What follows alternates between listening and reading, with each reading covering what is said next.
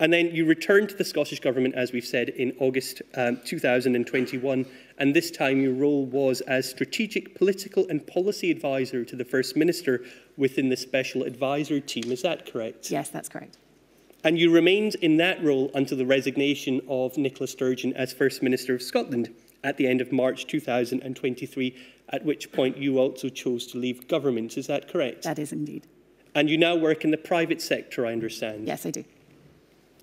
And I want to turn to ask you about the role of special advisors more generally before we get to your involvement in the pandemic. There is a, there is a special advisor's code of conduct, is that correct? There is, yes. And this describes the role of a special advisor as adding a political dimension to the advice and assistance available to ministers. And the code notes that one of the reasons for the role is to reinforce the political impartiality of the permanent civil service so that the political advice can come from the special advisors as opposed to the permanent civil servants. Is that correct? That is correct. And Professor Paul Cairney um, gave evidence uh, in week one to the inquiry. And in his report, he says that special advisors are appointed by the First Minister personally and ultimately, the responsibility for the management of the special advisors rests with the First Minister. Is that your understanding? Uh, that is correct. I would say the day to day management of the special advisor team is delegated to the Chief of Staff. Yes, uh, but ultimately, ultimately responsibility rests with the First Minister. In your first statement, uh, you say, and I'll simply quote at this stage, special advisors are not decision takers but support the decision making process by supporting ministerial thinking and assist in the application, understanding of, and communication of uh, ministerial decisions. Therefore, am I correct to understand that the role of a special advisor is not to take the decisions themselves? Uh, that is correct, yes. And there has to be clear boundaries between the decision makers, such as the Scottish ministers, and special advisors, as it's only the ministers who are elected and therefore accountable to the public. Is that correct? That's correct. And as special advisors, you're neither elected nor accountable to the public. Uh, that is broadly correct, yes. I, I, always felt accountable to the public. But in terms but not of formal, formally. Not formally. And your, your role is generally not meant to be public facing, yes. unlike the politicians, is it? That's correct. And some special advisors can build up close relationships with their ministers, having worked with them over many years. Is that correct? That is. And is it fair to say that your relationship with Nicola Sturgeon was particularly close, having worked as her Chief of Staff since 2015? Uh, yes, yes, and certainly by the time of the pandemic. And is it fair to say that you were one of her closest confidants? Uh, yes, I would say so.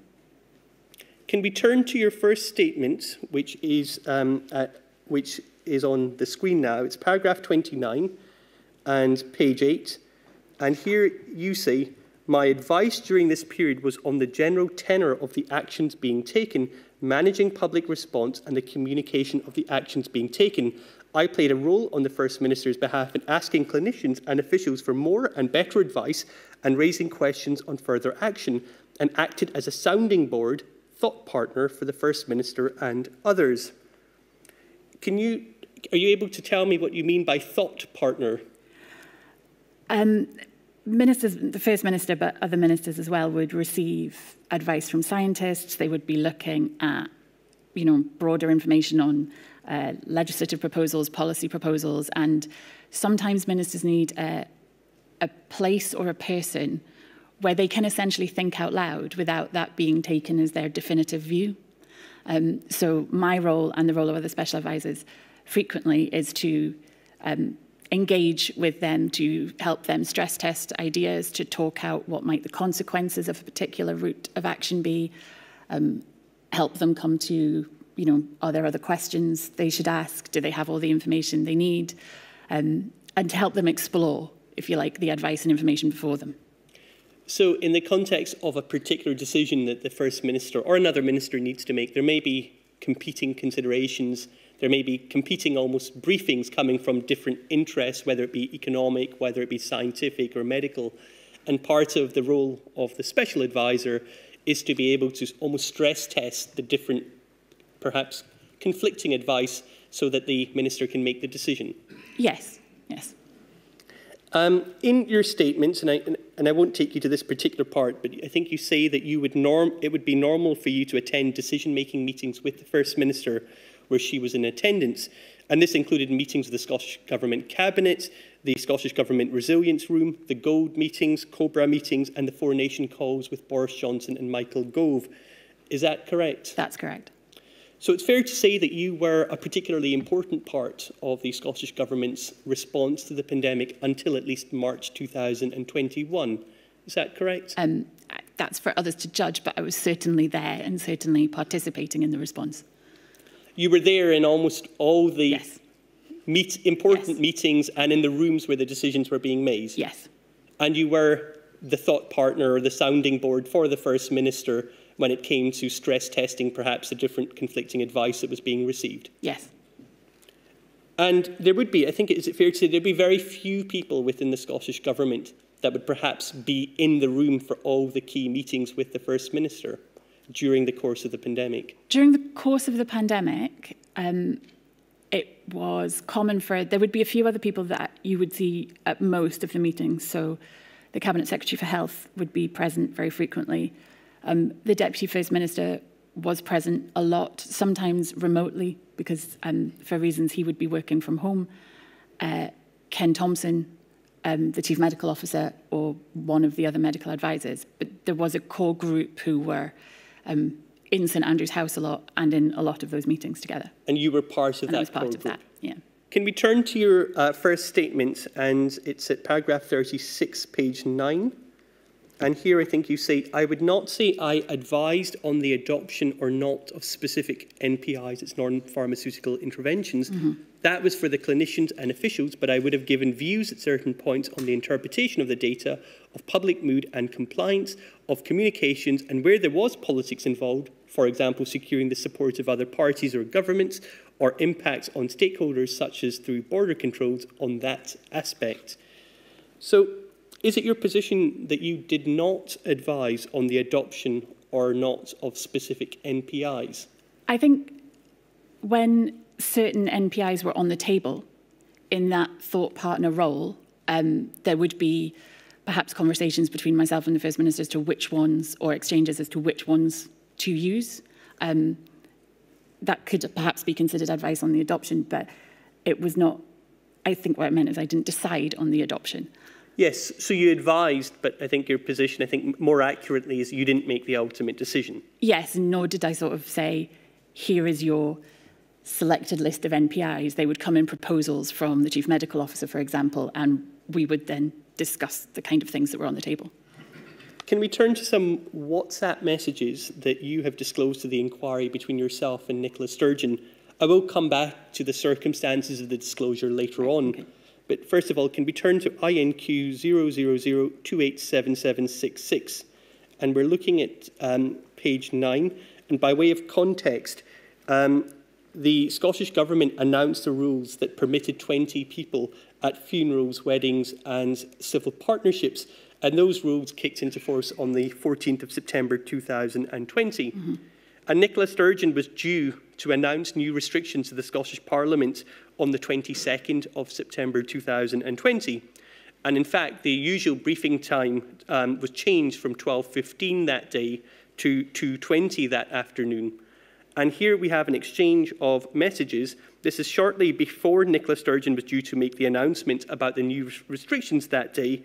And this exchange relates to a discussion about whether the rules should be mm-hmm. changed for weddings, civil partnerships, and funerals.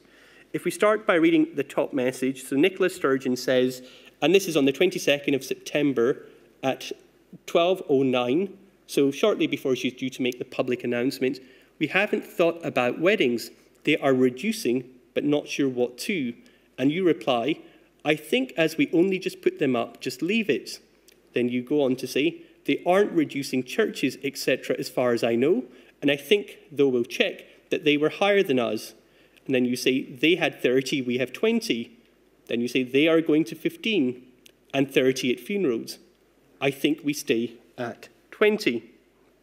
Does the they in this conversation refer to the UK government? Yes, it does. So Nicola Sturgeon in this example tells you at around 10 past 12 the day that she's due to make the announcement to the mm-hmm. public, the usual time being 12.15, but this day we see yeah. that it was moved to 2.20, she tells you that she's not sure about what to do. And you tell her to stay with 20 attendees when the UK government has gone down from 30 to 15. And that ultimately becomes the decision that day because there is no change to the, the position of 20 as far as the inquiry is aware. So is this not an example of a decision that was made very much at the last minute over WhatsApp between you and Nicola Sturgeon? So there are a number of aspects to this exchange. Um, the decision, I don't view this as the decision because the decision had been taken. So a decision had been taken at Cabinet to go to 20 through the normal processes. And where the First Minister is saying we haven't thought about weddings, there had been significant thought by, I think, the communities and equalities team about what were the appropriate numbers of people at particular services. Um, so that decision had been taken, that decision had gone through the proper process. Um, and I give my view that I don't think we need to essentially remake that decision. I think the message underneath that is, says that the statement is being forwarded to her, which is, I think, the Prime Minister's statement. And had she still wanted to take further action, she could have come back on that. Um, I also think behind this WhatsApp, if you like, I was having an exchange with the lead official to make sure I had the information correct and that the information I was giving the First Minister was the right information. Is a decision not to change the rules still a decision? I think there had been a positive, if you like, and a proactive decision at Cabinet that the position in Scotland was that there would be 20. Um, there is neither a confirmation or, you know, if the First Minister had come back and said, I agree, then I would support your view that that was a decision. She actually doesn't comment, and there may be other actions elsewhere. I don't think it did change from memory until later on. Um, but this, to my mind, is me giving my advice, my thought in that thought partnership role that we stay at 20. If she had wanted to pursue it, to consider it further, perhaps after receiving the statement she may have, there would be exchanges in some other fashion. There wasn't any scientific briefing that you received that appears to have informed your view, let's stick with 20, was there? There would have been on the decision, which had very recently, I think that, you know, a day or two before, been taken to set it at 20. I believe that the decision to move it down to 20 had been taken around maybe the 10th of September. And the decision had come into force on the 14th of September. And what we are talking about is here looking at the 22nd of September, and from the documents that have been disclosed, to the inquiry, um, there between the inquiries looked at the, mm -hmm. all of the documents between the 10th of September and the 23rd of September, and the inquiry can see no advice being given between these dates about whether the number should remain at 20 or whether it should go up or down. So is this not an example of a decision simply being made on the hoof um, shortly before the First Minister is meant to be announcing restrictions? I would think that advising that shortly before the statement on restrictions was about to be made, that a decision should be taken to change the limit without seeking scientific advice would have been the on the hoof aspect. Suggesting that you stick at the decision that had been taken based on information was a more coherent position. Uh, but we can see that Nicola Sturgeon's first uh, WhatsApp to use, we haven't thought about weddings. That seems to suggest that there wasn't really much thought process that had gone into the decision until this exchange with you, uh, which begins at around 10 past 12. No, I think, I think she means we haven't thought about changing weddings, if you like, in response to the UK government changing weddings. We had thought about weddings when the decision had been taken positively and proactively in Cabinet to set the limit at 20. So is it fair to say that because Nicola Sturgeon comes to you not being sure what to do, and ultimately, as the inquiry has seen, that uh, on this date there was no change to mm -hmm. the mm-hmm. rules, and you're the one that suggests that, that we stay at 20, are you effectively the main driver of this decision? No, I don't think so. If the First Minister has a, the First Minister has a strong enough mind that if she had felt that my advice was not the right advice, um, she would have said so, or she would have acted in another capacity, asked for further advice, delayed the position on weddings. She would have acted on that. Um, I am advising. I sought the correct information, if you like, on the factual basis to give that advice, but the decision is very much his. If these messages had been deleted by you, and they haven't because that's why we have them, if these messages had been deleted by you, how would the inquiry and the public be able to understand how and why the, the decision was made at this time not to change the number of people that can attend funerals or weddings? So, as I've said in this regard, I have recollection of contacting, I think on Teams, um, the official responsible for the sort of framework documents, if you like, to check my facts, to check what it was. Um, they would be able to see the decision that was made, which was the decision to stay at 20 being made previously, essentially the decision to set at 20, through the process of advice and cabinet papers. So that decision would be very set out in very great detail.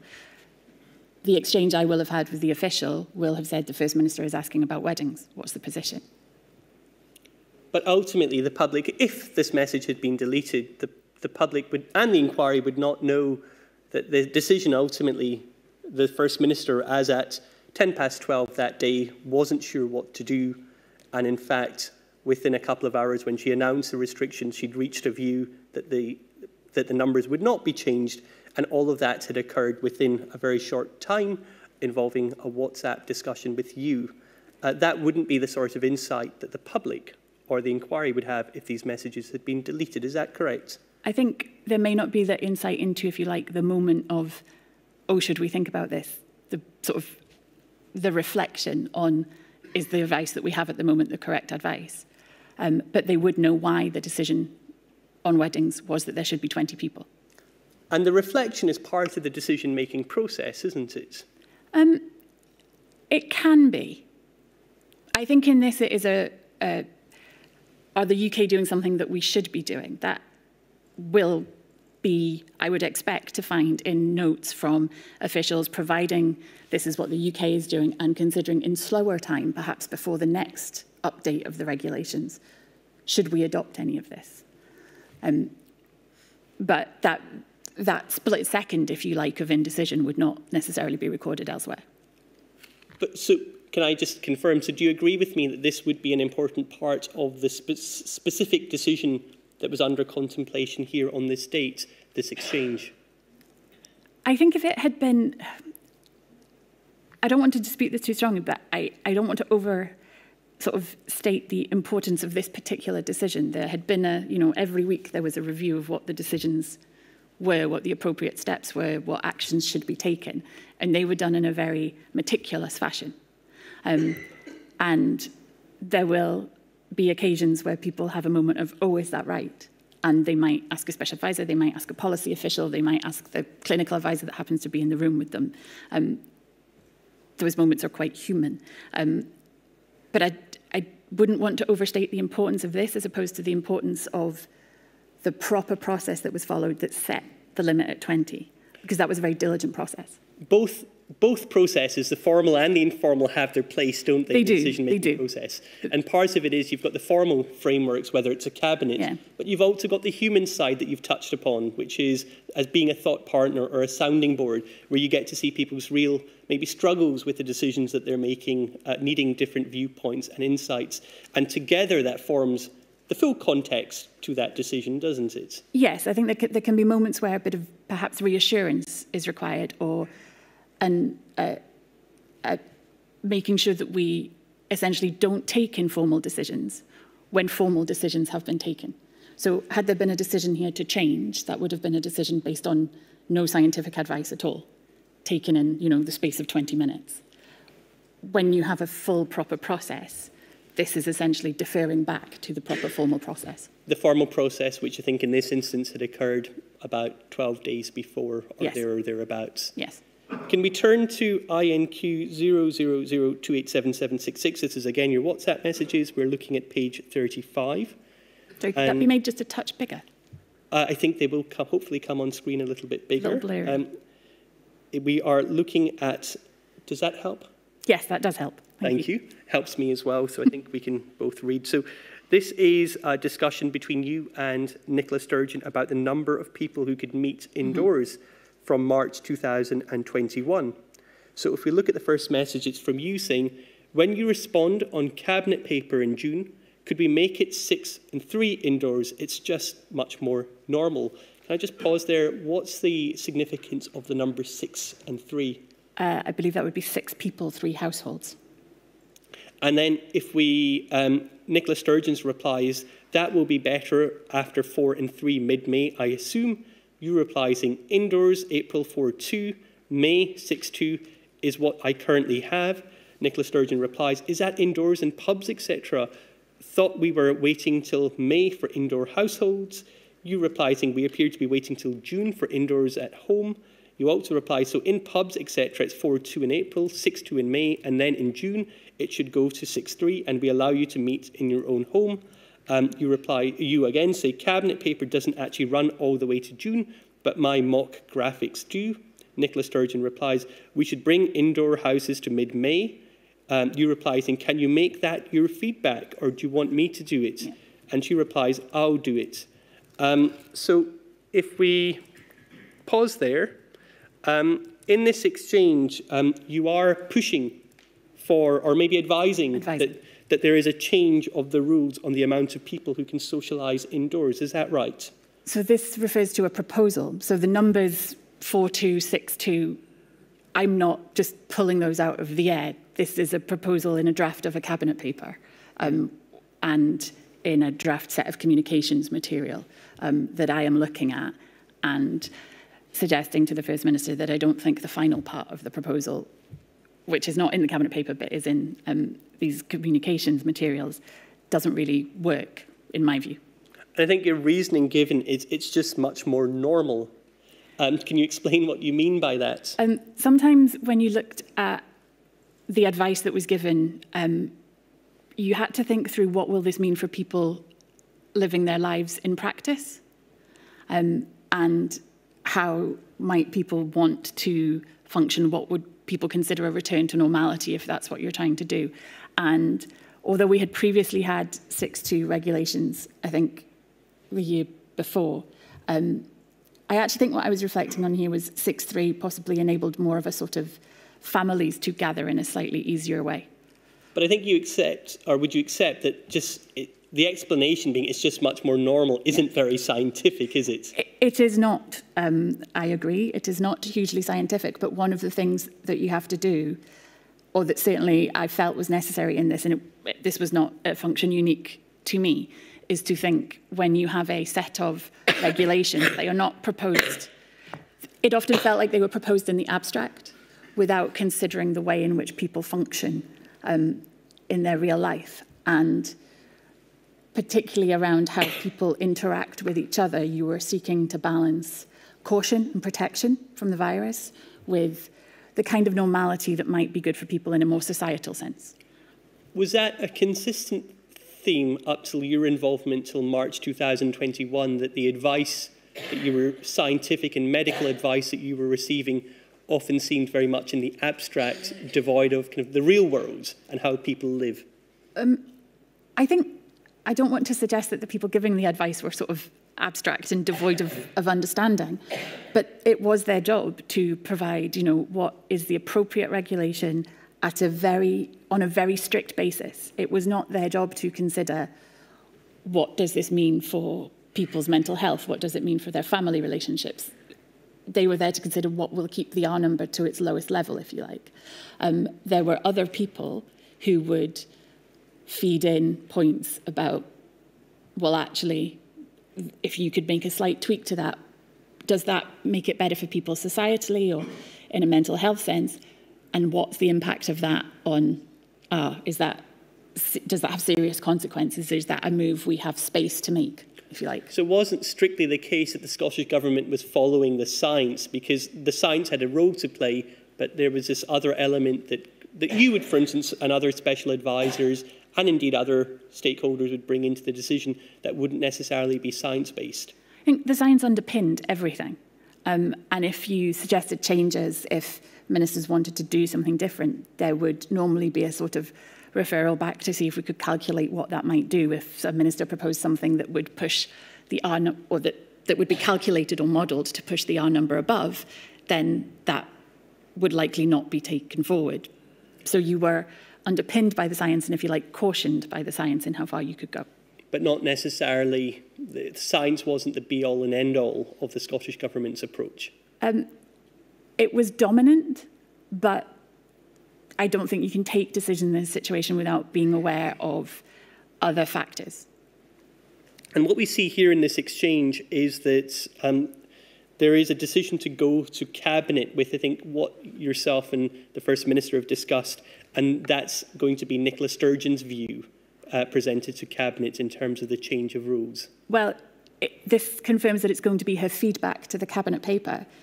That would create an opportunity if the clinicians, for example, thought that was inappropriate for them to come back on her feedback, and this would all be informal exchanges if, if they did this, to say, First Minister, actually, we would rather not do that, and this is why we would rather not do that.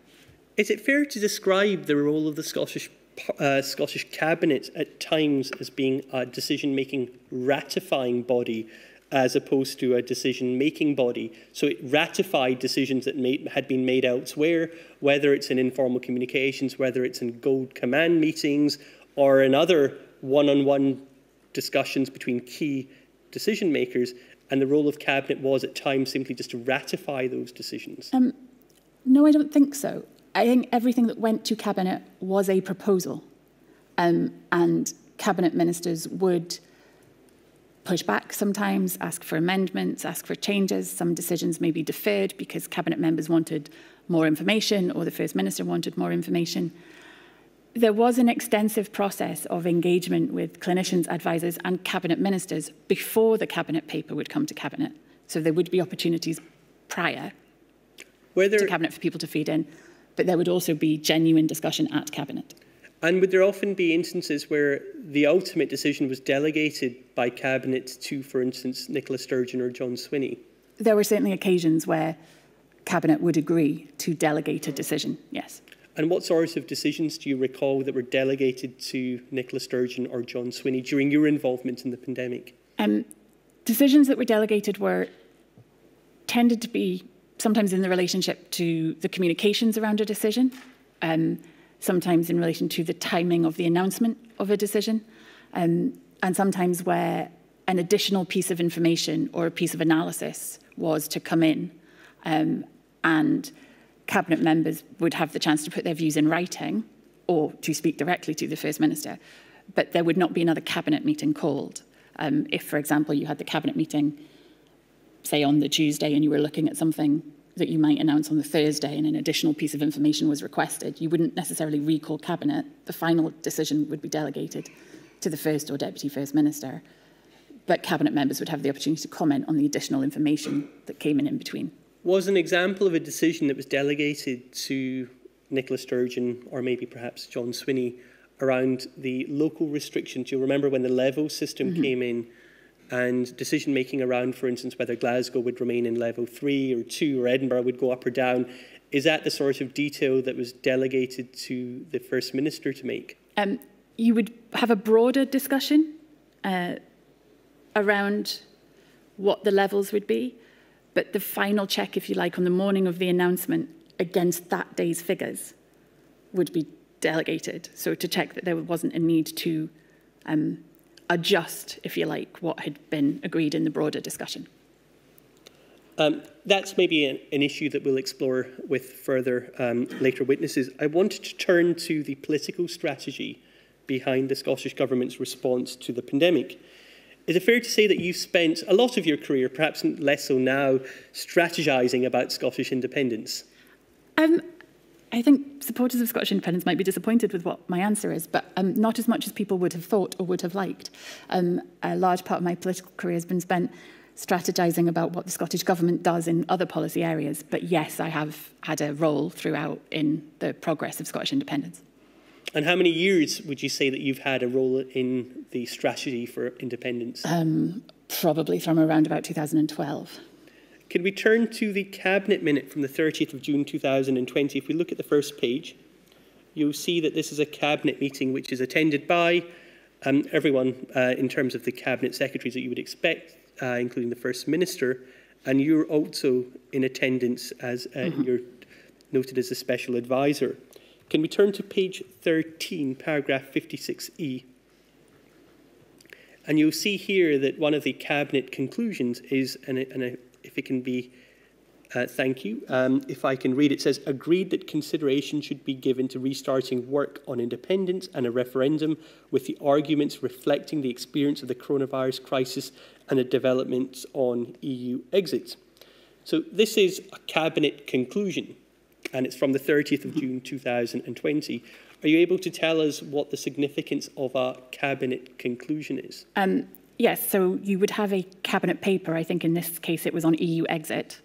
Um, and at the end of a cabinet paper, there are normally a set of actions proposed. Um, and this would have been one of the actions proposed in the paper on EU exit. Um, I, the fact that something is in the cabinet conclusion does not necessarily mean there was an active discussion on that particular issue. So this is E, so there would have been five points in the EU exit paper. Um, I have uh, as, as you know, I have contemporary, contemporaneous notes of uh, some of these meetings. If we had had a discussion on independence and the Constitution, it would have been in my notes. I was the chief political advisor to the government. It is not. Um, so my recollection and what that tells me is that there was no substantive discussion on issues around independence and a referendum at this meeting. There was a discussion around EU exit, and this had been included in the paper. We've already discussed a, that there's a place for formal uh, mm -hmm. structures and informal discussions yeah. within the decision-making process. One can't get any more formal in terms of decision-making than what's in the cabinet minutes mm -hmm. as the agreed actions. Do you accept that? Yes. And it carries perhaps more weight about what the Scottish Government is seeking to do than informal notes that may exist. Um, this being in a cabinet meeting minutes? Normally, I would agree with you. Um, and in the other points, I do. What strikes me about this point is it was agreed that consideration should be given. It wasn't agreed that we would do something other than think. Um, and the following this period, no action is taken on independence or a referendum during this period. So to the end of 2020. Um, if it had been, I would have been involved in it. There is nothing that I am aware of that the government proactively did. Um, if the government had proactively done something, there would be much evidence of it. There would be published papers, there would be statements, and there would be occasions in Parliament. This was a focus on the fact that we were about to leave the EU, which was, during 2020, the dominant constitutional concern of the Scottish Government. So when do you say that independence became a subject matter under discussion in the Scottish Government during the pandemic?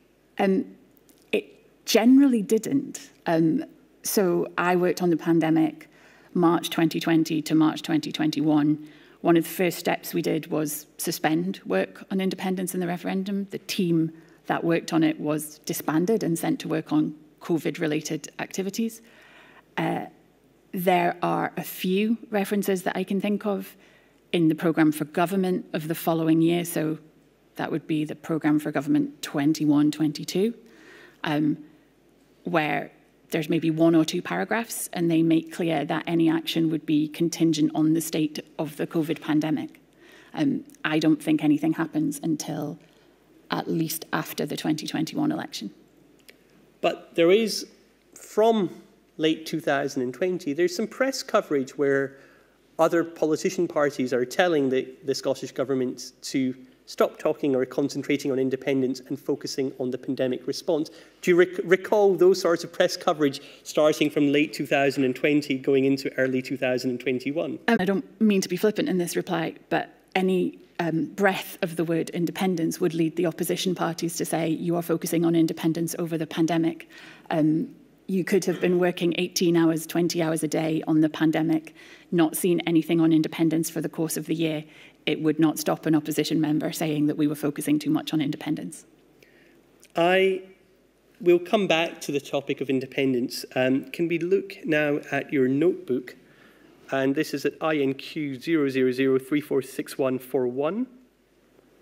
And just before we look at the specific um, uh, page, can you explain um, what the purpose of your notebook was? Um, I kept notes through most of the year on COVID of cabinet meetings, of COBRA meetings, of SCORE meetings, in essence to keep myself right in what had been agreed, what had been discussed, what my actions were, um, what I should be expecting different parts of the government to deliver over the week. It was my um, way of keeping on top of what was happening. Can we turn to the entry on page 142? And you'll see at the top, this is headed Gold Command, and these appear to be notes from a Gold Command meeting mm -hmm. that took place on the 28th of September 2020. Can we now turn over the page?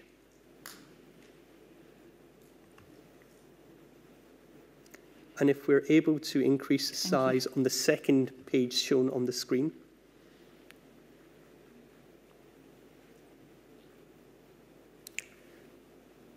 Thank you. Just by way of, um, I think we would, um, so just by way of context, first of all, this is, are your notes on a discussion of a potential circuit breaker lockdown yeah. around, I think this was being discussed in September going into October 2020. Is that correct? That's correct. And if we are able to look at the, um, I'm just waiting for these, it's the next page.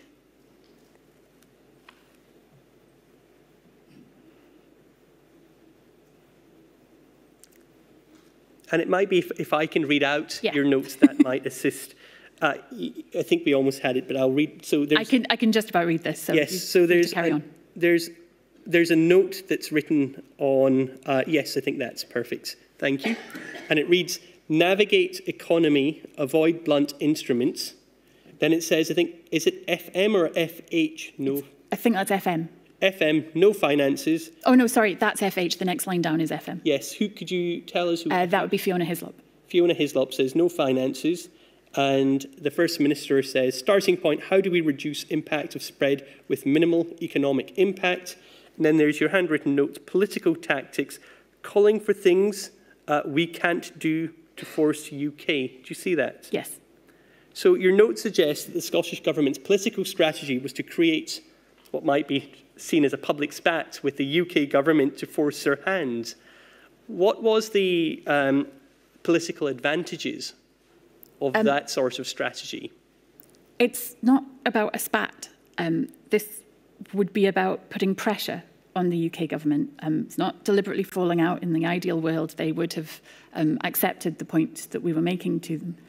Um, for, if I can give a bit of context and then get to that, this was weighing up how we could um, put further restrictions on potentially a circuit breaker with minimal economic impact because the Scottish Government didn't have the means to uh, provide economic support to individuals or, or, businesses if we went for the full circuit breaker. What we needed was the UK Treasury to open up additional funding, to extend furlough, to take actions that would enable us to do that. And this, I think, is about us setting out very clearly what we wanted to do in public health terms, but what we couldn't do to try and build pressure on the UK government who um, were not amenable to this discussion in private um, to force a change of position. And you would need to do that publicly, and that's the reference to the political tactic, yes. is that correct? We've heard evidence from witnesses, including Professor Devi Sridhar, of the importance of cohesion in the response between the UK government and the Scottish government, and this is in the context of public health. These tactics, whether you can call them political tactics, of going pu uh, public would create more division with the UK government, wouldn't they? Um, as I said, in an ideal situation, the UK government would have agreed that funding would be provided so that the Scottish government could put in place the public health restrictions that we wanted, and then there would have been no need for any pressure. Um, sorry, it's disappeared from the screen. Um, the purpose of this is not division. It's not to have an argument. It's to be able to put in place the public health restrictions that we were being advised were required at that time when private discussions do not get you to the place where you have access to the finances that you need to do that, um, you have to explain to the public why you're not doing it.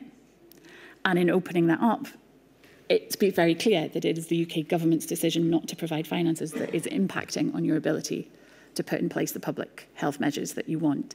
Um, I don't call that a spat. I don't, although I wrote political tactic, it's not partisan. It's not about boosting or, you know, uh, knocking support for one government or one party. It's about trying to do the job that we were trying to do and finding ourselves very frustrated in doing. And why did you feel, in terms of intergovernmental relations, that you needed to go public with your concerns and you weren't able to raise these privately with the UK government? I mean, there would be a number of issues that we would resolve privately, but this one was not being resolved privately. Um, we were in this position, the Welsh Government were in this position, the Northern Irish Government were in this position, and we were making no headway. Um, so you reach a, a point where you have to say to the people you represent why you are not able to do something that you are being advised to do. That means going public on the fact that you can't afford it. That means going public on the fact that you may have asked the Treasury for money and they're not providing it. Um, it's not a, we are doing this to stir up political contest. It's, we can't do what we're trying to do and we need to tell you why. Can we go back to your WhatsApp messages, and this time, my lady, I wanted to give a warning that there will be some bad language in oh. some of these. Um, I'm used to it. Yes, I think it's partly for the broadcasters rather than your ladyship. Apologies, I, I thought I'd been quite restrained.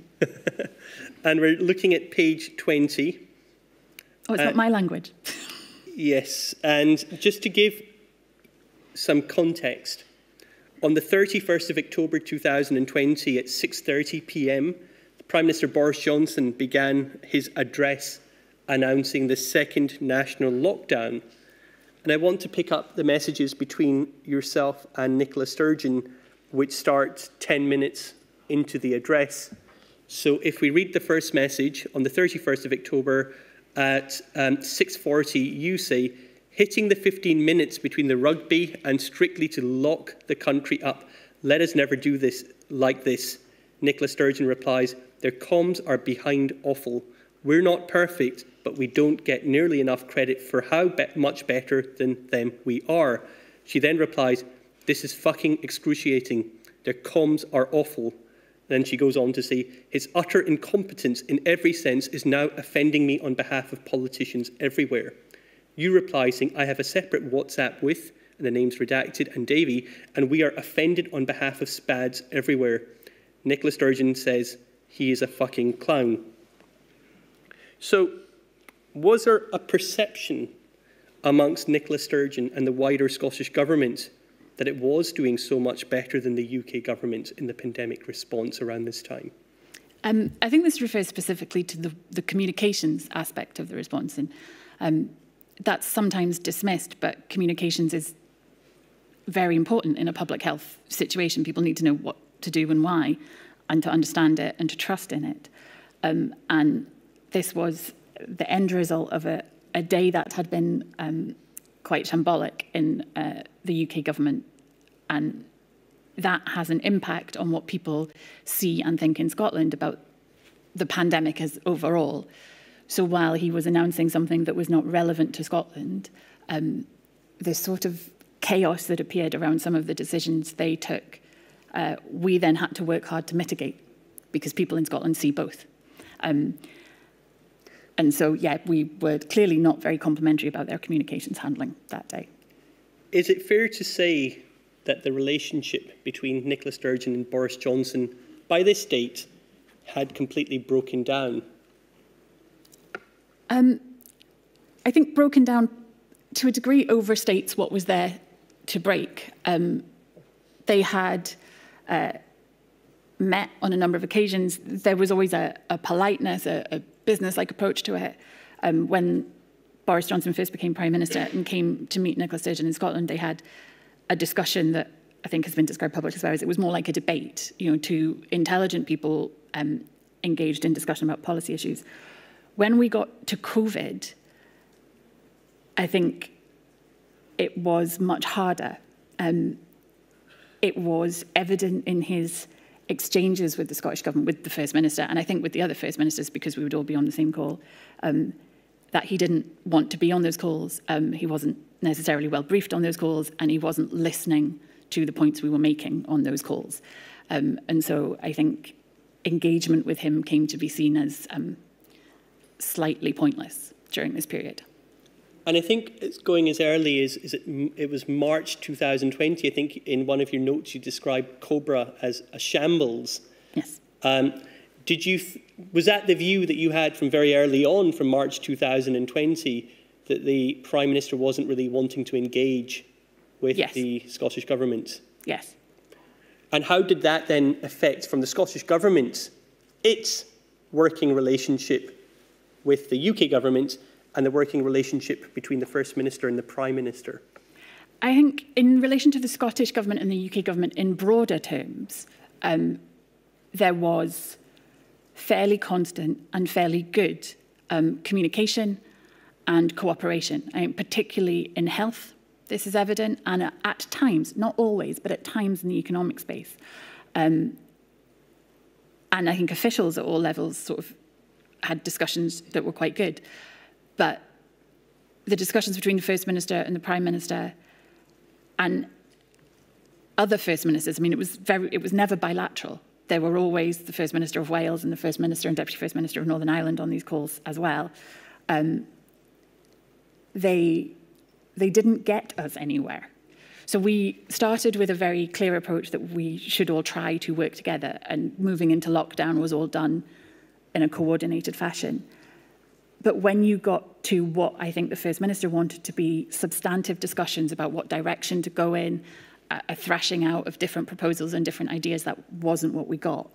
Um, we got a Prime Minister who it certainly felt at the end of the video screen or at the end of the line was uh, reading a script and would summarise the contributions of the three First Ministers and the Deputy First Minister from Northern Ireland um, in ways which largely ignored the points that they had made. And how early on in the pandemic response did you come to that realization?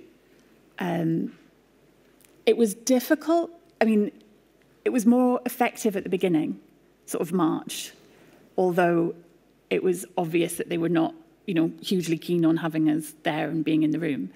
Um, it was actually quite effective with Dominic Raab for the period in which the Prime Minister was in hospital. Um, and it's when the Prime Minister sort of re-engages in the discussions that it is evident as you're talking about the lifting of restrictions, for example, um, changes in messaging, different approaches between Scotland, Wales, Northern Ireland and the UK, um, that he is not informed and doesn't want to be there. And I think there, there seems to be kind of a very clear divergence in messaging from around the 10th of May 2020. You recall That's where the UK government messaging stayed to move to stay alert. The Scottish government remained at stay at home.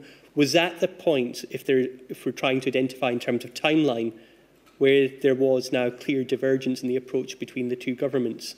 or did it occur earlier than that? I think that's the point where it becomes clear that there is going to be a difference in approach between the two governments, that that the approach to lifting restrictions in England is going to be different to the approach to lifting restrictions in Scotland and Wales in Northern Ireland.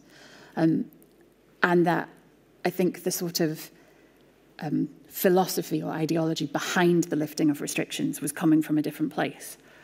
Um, so that is, I think, the point at which it becomes clear that we're going to go in slightly different directions and we have to try and work out how to go in different directions um, within uh, the UK as a whole. If the First Minister of Scotland thought that the Prime Minister of the United Kingdom was a clown or utterly incompetent, that doesn't really uh, create any sort of functioning relationship between the two leaders of the respective governments, does it? I mean, this is later than that point that you raised earlier about May, um, but which point I, I can't think of conversations in this period that were happening directly with the Prime Minister. They were happening with Michael Gove. Can we now turn to page 21? And we're now looking, we've now moved on to the 1st of November 2020. And I wanted to look at messages that begin at 6.29 p.m. Mm-hmm.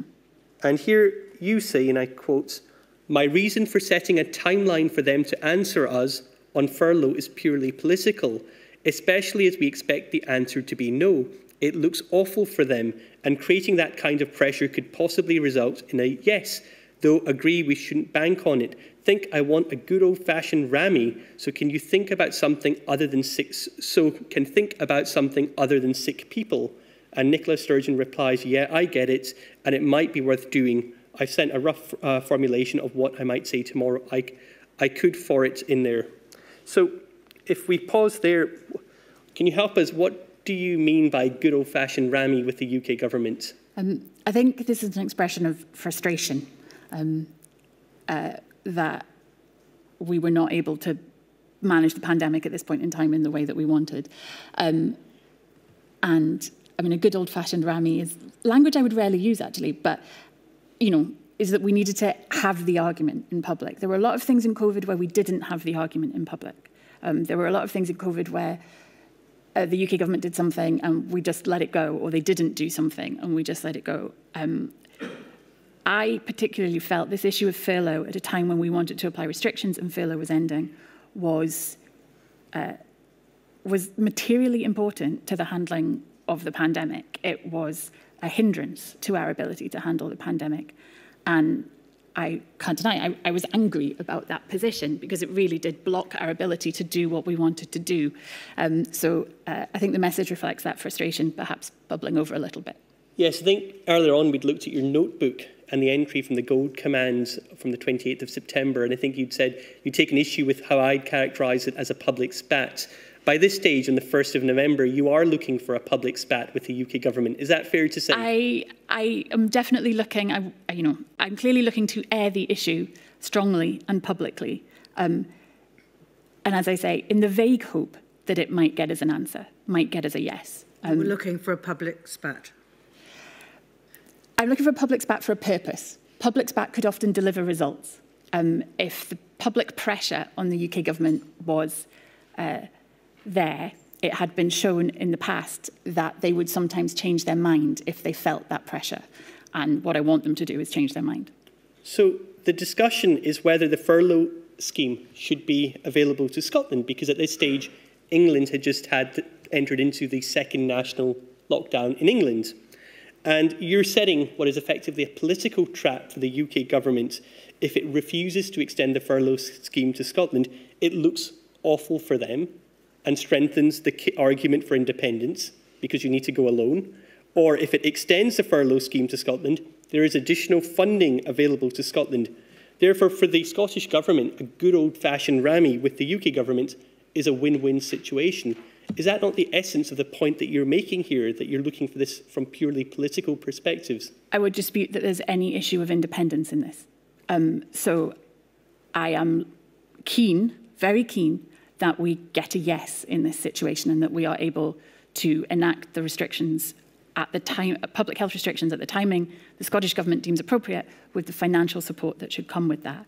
Um, if there is a no, what looks awful for them is that they are not enabling us to take public health steps at the time that we want. If the wider world wants to read constitutional implications into that, that is for them, but I was not making them. And it was around this time that I think the furlough scheme was extended to Scotland in November. Is that correct? It ultimately was. There was significant pressure, um, public pressure, placed on the UK government. Ultimately, it did it because it did it for England. Um, and this was the issue, was that finance decisions that related to mitigating public health measures were not uh, coordinated with the decisions each of the four nations might make on those public health measures. They were only triggered, if you like, when England took a decision and Scotland, Wales and Northern Ireland all faced significant difficulties during this period for that um, reason. Can we turn to now page 23 in these WhatsApp messages? And here, just by way of context, what's being discussed here is efforts to have a four nations approach to restrictions over Christmas in 2020. And you'll see um, messages um, that from you that begin at 9.04 p.m. And you say, Gove wants to talk tomorrow, it's just come in, have said to, and there's a name redacted, to hold off going back till the morning and suggest waiting for the proposal before agreeing Nicola Sturgeon replies, I've just seen the email. I'm happy to do call subject to proposal, but I wonder if we should make clear in advance we won't agree anything without cabinet approval and get Wales to sign up to that. You reply saying, yep, Cabinet Tuesday is a good marker. Tuesday or Wednesday might not be bad days for us to announce either. I'm increasingly leaning to just one other household after seeing the poll, but I'm also a Grinch about Christmas. And then Nicola Sturgeon replies, I am too. But on, but on this, I reluctantly think there's merit in the UK wide position. Let's see the proposal. So, Nicola Sturgeon's reply to you on the 20th of November seems, she seems to be emphasising that she's reluctantly seeing the merit in the UK wide position. Does this not suggest that by this stage, the default position for the Scottish Government was to be different from the UK Government? I think it was the default position for each of the four governments to take the decisions that suited their geographical and pandemic related circumstances. It was not that we would be different to the UK or different to Wales. It was that in taking the right decisions for the people we were responsible to, Scottish people, uh, they were not necessarily the same decisions that the UK was taking. But Nicola Sturgeon doesn't appear to be very enthusiastic about Four Nations approach by this time, does she? Where I, she's almost reluctantly having to sign up to it. I think there was a reluctance in general around Christmas positioning. We uh, were essentially bounced by the UK government into a position about Christmas, telling people they can't have it when the UK government have said you can, um, was a very difficult situation to be put in. Um, there is a reluctance and you can see this higher up, you know, subject to the proposal, we're reading in the public domain that people will be getting uh, some sort of relief from COVID over Christmas. We have not seen a proposal that we are about to go onto a phone call and be asked to agree to. So this again goes to some of that what was to was a chaotic and shambolic sort of approach. So it's um, very hard to sign up to something and to enthusiastically embrace something that you have had no input into.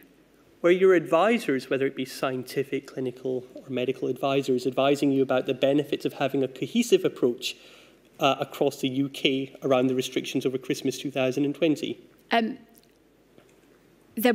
yes, to an extent, um, in part because of travel. Um, and it was travel that uh, led us largely to, to look for a, a cohesive approach. Um, what I recall of the advice from advisors around Christmas was, you know, we don't think this is a good idea. Make it as minimal as you can if you have to do it at all. And I want to move on um, in the period to you left your role as Chief of Staff in March 2021. And you say that after a short break, you came into the role of Strategic Political and Policy Advisor to the First Minister in August 2021. I think you say in your statement that you didn't have any involvement in the pandemic response beyond this date, except for COP26, which took place in Glasgow, I think in November 2021. Is that correct? That's correct. On the 7th of September 2021, Nicola Sturgeon announced that work would start again on the second independence referendum campaign. Does this announcement, or did this announcement coincide with your change of position from Chief of Staff to becoming the Chief Political Advisor and Strategic? Um, it, it broadly coincides in date terms, but it doesn't coincide in reason.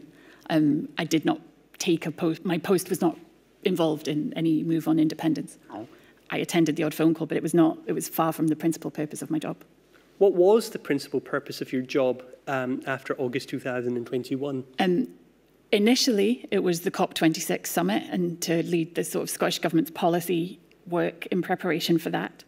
Um, it was then to focus, and this was something I had felt as Chief of Staff we were missing, was to step back from the front line, from the media, from the Parliament, from the day-to-day, -day, and to focus on some of the long-term commitments that we had as a government and that we'd made in the 2021 election around moving to renewable energy, around reaching net zero, around tackling child poverty. So I worked on things like um, the new economic strategy, the draft energy strategy, the resource spending review, um, I attended some of the Constitution Secretary's independence meetings, um, but I did very little work on it. It was not my purpose.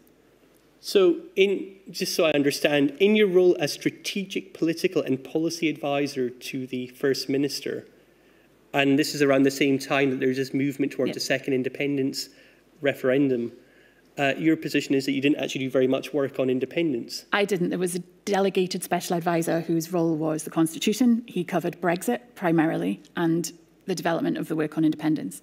I think it might be useful to say I had not been in government over that summer, and um, I think that there's been a reference on material provided to me, a BBC article sort of headlining this independence issue on that date in September that you remembered or, or cited, um, which is again the publication of a programme for government. I had had no involvement in the writing of that programme for government. Unusually, it was the first one in probably 10 years that I hadn't been part of.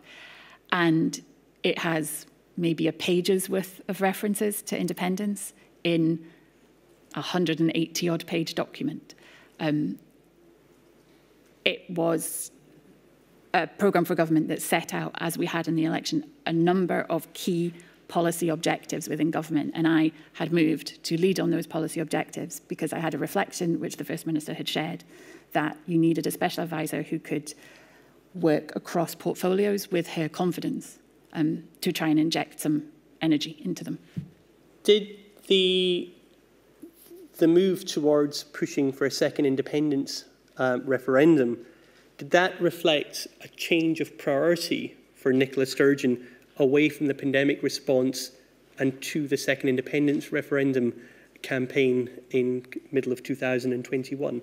Um, at that time, no, for her. Um, I mean, I wasn't there day to day, but my recollection of her in that time is that she remained um, incredibly focused on the COVID pandemic. um, you can think about more than one thing at a time when you're First Minister, but she uh, devoted vast amounts of time to the COVID pandemic during this period still. Was she devoting vast amounts of time to the independent strategy around this time? Um, it was largely led by the Cabinet Secretary for the Constitution. I wanted to move on to um, another area, and this is around the public health messaging during the pandemic. You say in your first statement, and I don't intend to bring this up, that you have considerable experience in public communications. Is it fair to say that until at least March 2021, you played an important role in the Scottish Government's communication strategy in relation to the pandemic? Yes. And this included leading on, for instance, the um, preparations for the daily media briefings. Is that correct? Uh, I would share that responsibility with the head of the COVID briefing unit, but yes. And in fact, we've, we've seen some WhatsApp messages that you were actually one of the people that would decide, for instance, which advisor would appear on a, any given day. Is that, is that, does that accord with your recollection? Um, decide is, is possibly strong. I um, would suggest you would come on what day. They would tell me what days they were and were not available, and we'd work out how we were going to cover the whole week in coordination with the health communications desk. Were you the one effectively choosing, at least uh, before checking their availability, who would be the one that would front a particular media briefing? Um, I generally sought to simply just share it around and consider what each of them was working on and what we were likely to be speaking about. Um, so if we were going to be speaking about a you know, piece of Public Health Scotland work that had come out, I would probably look for Professor Smith, Dr Smith to do that. Um, if it was we need to give people a general update on a reminder about behaviours because the polling maybe shows that behaviours are slipping, I would look for Professor Leitch to do that. So in broad terms, what was the Scottish Government's strategy um, around public health communications, at least until the period that you were in uh, it, position? It was to be um, honest, to be clear, um, to trust people, and to try and build cohesion amongst the public about the actions we were asking them to take. Um, there was a lot of focus on explaining to people why we were asking them to do certain things because that would boost the compliance, helping people understand the situation they were in and that we were in, um, and encouraging the behaviours that we needed people to uh, undertake in order to mitigate the spread of the virus. I think you said honest, to be honest with the people, to be clear, to trust the people and try and build cohesion amongst the public so that the public, you were able to explain to the public and the public understood why they were being asked to, um, to comply with yeah. various measures. Is that correct? Yeah. And can you tell me the importance of um, honesty, trust, being clear and transparent with the public in terms of public health communication strategy? When I think to ask people to do something as extreme as, you know, stay at home was something that was very unusual and unprecedented in people's lives. They had to have confidence that the people who were asking them to do that were asking them to do that for the right reasons. Um, and that it was something that we were asking of everyone. Um, and part of that was helping them to understand why it was necessary and the impact it was hoped that following that rule would have. Could there be sometimes good reasons uh, not to be open or candid or transparent with the public? Um, and if so, what sort of scenarios would there be where you wouldn't be open or transparent with the public? I think I can perhaps um, identify where you're taking me here. Um, there would be occasions around patient confidentiality, um, particularly early in the pandemic when uh, not at the time, but subsequent to, there have been arguments that people should have known more, that we should have said more to the public about certain events and certain cases. Um, that is an argument um, that has been made afterwards, and I think we can say very clearly we, we told people about cases. We perhaps didn't tell everybody about the personal circumstances of individual cases. Um, so I think that that may be where you're heading. I think those are the main that is the main issue where you would keep something confidential, is if there was harm that could be caused to an individual or to the process of managing COVID itself um, by making something more public. I think you probably were able to anticipate where I wanted to go. I wanted to ask you some questions about the Nike conference, yeah. which took place between the 25th and 27th of February 2020. Um, can we look at INQ 000225995? And what this is, is it's a chain of emails in which um, it's between yourself and Dr. Catherine Calderwood, and you'll see that other people copied in include the First Minister's Office uh, and indeed um, the Cabinet Secretary for Health. And if we look at um, what is being discussed here is whether to disclose the link between the conference mm -hmm. and the first outbreak of COVID-19 in Scotland. And if we see this is an email from you saying all CabSec, FM, and Gregor, can I just pause there? Is that Sir Gregor Smith? Yes, it is. Who can discuss directly what we're looking for, are conscious that a number of Scotland's cases now connect to one event, and that we are at a point where that could be reassuring information for the public around the increase in numbers, demonstrate we're still at containment, that contact tracing works, and be a legitimate public interest matter Ahead of the updates um, to numbers at 2 p.m., can FM and CabSec receive as full information as possible about that event, what's been done, the contact tracing success, etc., and can consideration be given with comms as to what can be said around it? Um, so I asked you about uh, Professor Smith. Does this indicate that he was providing advice, information and advice on the Nike conference around this time? I think what happened, not specifically on the conference, um, I think the reason I'm referring to CabSec FM and Dr. Smith at the same time is from my recollection, he had come from a meeting of SAGE to report to the Cabinet Secretary and the First Minister what had been discussed and to update them. And so they were all in one room at this point. Um, at the same time, we were becoming aware that I think it was the second case and then a couple of subsequent cases of COVID originated with a particular event. I can't say at the time that I knew it was a Nike conference until the following email. Um, and in a discussion with the three of them, we collectively thought, well, perhaps we should, if we tell people about this, it might reassure them that we don't have COVID's bringing up in lots of different places, although perhaps in hindsight we did, but that these three or four cases, I think it was, are all from one event.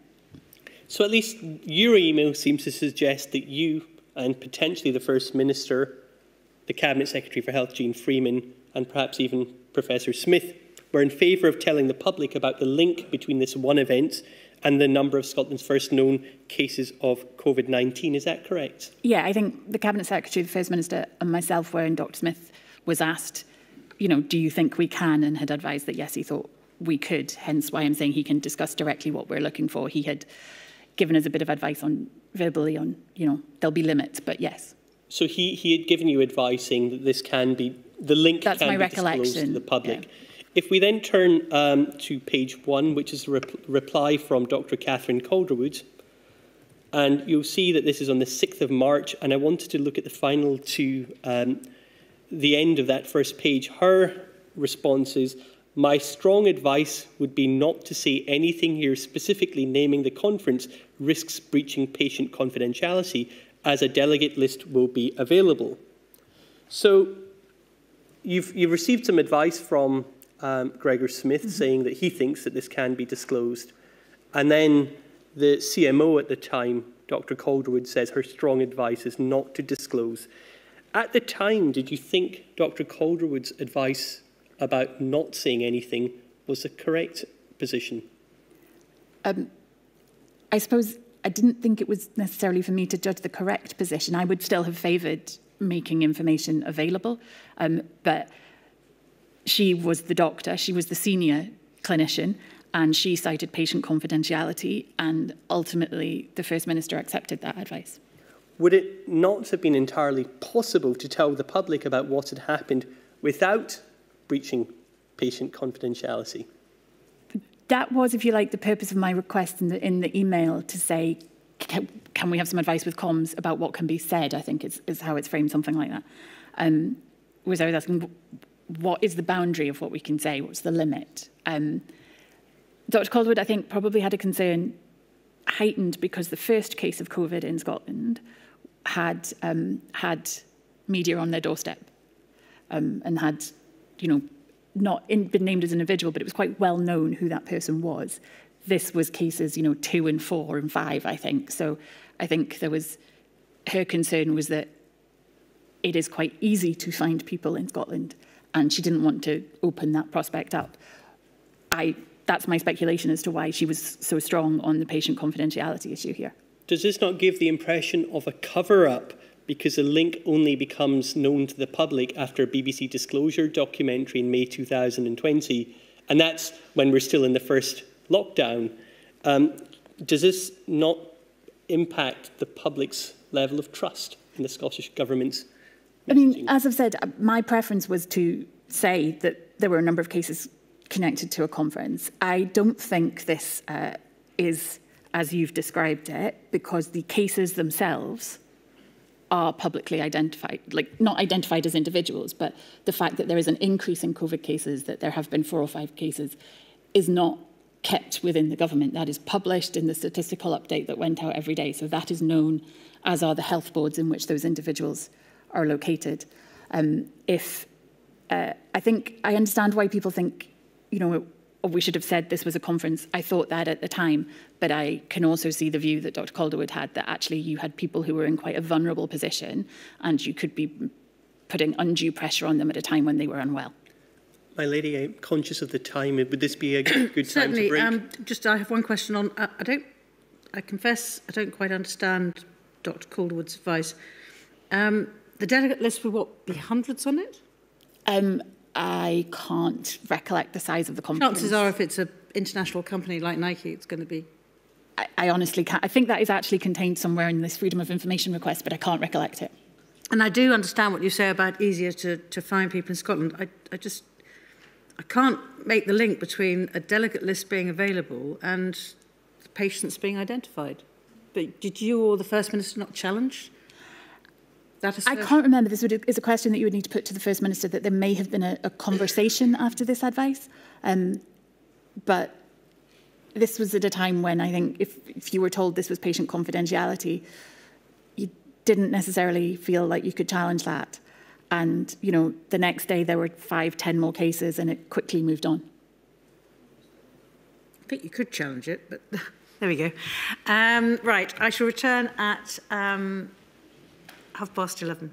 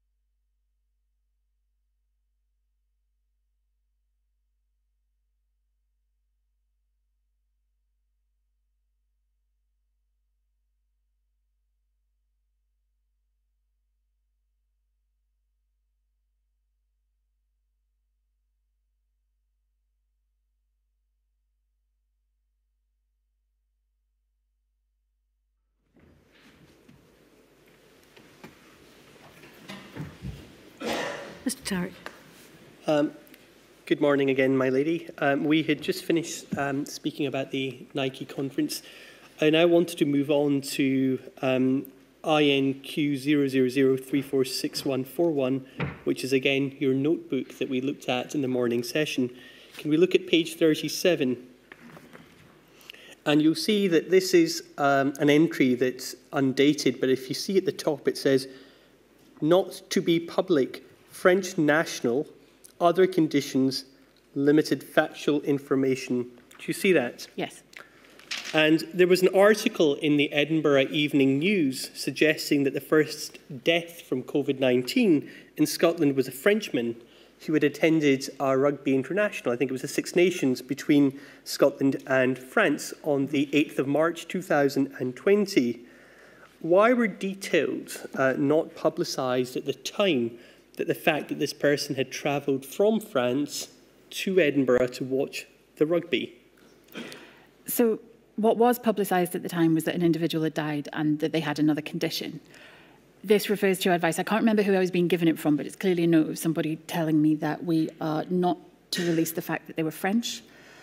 Again, I, this is not um, an issue about trying to uh, avoid disclosing the fact that they had been at the rugby. I think, from memory, um, though my recollection is not entirely clear, that this was either about family contact or an issue to do with the French consul and their sort of involvement in the fact that the person was French and needed repatriated. It was not um, anything to do with the fact that they had travelled from France to the rugby. It was some element of the procedure around the death.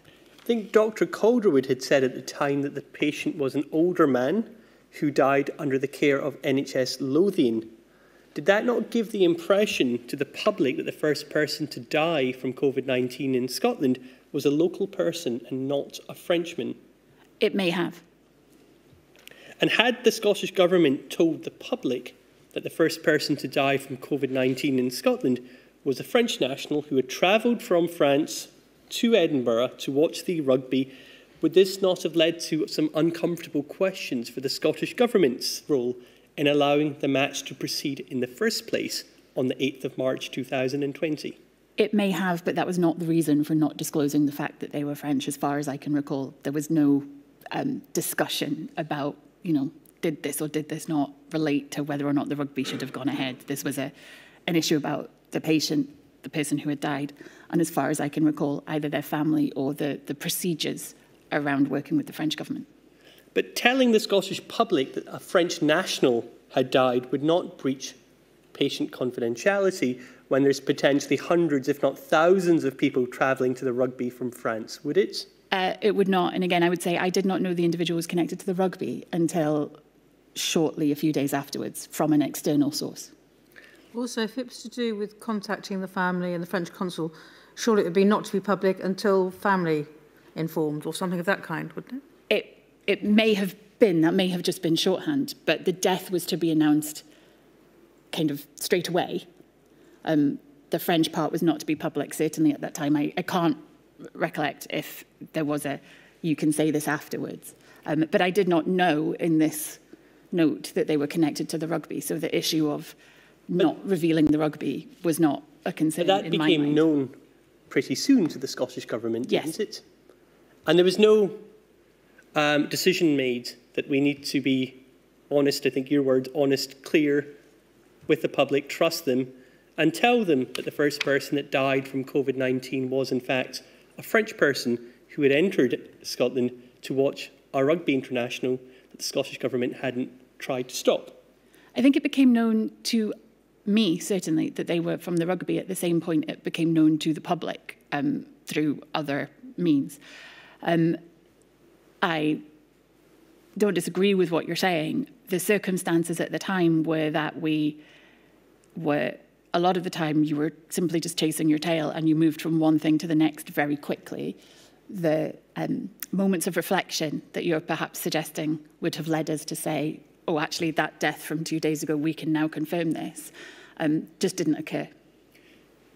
Could another way of looking at it be that this is another example of a Scottish Government trying to cover up what might be seen as uncomfortable information during the early months of the pandemic? That would be an inaccurate way of looking at it.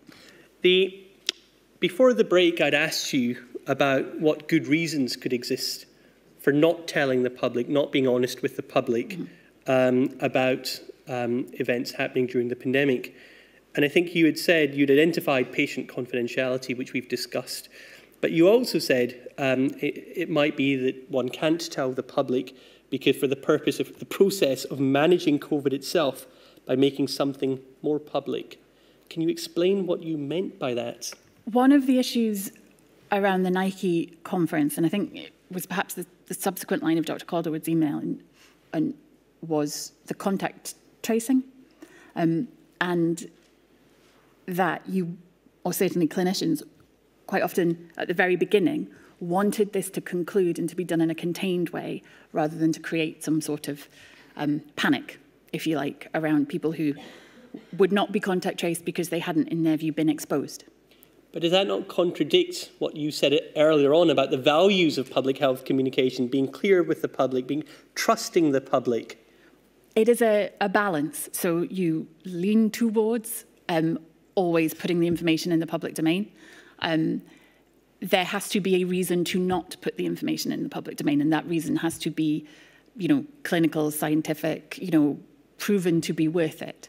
Um, but these are, you know, a very small number of examples, and I can think of no others, to be honest, where information about COVID cases that we had, um, particularly in the early days, you, once you got to larger numbers, the, the detailed information was not something that, you know, we had unless there were specific outbreaks, um, was not put in the public domain. Does this not suggest that there wasn't really a kind of concrete strategy that we have to be honest, candid with the public, transparent at all times, but it was just a matter of discretion, whether the Scottish Government felt perhaps this is a matter that we should not disclose, And uh, this is no. a matter that we no. should. Um, the principle was that you were honest and transparent and put as much information as the, in the public domain as you could.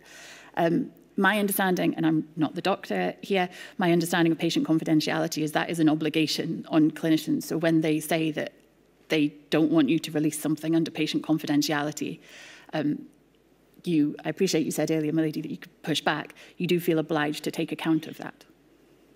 And now wanted to move on to a different topic, and that's the use and retention of informal communications relating to the pandemic. These being, for example, relevant WhatsApp messages.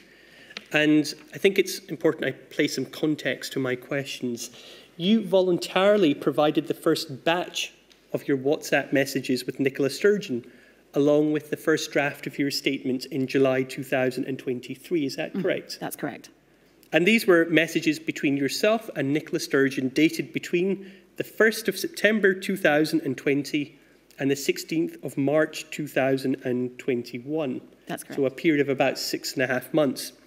We've already looked at some of those messages this morning, and those were the first messages that had been provided by anyone involved in the Scottish Government's response to the pandemic to this inquiry.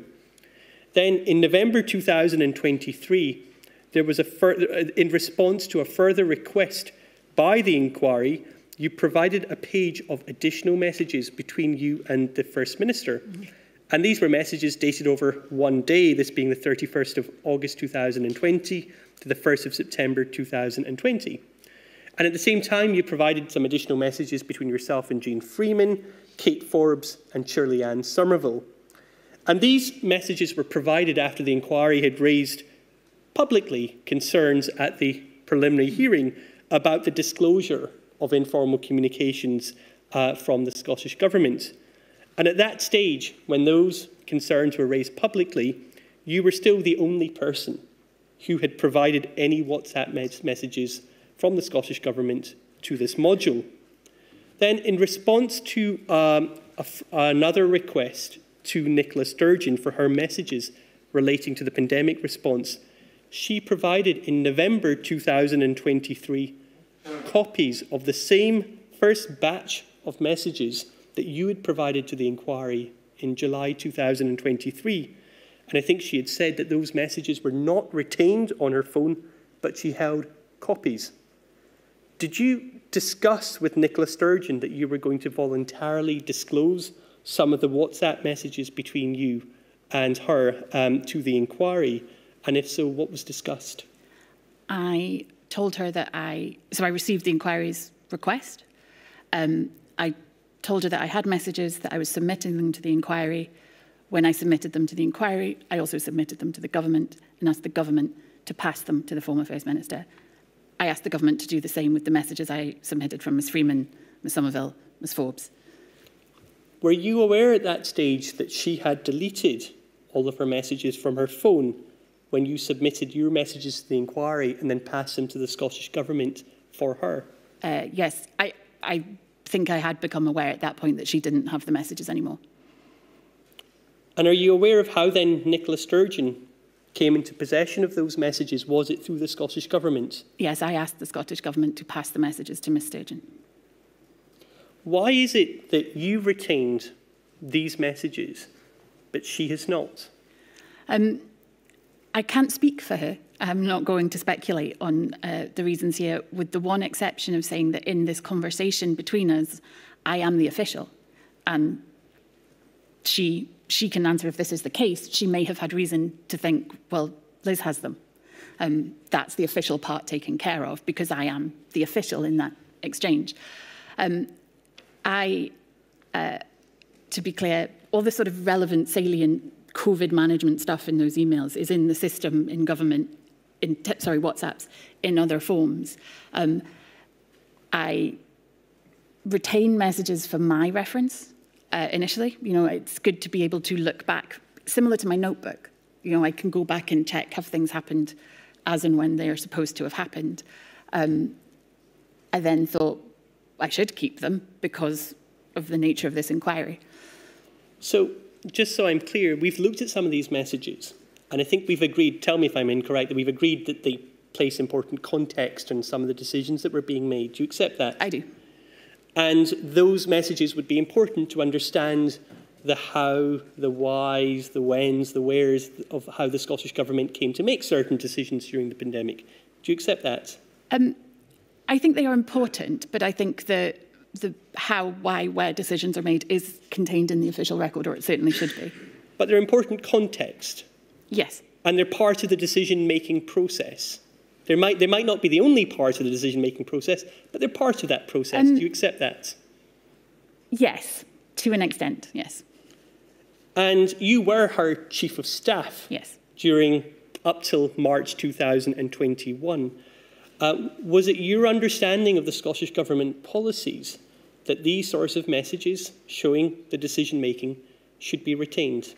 Um, I think I, in the second submission to the inquiry, have set out my knowledge of Scottish Government policies in this regard. Um, in relation to records management policy, and I'm going to have to talk about the two policies to give the full context here.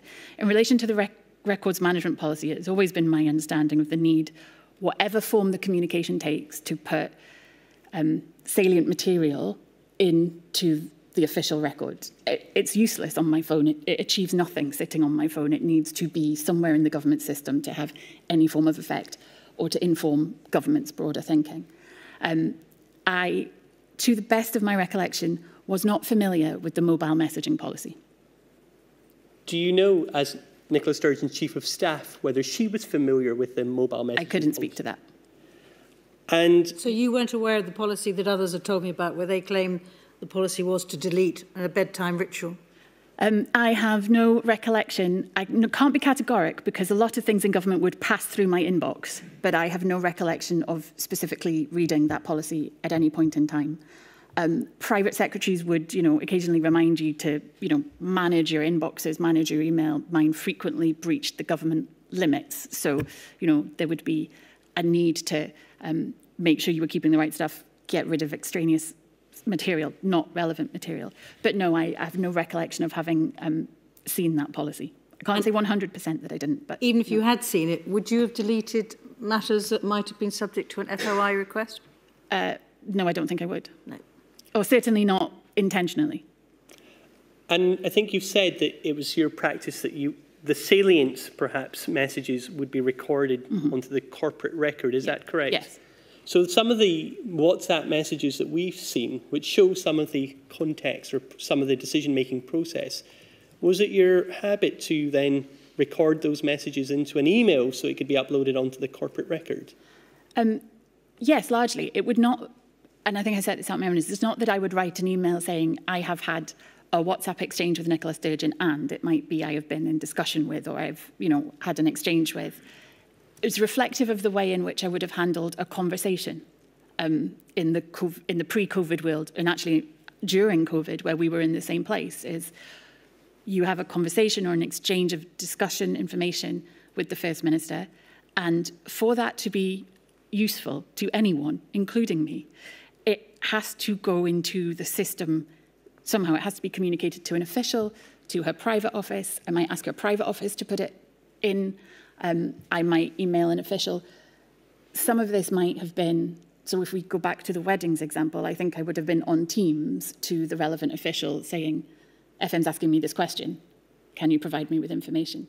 Um, I think you can see from the exchanges that they are very much about immediate issues. You know, they tend to be about things that are happening that day, the next day, and are about coordinating some of those things. And so me simply knowing that does not facilitate the business of government. It needs to enter the record to facilitate the business but of government. using that example of the number of people that can attend mm -hmm. funerals or weddings, so is it, would it have been your practice that you would have recorded that there had been potentially a decision or a view reached that the number should remain at 20 in a formal email or an email or some other form of written communication to somebody else? On that specific one, there's, I would expect, some form of written communication between me and an official checking the facts, saying FM's asking. If there had then been a push for, you know, I want more, she wants more information or she wants to question this, that would have had to have gone again into the formal record to say, can the First Minister get fresh briefing on this point or can you ask the CMO to consider this point for the First Minister? Um, so it may not have been in that case that I provided, you know, I provide the First Minister with information and she doesn't ultimately respond to the point um, that I said, well, I gave her this information and there's nothing back, so let's stick with it. But I would certainly have said, she's asked me for this. So there is no awareness that the First Minister is asking a question about this. And I note in that exchange, I then say the note from the Prime Minister is coming to her, you know, the Prime Minister's statement is coming to her. So I would expect it to be in an exchange of do we know what they're doing? Can we have it? Get but I lost the context of that decision and whether it's a decision, a positive decision or one not to change the restrictions would be was within the WhatsApp messages. And if I understand your practice correct, that context would not be uploaded onto the corporate record. No, I think that context would have been there because it would have been the engagement with the official and the subsequent note going to the First Minister about the Prime Minister's statement would have been in the context of the Prime Minister is making a statement today, the UK are doing this, the FM is asking this, etc. That would, I expect, all be clear in whether it was an email exchange or a Teams exchange, that would, I expect, all be clear. But not the communications between those two events that would place context on how ultimately I think the Scottish government came to a decision not to change the numbers. I think if you're asking, did I, you know, transcribe verbatim? No. I treat those messages in the same way that I would have treated a conversation with the First Minister and input the material parts of the discussion to the system in order that they could facilitate the business of government or you know, be recorded in some way. I now wanted to move on to a related matter. In your first statement, you said, and I'll quote this, I won't bring the statement up, I have indicated to the Scottish Government that I expect all messages to be submitted why did you feel the need to tell the inquiry that you had indicated to the Scottish Government that your expectation was that all of your messages would be disclosed to the inquiry? I think the timing of this correlates to a UK government um, case about whether they had to provide uh, messages that were not COVID related about who got to do the, you know, redacting, if you like. And the Scottish government had said to me that I could wait for the conclusion of that um, before deciding whether to give you everything or to who was going to do the redactions. And my view was just give them it. The messages that you have produced between yourself and Nicola Sturgeon cover, as I said, a six and a half month period. Mm -hmm. And that's between the 1st of September 2020 and the 16th of March 2021. And then there's a later additional messages spanning one day. Um, is, is it fair to assume that you were in WhatsApp communication with Nicola Sturgeon about the pandemic um, before the 1st of September 2020? Um, yes, it would be. I think at a lesser extent. And for the record, I would like to say that I regret not being able to give the inquiry those messages. I thought I had them, I have sourced them, I have done everything that I am able to do as far as I can to find them. I thought I had retained them, and they're not there. Why do you say that you would be in communication with the First Minister before the 1st of September 2020 over WhatsApp to a lesser extent? We when were, we would be going through the first lockdown, for um, instance? Because we were in the same place more than we were at a later date. So I think I attended St Andrew's House the vast majority of days, including Saturdays and Sundays. Every day there would have been a briefing. I would have been there from early in the morning until late at night, and so would she. So during that very intense period, the majority of the discussion that she and I would have about thrashing out what we were going to do would have been happening in person. But there would be some messages. I think a lot of them would have been logistical around the briefings, who was going to be there, the BBC are offering you an address to the nation, that kind of thing, if I had been in a different room, for example. But there would also be, for instance, um, you weren't working with her through every night, that there would be, you would go, both go home, there would be messages that would continue, the conversations would continue sometimes over on WhatsApp. In fact, we've seen many of your messages that are late into the night. Um, and those would be messages, for instance, around March 2020 that would shed perhaps some light on decision making around the first lockdown? I genuinely do not think there would be much of significance around early March 2020 in the WhatsApp messages between us um, and around the decision making on lockdown because those discussions and decisions, and I remember them very clearly, um, happened in St Andrew's House, normally with Dr Calderwood, Jean Freeman, um, and if you like, at that point, you know, um, yes, we, we did go home, um, but I think there was very little time left in the day by the time I was going home in those occasions.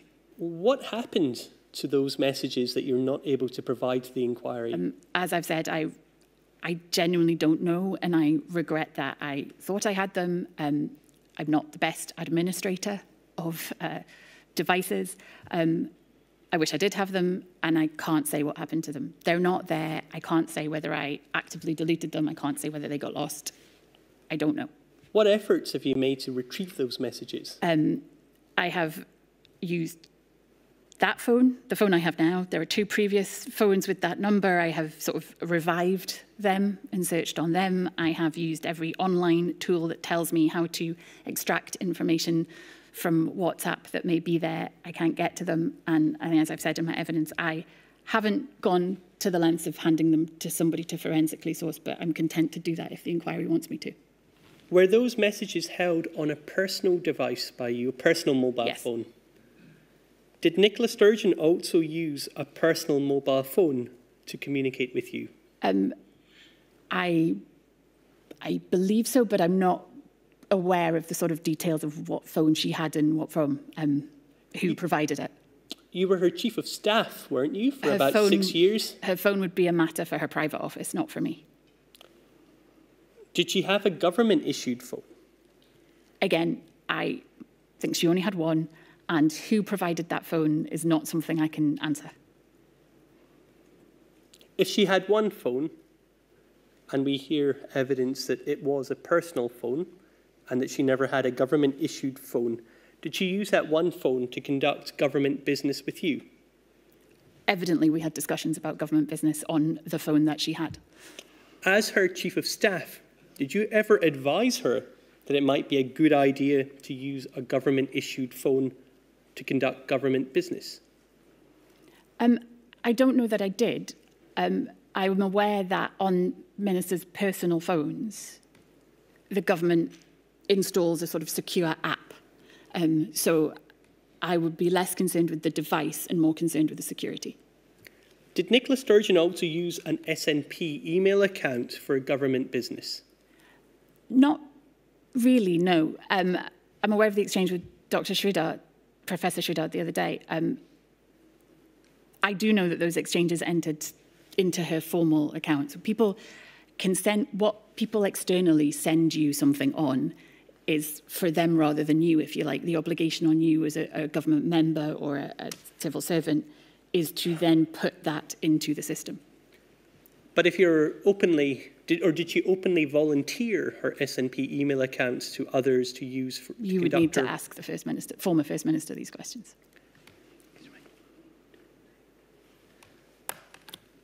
There was one further question I wanted to ask um, before uh, I believe that there is, a there is a question from one of the core participants. And this was around the, uh, the question is around um, advisors straying into perhaps political space. And there, there was a few instances, for instance, um, during the pandemic. I think at one stage, Jason Leach got into a Twitter exchange with Richard Leonard, who was part of, I think, he was the leader of Scottish Labour at the time.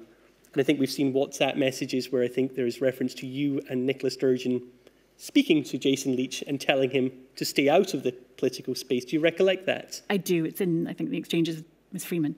And there's also, um, there was instances where I think Professor Sridhar spoke about independence and how independence would have led to the Scottish Government being able to better address the pandemic response. Do you remember those sorts of press articles? I do.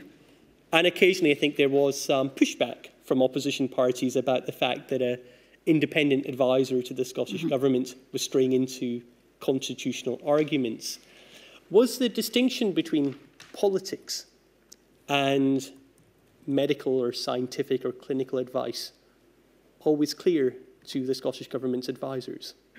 I think it was. So just I had no conversation with Professor Sridhar about her articles or, or any of her contributions. Um, I think it is clear. I think it was clear. I think Professor Leitch and Dr. Smith, um, they took on a communications duty that they were not used to. Um, and they made themselves incredibly available to all forms of media. And again, they weren't used to that. And I think their, if you like, enthusiasm to try and give the public answers um, sometimes led to them accidentally overstepping a line that they would not be as well versed as, as I might be in seeing. Um, so I would occasionally have conversations with Professor Leach, for example, if there was a political issue running in the day and he was going on the radio to say, if they raise this, you have nothing to say. This is not a matter for you. And you refer them back to the government or to a politician or to me. Um, and he would sometimes ask ahead of things if he knew that something was running today that was political, how do I get away from this subject? because this is not one that I should speak to. But occasionally, and I think this is clear from the messages from Ms Freeman, they um, succumbed to the pressure, I think, of being asked questions and feeling that they had an obligation to answer because they were out there to try and inform the public. And that would create issues of potential issues around trust of Scottish Government communications if some of the messaging coming from scientific advisors or medical advisors or clinical advisors was seen to be whether it's party political it was perceived to be that way that would is create issues of trust wouldn't it um, I have I think more faith in the Scottish public than some people do that they are able to differentiate what is political from what is medical and clinical um, and They watched a lot of information during that time. They watched these people give public statements a lot during that time. And I think, I think the public knew. I don't think those instances had particular impact on trust. My lady, uh, there's no, no further questions from me. I just believe... before Ms Mitchell um, asks a question, um, I, can I just go back to, I'm afraid I don't have the inquiry number for the document, um, the Cabinet meeting of the 30th of June 2020, mm -hmm. where there was a reference. And I appreciate you weren't part of the conclusion. You were there taking notes, observing, advising, whatever. But um, there are some people who might see the conclusion, agreed that consideration should be given to restarting work on independence and referendum, reflecting the experience of the coronavirus and EU exit. Mm -hmm. Oh, well done. Thank you. um, I can't remember what page it is. 13, I think. Oh. It's... Well done to you too. Sorry. no, not at all. Always accept help. Thank you. Um, some people might argue that, that looks as if the cabinet members who agreed to that conclusion we're going to use the work on um, the experience of the coronavirus crisis as part of an argument for advancing independence and therefore using it politically.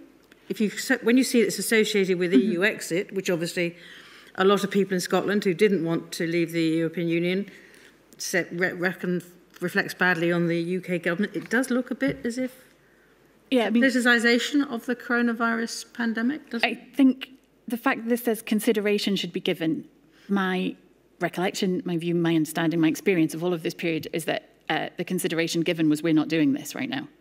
Um, there is subsequently, much after this, you know, there has been a lot said and reflected on about the way in which people in Scotland looked to the Scottish Government to provide the leadership in the COVID pandemic and what they then felt about the constitutional situation. But our actions were not designed to produce that result.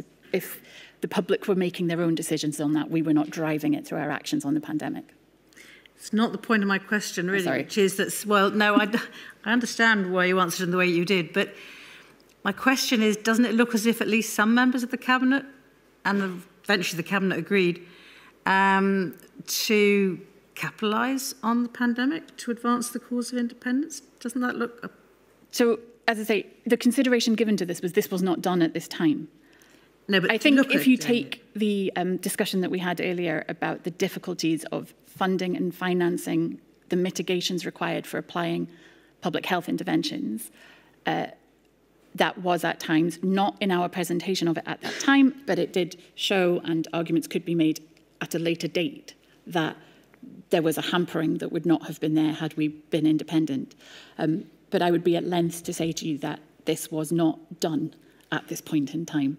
Um, I have no recollection, no notes, no work. If anything had been done in this period, it would be publicly available. There would be you know, reams of evidence of the Scottish Government going out and selling independence during this period, and there just isn't.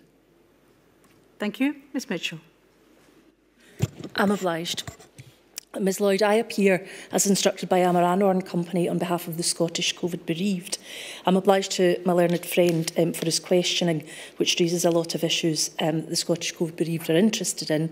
But I would just like to ask you one thing, and it relates to paragraph 42 of your statement. I don't need that brought up, um, but I'll just read it out so you, you can uh, understand the question that I'm asking.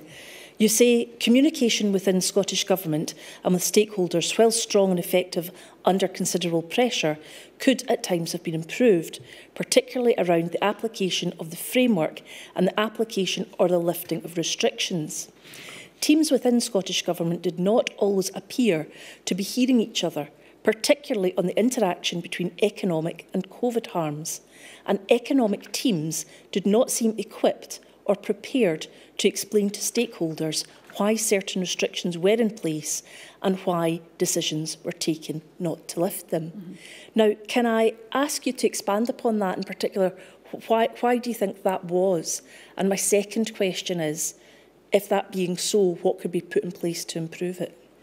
Um, when your role, I think, as a civil servant, as a policy official, is to engage with stakeholders, it often becomes your job to, to listen to them rather than to make arguments back as to why the government is doing a particular thing. I think um, that's something I've experienced in the Scottish Government frequently. And the economic officials I found in particular, and, and they worked incredibly hard, I don't want to cast any sort of aspersions on them, they, when they were engaging with economic stakeholders, I felt and had reports back from some of the calls that they would not explain why certain things were happening. They would listen to why stakeholders perhaps didn't want certain things to happening, but they would not make the argument for. Um, and I know that the clinicians who were often on these calls felt that they were sort of left to be the bad guys, if you like, explaining why we cannot open your pub this week or we cannot allow shops to open just yet and, and the balance of the virus. Um, in that particular case, I think this was this was a very difficult situation because you were taking actions to save people's lives, but they impacted people's livelihoods. And you know, you had to acknowledge that, that was a very difficult balance to strike. Um, I, I'm not sure what can be put in place to deal with it. I think there are broader reflections on the government's engagement with economic stakeholders, which I think the relationship was not great going into it, so it deteriorated during it. Um, but I'm not sure you can put that in place other than uh, a sort of building the confidence of the officials that you are asking to um, explain the situation in the information that you're asking them to explain? The reluctance of those people whose job it was to explain that and sort of pass that over on to those who were um, the scientists, as mm -hmm. it mm-hmm. were. Is that a reflection of their anxiety about the information or just an unwillingness to be the ones who are breaking the bad news? I think it's sort of the reflection of the pressure you can feel in government when a group of people are telling you that they disagree strongly with the actions that you're taking. Um, to be the one that has to then stand up for those actions, explain them, defend them, um, that can, I expect, and I think I understand this, feel like quite a burden on, on somebody. If you are in a, a call and there are 15 people telling you they're wrong, that you are wrong, um, they may be right and you have a duty to listen to them and to feed that back. Indeed, but... But if you've been given information to put out there, it's your duty to put that out there. And I think people tended to step back a little bit when confronted with arguments against the actions we were taking. Indeed, one would think it would be an important part of the communication between government and stakeholders that they listened to what they were saying. And if there was a good argument, which no doubt the Scottish Government would contend that their argument was good, to give that to them. So even if they didn't accept what it was, they understood. And what you were saying mm. was mm-hmm. that was lacking within the, the Minister's. I'm not saying they ability. didn't do it. Um, I'm not always convinced it was done with a level of detail, understanding, explanation that was helpful. It didn't help bring people to a better understanding of what was happening. My lady. Thank you, Ms Mitchell. Just before you go, Ms Lloyd, may I um, ask you to help me on another matter in relation to I M2? Um, as you may have followed, um, I heard a certain amount of evidence about the role of special advisors in number 10 um, and the role of Mr Dominic Cummings as an example. You talked about the um, there's a special advisor's code mm -hmm. that applied to. I mean, I think technically what happens is that they are that the special advisors, as you were and Dominic Cummings was, are technically part of the civil service, but they don't answer to any of the as it were, the governance or management mm -hmm. structure of the civil service. They answer to the minister or the first minister or the prime minister. Yeah. And I just find that a bit troubling. I mean, don't you end up with a conflict then between... I think it's how you do it. I don't think I ended up with a conflict. Um, the Special Advisor Code and sits alongside the Civil Service Code. You are governed by both with an exemption from certain parts of the Civil Service Code that enables your political activities, and you are appointed by the First Minister. Um, I think if you are conscious that the civil servants around you have to comply with the Civil Service Code, and they have obligations on them, then a conflict doesn't arise. And whilst the First Minister is, if you like, my um, line manager, the person that appointed me, the person that could fire me, um, I was cognizant of the senior officials in the Scottish Government and my relationship with them. So as much as I was sort of um, on a par, if you like, I knew that, you know, I needed to be aware if they were unhappy, perhaps thought a special advisor was stepping over the line, that is a back and forth relationship. That's a relationship that exists because you build that relationship. Um, but I don't think I found a conflict. Um, and I don't think such conflict existed in the Scottish government. So it's not a question of improving structures or anything you think is a personality matter? Um, I, I, my views on the operation number 10 are, are available in my notebooks. Um, I don't think I should particularly comment on the relationship between Dominic I Cummings. probably pressed you too far. Thank you very much indeed, Ms Lloyd. Very grateful for your help. Right. Uh, I think the next witness is the First Minister, who yes. has other demands on his time. Um, and I think the hope is that he will be here by about 1, 1.15, so we're going to have to take the usual 1.45 start. 1.45 start. Obliged. So everyone has a slightly longer lunch. Thank you.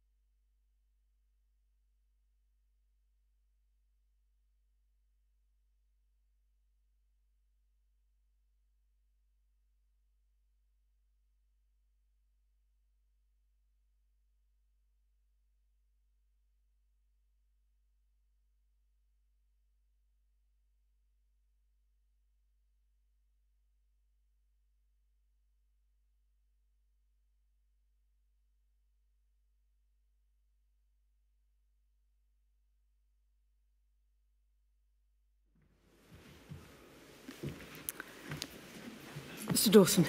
Good afternoon, my lady. The next witness is the Right Honourable Humza Yousaf, MSP. Would you repeat after me, please? I swear by Almighty God I swear by Almighty God that the evidence I shall give that the evidence that I shall give shall be the truth, shall be the truth, the whole truth, the whole truth, and nothing but the truth. and nothing but the truth. So I appreciate the other demands on your time, obviously, and I can guarantee you that uh, everyone's under strict instructions will finish by 4.30 at the latest. Thank you, Melody. Uh, you are Hamza Youssef. That is right. You have helpfully provided two statements to the inquiry. If we could just look at these. Uh, first is INQ 000 273956. It's a statement dated the 2nd of November 2023. Is that your statement? That is. Have you signed the statement? I have. Can you confirm to Her Ladyship that the contents of the statement remain true and accurate as at today's date? I can confirm. That is the case. You provided a second statement, I understand, dated the 16th of November 2023. Is that correct? That is correct. It's under reference INQ 000273973. Is that your statement? That is. Have you signed the statement? I have do the contents of that statement remain true and accurate as at today's date? They do. Thank you. Uh, you are the current First Minister of Scotland. That's correct. Uh, you explain in your statement that you are responsible for leading the Scottish Government with the support of Cabinet Secretaries and Ministers. Is that correct? That is correct. You became First Minister on the 29th of March 2023, taking over the role from former First Minister Nicola Sturgeon. Is that correct? That is correct.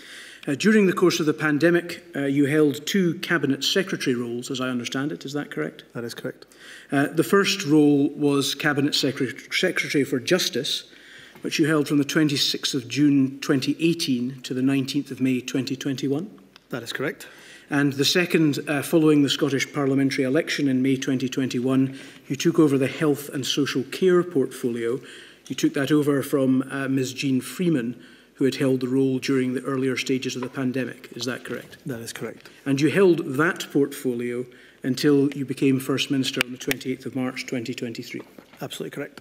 Could I just clarify that um, when Ms Freeman held the role prior to the election, I understand the role was entitled Cabinet Secretary for Health and Sport, but when you held it, Cabinet Secretary for Health and Social Care, is that correct? That is correct. Is there any uh, significance in the change of name with regard to the portfolios that you covered in your ministerial Cabinet Secretary role? Uh, no, I don't think there would have been uh, much of a, a change, uh, although uh, having taken sport uh, out of the title and replaced it with social care, uh, I did have a minister that took on the title of sport in her title. Uh, but uh, ultimately, as the Cabinet Secretary, I would have been responsible for the entirety of the portfolio. So you and she were both responsible for health, including public health, That's correct. and you and she were both responsible for social care. That's correct. Thank you. I'd like to ask you some questions about some of the decision-making structures which existed uh, within the Scottish Government during the course of the pandemic. Uh, some of these are things we've heard about, but we think you might have some insights into uh, how they operated. Um, we've heard some talk, and you mentioned in your statement, uh, of a group or decision-making body called GOLD or Gold Command. Um, are you aware of what that group uh, did? I am. Uh, I understand that you attended that group, not always, but sometimes. Correct. Am I correct in understanding this was a selected group of cabinet ministers, which would tend to include, oh, it would always include Ms Sturgeon, uh, and sometimes include others, including Mr Swinney, yourself, Ms Forbes at various different times? Absolutely correct. Thank you. Could I have a look, please, at paragraph 35 of your statement, where you provide us a little more detail about this? Um, you say at paragraph 35 that in relation to how decision making could have been improved during the pandemic, I believe there were times when a decision made by the former First Minister or discussed within Gold Command was not cascaded to the rest of Cabinet or all ministers due to the fast nature of decision making during the pandemic. We did our best to explain the rationale of decision making, but the feedback from some groups, in particular the hospitality industry, was that the rules were changing too often, with decisions made before guidance was available. On reflection, there may have been instances where we could have worked with industry on guidance before making a final decision on restrictions. I believe this could have been improved. In relation to advisory stru structures, my experience is that the advice was always ready and available when needed. Um, what do you mean when you suggest that decisions were made by the former First Minister uh, which were not cascaded to the rest of Cabinet? Uh, with my lady's permission, before I answer the substance uh, of that question, I just wonder if I can uh, begin uh, before I respond to the first substantial question by acknowledging uh, the trauma and the grief uh, that so many families and individuals faced and continue to face during the course of the pandemic, particularly those who have been bereaved uh, by COVID. I want to offer my condolences uh, once again to every single person who has been bereaved by COVID. However, let me also acknowledge it is not sympathies uh, that they uh, require from witnesses, but straight answers to straight questions, uh, which of course I endeavour to give over the course of the next uh, few hours. In relation to the substance of the question uh, that you have asked, uh, Mr Dawson, uh, for me, uh, given the fast-paced nature of what we were dealing with, therefore the need for urgent decisions uh, to be made, uh, decisions were sometimes delegated to the former First Minister. Cabinet would agree to that. Um, and the former First Minister was then entrusted to make those decisions.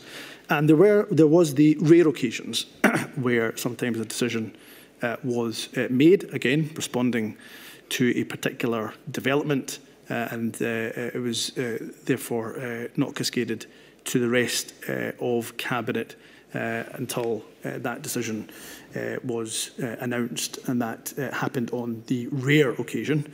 Um, but uh, we, we were often, I know, special advisors, uh, I know government officials worked hard to ensure uh, that Cabinet was informed uh, of decisions uh, when they were made, uh, as opposed to hearing uh, once they were announced.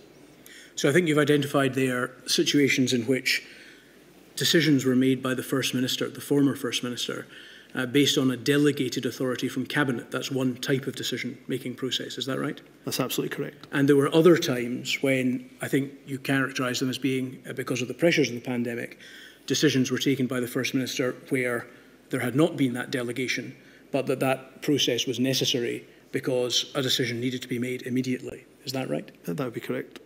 Um, so therefore, it, it is the case, I think, that you're saying that some decisions were made uh, in those circumstances which did not have the approval of the Cabinet.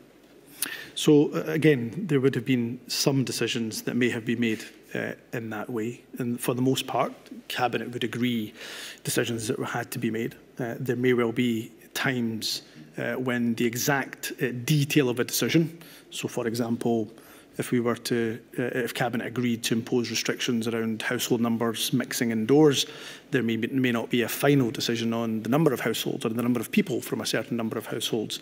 Uh, and, and therefore, uh, we would seek to delegate that decision to the First Minister, to the Deputy First Minister, Cabinet Secretary uh, for Health uh, to make. And that may well be because the decision was going to be announced in a couple or a few days' time. Uh, and of course, the situation could develop in terms of the epidemiology of the virus uh, and uh, factors such as, as, as the R number.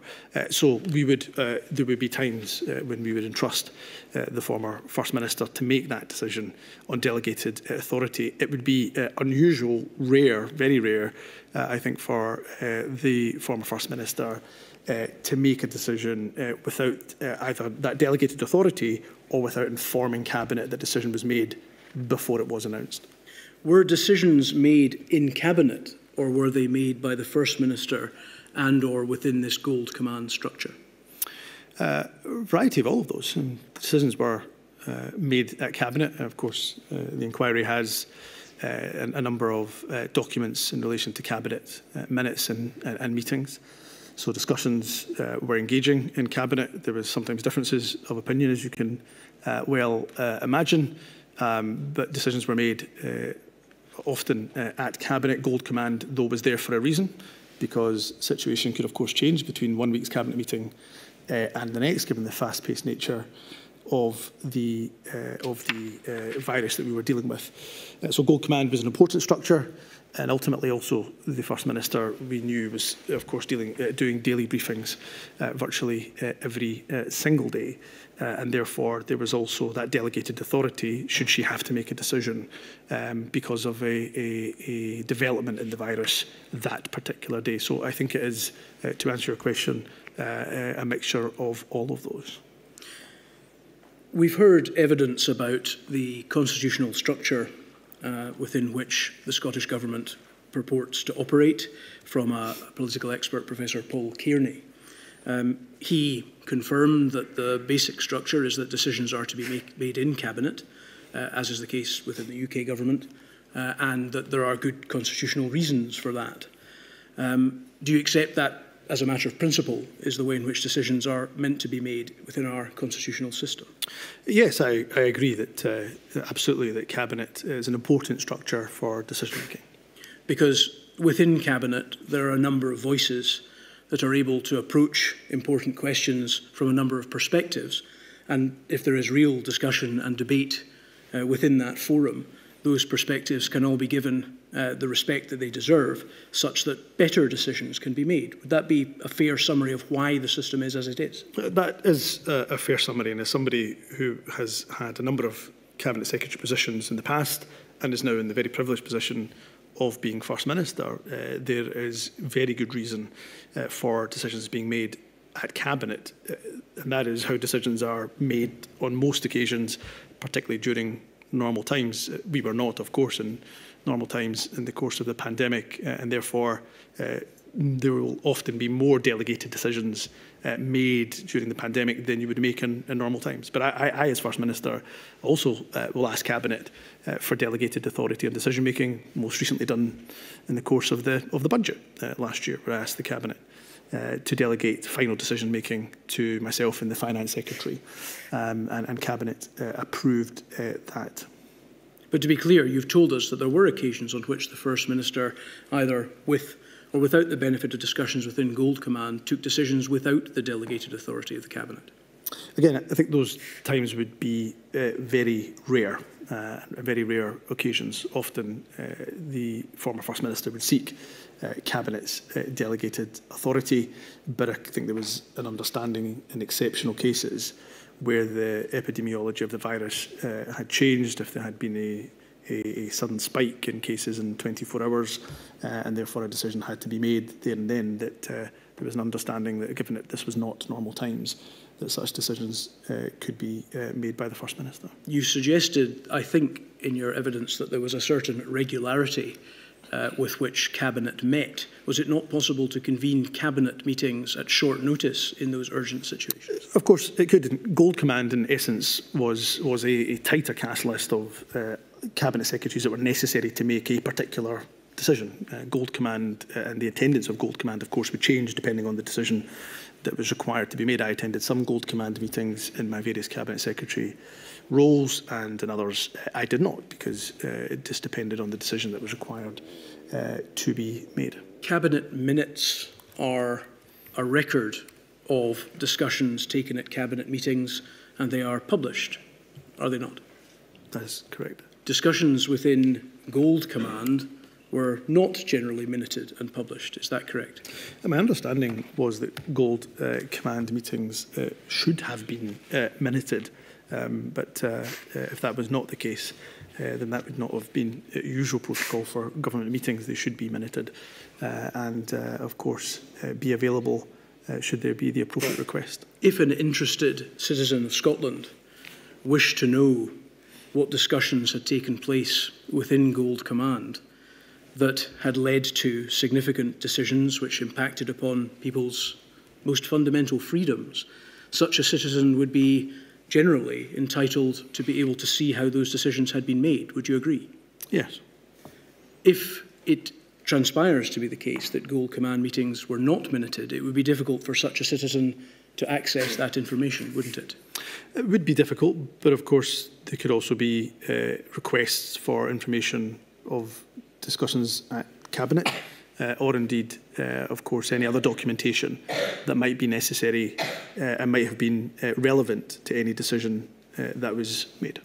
Was, was the Scottish Cabinet during the pandemic a decision ratifying body rather than the main decision making body? No, I, wouldn't agree with that characterisation. For my attendance at Cabinet meetings, there was good, engaging conversation. As I said, at times disagreement on the approach uh, that was to be taken, um, but our cabinet uh, uh, meetings were a, were a good discursive uh, fora by which to have those um, discussions. We went there simply to, to ratify Uh, as I say, I can think of uh, instances where challenge was brought forward and what was in the original submission or advice from officials was therefore uh, amended uh, accordingly depending on the decision that was then taken. Was it the former First Minister's practice to take important decisions as a result of discussions with a close group of ministerial and other colleagues, whether in Gold Command or not, not calling upon Cabinet or the wide, wider advisory structures available to the Scottish Government?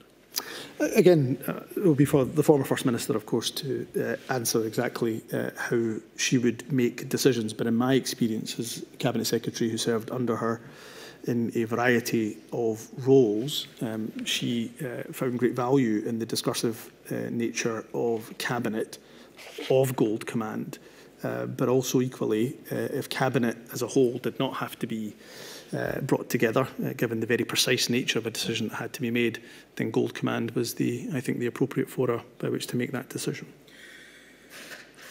Could I have you, you, you provided um, to the inquiry a number of WhatsApp exchanges in which you were involved from the period of the pandemic as requested by the inquiry. Is that not correct? Yeah, that is correct. Thank you. Um, could we have a look, please, at INQ 000334792?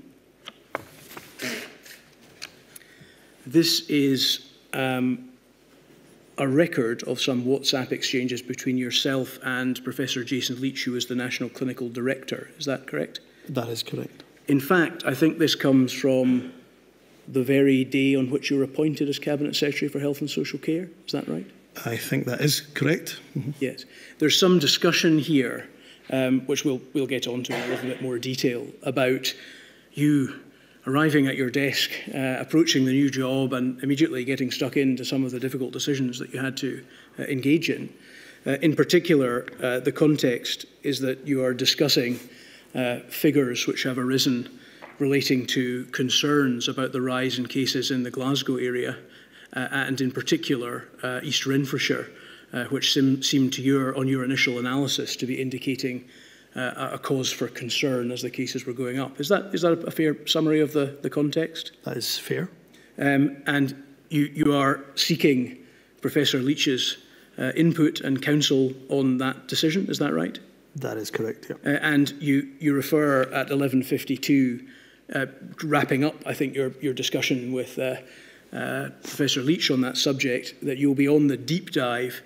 Uh, and then Professor Leitch replies, good, there was some FM keep it small shenanigans as always. She actually wants none of us. Um, this is Professor Leitch giving you guidance and advice on your first day in the new job, is that right? Uh, yes. And he refers to the First Minister's keep it small shenanigans and that she actually wants none of us. Was this an indication, in fact, that the First Minister really took decisions in connection with the pandemic herself, or at least would have preferred it that way? No, I think that was, as Jason said when he gave evidence to this very inquiry, uh, an example of him perhaps uh, overspeaking. Um, I, I don't doubt, of course, that there was times when the former First Minister needed a tighter cast list, wanted a tighter cast list to make a decision on a very uh, specific uh, issue. Um, but uh, I think this was a, a classic example of uh, Jason perhaps uh, uh, over speaking. When you talk about the tighter cast list, are you talking about the Gold Command or something similar? Yes, generally Gold Command. Yeah. So in essence, as I suggested to you earlier, the practice was that the decisions would be made by the First Minister gathering around her uh, a small number of close advisors uh, rather than putting the matter to Cabinet or exposing herself to the wider advisory structures of the Scottish Government. Is that correct? No, I, I would say that, again, a number of decisions uh, were taken at Cabinet, particularly uh, in terms of the overall direction in which the government was going in relation to restrictions or uh, any decision, in fact, connected to the pandemic. It may well be that the finer detail of that decision was then delegated to the First Minister or indeed other Cabinet Secretaries. Uh, and that's where Gold Command could often uh, come in, or Gold Command may well come in when there was a development uh, in the virus and a decision had to be made either that evening or indeed uh, the next day. So to put this in this particular context, because one sees in the period of you being Cabinet Secretary for Health and Social Care, a number of exchanges of this nature where you are trying to take the counsel of Professor Leach in particular around the question of uh, levels that different areas should be applied, uh, should be put into. Um, when you say uh, the principle would be agreed by Cabinet but the finer detail delegated, in this context, would that mean that the Cabinet had said there should be a level system but the First Minister and her close group would decide which uh, levels would be applied to which areas. So, forgive me, I couldn't tell you exactly uh, uh, the uh, how the final decision on this particular. I am talking more broadly about that type yes, of decision. Yes, indeed. So, I will absolutely answer uh, that question. So It would often be the case uh, that we would come to an agreement in cabinet about exactly what level a particular area would be in there would be some areas where, uh, given the thresholds that would look uh, at in terms of uh, whether a local authority was in one level or another, that they may well be right on that threshold or close to that threshold. Mm. So there would be uh, the decision to delegate the final decision on East Renfrewshire or Glasgow or Murray uh, to Gold Command or to First Minister to make that very final decision. So in essence, it was the small group and the First Minister who made the decision which is important, which is which uh, level the, the, uh, the particular area should go into? Not always. As I said, on a number of occasions, Cabinet would agree the exact level for the exact local authority to have to go on. There was always going to be, within 32 local authorities, some that were uh, perhaps on the cusp of going into level three, some on the cusp of level two.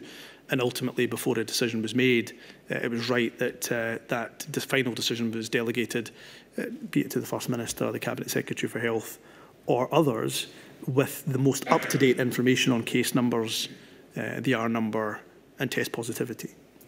The inquiry has heard significant evidence about the principles of transparency and accountability in documents such as the National Performance Framework.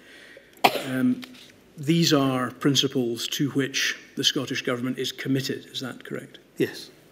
We have also seen uh, these principles reiterated throughout documents uh, relating to the pandemic response itself. For example, the Four Harms framework of April 2020. Is that correct? That is correct. And that tells us that the Scottish Government's position, as far as its public facing uh, aspect was concerned, was that it wished to apply those important principles in the way that it handled the pandemic. Is that correct? That is correct. And indeed, uh, there have been a number of opportunities for you, yourself and others on behalf of the Scottish Government to reiterate your commitment to those principles uh, with regard to your participation in this very inquiry. Is that correct? That is correct. On the 29th of June, you said to the, uh, in response to a question in the Scottish Parliament, it's important that I abide by the rules of the UK public inquiry and the Scottish public inquiry. To ensure that there is simply no doubt whatsoever any materials is asked for, WhatsApps, messages, emails, signal messages, telegram messages, or whatever, will absolutely be handed over to the COVID inquiries and handed over to them in full. Has that always been your position? Uh, that has been my position, yes. This remains your position? Yes, that uh, any messages that we have should be handed over in full. It is important, is it not, not just for the very important purpose of engaging with subsequent public inquiries, such as this and the Scottish inquiry, but also during the course of a public emergency which does not derive from a single event but is continuous, that material relating to the way in which decisions were taken must be retained so that proper lessons could be learned and a better response to the pandemic developed. Is that correct? That is uh, correct. And perhaps on this issue of uh, informal uh, messaging, including, of course, uh, WhatsApp messages, let me uh, reiterate uh, what I have said in the chamber just a couple of hours ago. Let me unreservedly apologise to this inquiry, but also to those who are mourning the loss of a loved one that was bereaved by COVID, by COVID for the government's frankly, poor handling of the various Rule 9 uh, requests in relation to informal messaging messages. There's no excuse uh, for it. We should have done better. And it's why I reiterate that public apology uh, today. That ministers are, and there is awareness amongst ministers, amongst cabinet secretaries, um, regardless of the medium of communication, that any key decision that is in relation to uh, government business should be recorded in the corporate record and the salient points recorded on the corporate record, and that's usually done via the private office or, or via government uh, officials. Um, but I'm afraid for a, a, long time, the corporate mindset of the government, uh, the organisational mindset of the government was because the corporate record had those key decisions and salient points, that was what we had to, that was the only thing really that was required to hand over to the inquiry when the inquiry uh, made it clear, of course, that uh, you're seeking uh, more uh, than that. And there is a, a gap, regardless of the records man management plan, the, the mobile messaging policy, there is clearly a gap that exists in relation to how material and informal communication should be retained uh, in relation to a statutory public uh, inquiry. And that's why I've instructed a, an externally led review uh, to look at this issue and other issues such as what ministers and cabinet secretaries should, should do should they, for example, change device uh, in the midst particularly of an emergency such as a pandemic or anything that is analogous to that. Thank you. Um, In answering questions about this area, uh, one of the senior civil servants, uh, Ms Fraser, um, from the Corporate Directorate General, accepted that it was important in the interests of transparency and accountability to the Scottish public uh, that information about how decisions were reached should be retained. Do you agree with her? I do. You mentioned in your response there uh, the requirement, as I, as I understood you, uh, to retain information within the system uh, about key decisions that were made. Would you accept that both the policy in existence at the time and indeed the principles of transparency and accountability uh, require there to be careful record keeping of how decisions are made, meaning that discussions leading to decisions also require to be recorded? Uh, yes, and, and again, our record management policy will make clear that it's not just the decision that has to be recorded, but I think the wording is used the salient points around any decision that are made should also be recorded for the corporate record. There's a difference, though, perhaps, that it might be quite subtle, but it, the salient points of a decision is one thing, but the salient government business involved in the process leading to the decision is another. Do you, do you accept that both categories require to be retained in order to fulfil the ultimate objective of transparency and accountability. Yes, and uh, I accept uh, the point uh, that you're making. I, I would say, of course, our records management policy uh, is important for a couple of reasons. One, of course, for all of the reasons that you have just articulated in relation to transparency, good governance, but also for record management. we cannot possibly, as, a, as, a, as an organisation, keep every single piece of documentation uh, that is produced by the organisation. Uh, it would be, be very, very challenging and difficult uh, to do so. So there is a need for that record management policy, and ultimately there will be a point where it will be for the interpretation, uh, the interpretation of the receiver of that information um, to, to, to decide whether or not that should be recorded in the corporate record or not. But those uh, principles the, of transparency and accountability should aid in that interpretation. They should. Because if there's material uh, relating to discussions uh, in the business of government, uh, it would be necessary for uh, an interested member of the Scottish public uh, to be able to access that material in order to know how decisions were taken and ultimately to know whether decisions were taken in a way with which they were satisfied. Yes, I think that's fair. As far as your production of WhatsApps and other informal messages to the inquiry is concerned, um, I think it is, it is apparent, is it not, and I think you have accepted this, that you are a, a heavy user of WhatsApp as a means of communication. I, I use it on a daily basis. And if uh, is it the case that you used your own personal phones, plural, for WhatsApp mes messages uh, during the course of the pandemic uh, rather than a government issued phone?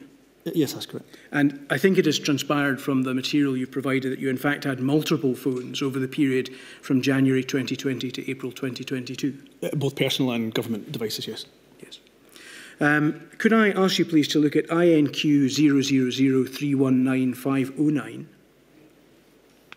This is a table that we went to with some previous witnesses, which was very helpfully produced to us uh, by uh, the team with whom we are dealing within Scottish Government uh, in connection with our uh, inquiries about the usage uh, of uh, materials, of informal messaging systems. And in this, amongst other things, in this table, what we see is um, the Scottish Government's response as to what was used um, during the course of the pandemic. Uh, and it says there, as regards your WhatsApp, other informal communication systems, that you used um, you used WhatsApp with Nicola Sturgeon and John Swinney to discuss matters. Any decisions made uh, were recorded through the appropriate channels as per ScotGov guidance. No other informal communication platforms were used. Communicated with Kevin Stewart and Marie Todd through WhatsApp just to pause there, they were ministers who were working with you in the time as Health Secretary, is that right? That's absolutely right. Yeah, Thank Junior Ministers in my portfolio. Thank you very much. WhatsApp used to discuss information and advice relating to COVID 19 more frequently at the beginning of the pandemic due to restrictions on in person meetings, deleted all messages after a month for cyber security purposes, as per their by which I assume it means your understanding of the Scottish Government mobile messaging apps usage and policy does not recall being part of any decision making via WhatsApp, part of Health for Nations WhatsApp administered by Matt Hancock, and this was disbanded after Matt Hancock left office, used for information sharing as opposed to decision making, such as number of cases, R number, etc., messages not retained. Um, this document is dated the 13th of October 2023. Um, this is what the Scottish Government represented to us as being your position as at that time uh, to the effect that you had retained none of the messages, although that you had used uh, WhatsApp to discuss information and advice relating to COVID-19. Is that an accurate uh, representation of your position as at that time? Um, of course, that position uh, developed. Uh, we'll get onto that. I just sure, mean at, at this time. particular. Sure. Mm -hmm. Is that right? Yes. Then? This is an accurate representation of your position. Uh, yes. Um, when, you, when you say uh, that in the opening paragraph that any decisions made were recorded through the appropriate channels as per ScotGov guidance, um, does that indicate that your understanding of the Scottish Government guidance or policy was that only decisions made required to be recorded through the appropriate channels? No, decisions and, and salient points in relation to decision making should have been recorded in the corporate record. Thank you. So the reference to decision there is really a shorthand for that wider group that we discussed earlier. Is that correct? Yes. Um, and when you say recorded through the appropriate channels, is that is that another way of saying we've heard this expression before from Ms Fraser and others that it has that that material has been recorded on the corporate record?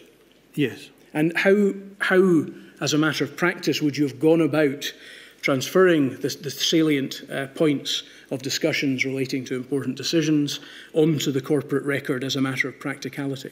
Yes, and, and forgive me, I said that this was a statement that was correct uh, as per the 13th uh, of, of, of October. Uh, there's probably some areas that were obviously updated uh, thereafter, uh, which would uh, abrogate some of uh, what is in here, but I assume I'm yes, happy, to, I, I, happy I'm, to speak. I'm, I am, to be absolutely fair, I'm, what I'm trying to do is just understand your position at that time. Of I course. will take you to the developments thereafter. Yeah, I, I won't leave Of it. course.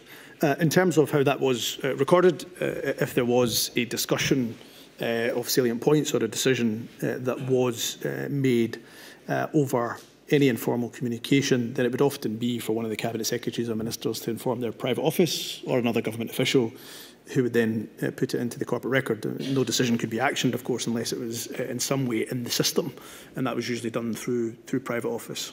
And your position is you did that in connection with all of the communications that you had, but then you deleted the actual original messages. Is that right? Uh, uh, some messages would have been uh, deleted. still recoverable, but not, uh, but, but uh, may well have been uh, deleted. Uh, I have to confess, in the midst of a uh, global uh, pandemic and the issues uh, that we were engulfed in at that point, uh, deleting uh, messages uh, routinely uh, was not always uh, the top priority. But your understanding of the policy was that what you needed to do was to record the information on the corporate record through that mechanism, your private office, um, and that there was then an obligation to delete the messages for cybersecurity reasons a month after uh, that, and in between, the, matter, the material will be communicated through your private office and put on the corporate record by whoever it was in your private. That was the guidance in the mobile messaging yeah. uh, policy. So, but so at that stage, you hadn't produced any messages to us because they had, by that time, 13th of October, been deleted in accordance with the practice that you have laid out. They were no longer available. Yeah. Um, or so I thought, of course. Yes, indeed. Um, so after that, um, there were uh, discussions, you, there was a development in your position, as I understand it, and you, you provided a, a supplementary statement to the inquiry e explaining what the process had been. Because although your position as at the 13th of October uh, was that you didn't have any messages because they weren't available to you, um, you found a phone on where the messages were uh, ascertainable. Is that right? I wouldn't say I found, I retained uh, a handset, uh, my previous handset, uh, that I used up until um, about the middle of March of, so of, of last year. So you were aware that you still had in your possession that handset before the 13th of October, is that right? Uh, that's correct. And had you not checked that when you said that all the messages had been deleted? I had, and uh, because I had migrated my WhatsApp account onto the new device, so same number, migrated it onto the new device, um, when I went back to the old handset, uh, when I went back to WhatsApp, uh, there was just there was no messages at all. It was it was blank. Now, uh, of course, I'm happy to talk to the fact those messages were uh, recoverable, uh, thankfully, uh, by not any uh, amazing uh, technical wizardry, but actually by logging out of the WhatsApp account in my current handset and logging back in in the old handset because those messages were still in the phone storage. Uh, they were be able, they were, they were uh, fairly easily uh, recoverable. So you were under the impression that the messages had been deleted previously in accordance with a uh, an existing government policy, uh, but in fact it transpired that they had not been deleted and that they were in fact recoverable relatively easily. Yes. Um, the position then was that you record, you were able to provide us with a large number of messages, in, including, for example, with a number of other people, but including extensive exchanges between yourself and Professor Leitch of the nature that we've looked at already. Um, so that there was a large number of messages on that handset, although in some way embedded within it in a way that you couldn't originally access. Is that correct? Uh, in a way that was uh, I didn't realise I could access when I changed device. Yes, that's correct. Thank you.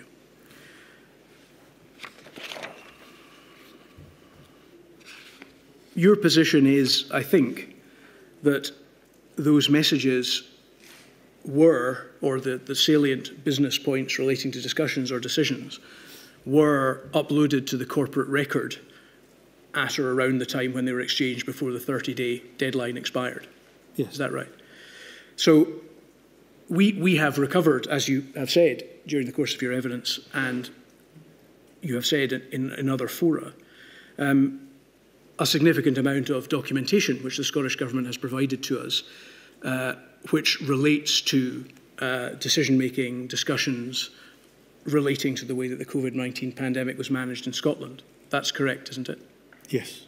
So given the fortuitous uh, revelation of the messages which were unavailable to you but became available where, when you followed the process that you set out, it would now be possible, would it not, for us to conduct a comparison between effectively what the government has given us, the corporate record relating to these matters, and your messages in order to ascertain whether, in fact, you had recorded the salient points on the corporate record. Yes, although I would make the point that salient points, I suppose, is, is, is open to interpretation. Key decisions, of course, and salient points relating to that decision um, should be uh, noted in the corporate record. But uh, you're absolutely right, you could cross-reference. And, and we will find there, will we, that the salient points of the business you conducted over WhatsApp will be included within the corporate record. Key decisions and, and salient points related to that decision uh, should, of course, be recorded, and it was my practice uh, to then inform my private office of those key decisions, of any salient points related to that Um, and if I did not do that, then, uh, of course, those decisions would not be uh, taken forward. Well, just to be clear, again, slight terminology, but it might be important. Again, you're talking about decisions and salient points of decisions. But what I think you accepted, you required to put on the corporate record was also discussions relating to decisions. So will that be included on the corporate record? I think salient points would be would be uh, recorded on uh, the records. Salient points that includes decision making, but any other salient points in relation to that decision. Will that will that include the types of discussions or the, the tenor of the types of discussions that you've been having with Professor Leitch in the exhaustive messages that you have uh, now sent to this inquiry? So not, not, not every sentence full stop apostrophe would be recorded, recorded nor would it require to be record, recorded. But if a decision was made and any of the salient points related to that decision being made, they should be, of course, recorded on the corporate record. Because, of course, you, you're now telling me that they should be recorded, but you represented previously that they were on the corporate record. Is that right? I would always endeavour to put them on the corporate record, yes. Yes. If there was any uh, times that was not done, that would have been a mistake made by a Cabinet Secretary or Minister uh, if they did not uh, do that. But of course, the guidance is that those decisions made should be recorded and the salient points in relation to that decision also. And in your case, they were, so we should find them on that corporate record. Uh, certainly, uh, that was always my intention to do that. But just to be clear, I'm not asking about your intention. My understanding is that you have told us in your evidence and also previously that you did make sure that the stuff, the, the relevant material was on the corporate record? Yes, we would always, when decisions are made, record uh, uh record on uh, the corporate record as per the records management uh, policy. In any event, uh, First Minister, given the, the, the, the uh, fortuitous discovery of these many messages, which we've read with great interest and we're obliged to you producing them subsequently, we can carry out a comparison between these two bodies to ascertain whether that's correct. Could I just ask you, you, you also provided some WhatsApp messages, not, not, although Professor Leach is a frequent correspondent, there are others with whom you corresponded uh, via that mechanism. One of them was the former First Minister, and you helpfully provided us with some messages. It helpfully because the former First Minister's position is that she does not have access to any of those messages uh, conducted, uh, the WhatsApp messages, uh, involving conversations with you or indeed anyone else. Um, did you discuss the production of your WhatsApp messages to this inquiry with the First Minister, the former First Minister? No.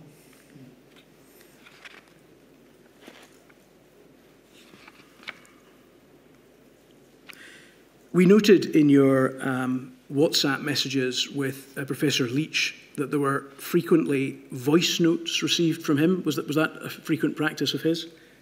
Do you um, recall? Uh, it was done on, certainly on occasion, and I also occasionally would use voice notes as well. Were the contents of those voice notes, insofar as uh, relating to uh, significant uh, decisions made in the course of the pandemic or discussions around them, transcribed or copied into the corporate record? Again, if there were salient points from those voice notes, then they would, uh, and decisions that were made in those voice notes, then of course uh, we would uh, always uh, seek to record them on the public record, so, on the corporate record. So you'd say you'd seek to do so, but can you tell me whether that did happen or not? Again, when so many decisions were made in the course of the pandemic, it would always be the practice that we would seek to do that. Uh, government ministers, cabinet secretaries would seek to do that. Mm-hmm. Uh, if there was occasions when that did not happen, uh, that I would hope would be the very rare occasion, but it should not happen. It should be the case that every single minister, cabinet secretary, myself included, uh, would uh, uh, uh, ensure that those decisions and salient points related to, to those decisions were indeed uh, on the corporate record. As you used your personal phones, because there were multiple phones, for conducting these exchanges, and you've explained to us the process by which the corporate record be updated by you passing material to a private, your private office who would then include it in the corporate record.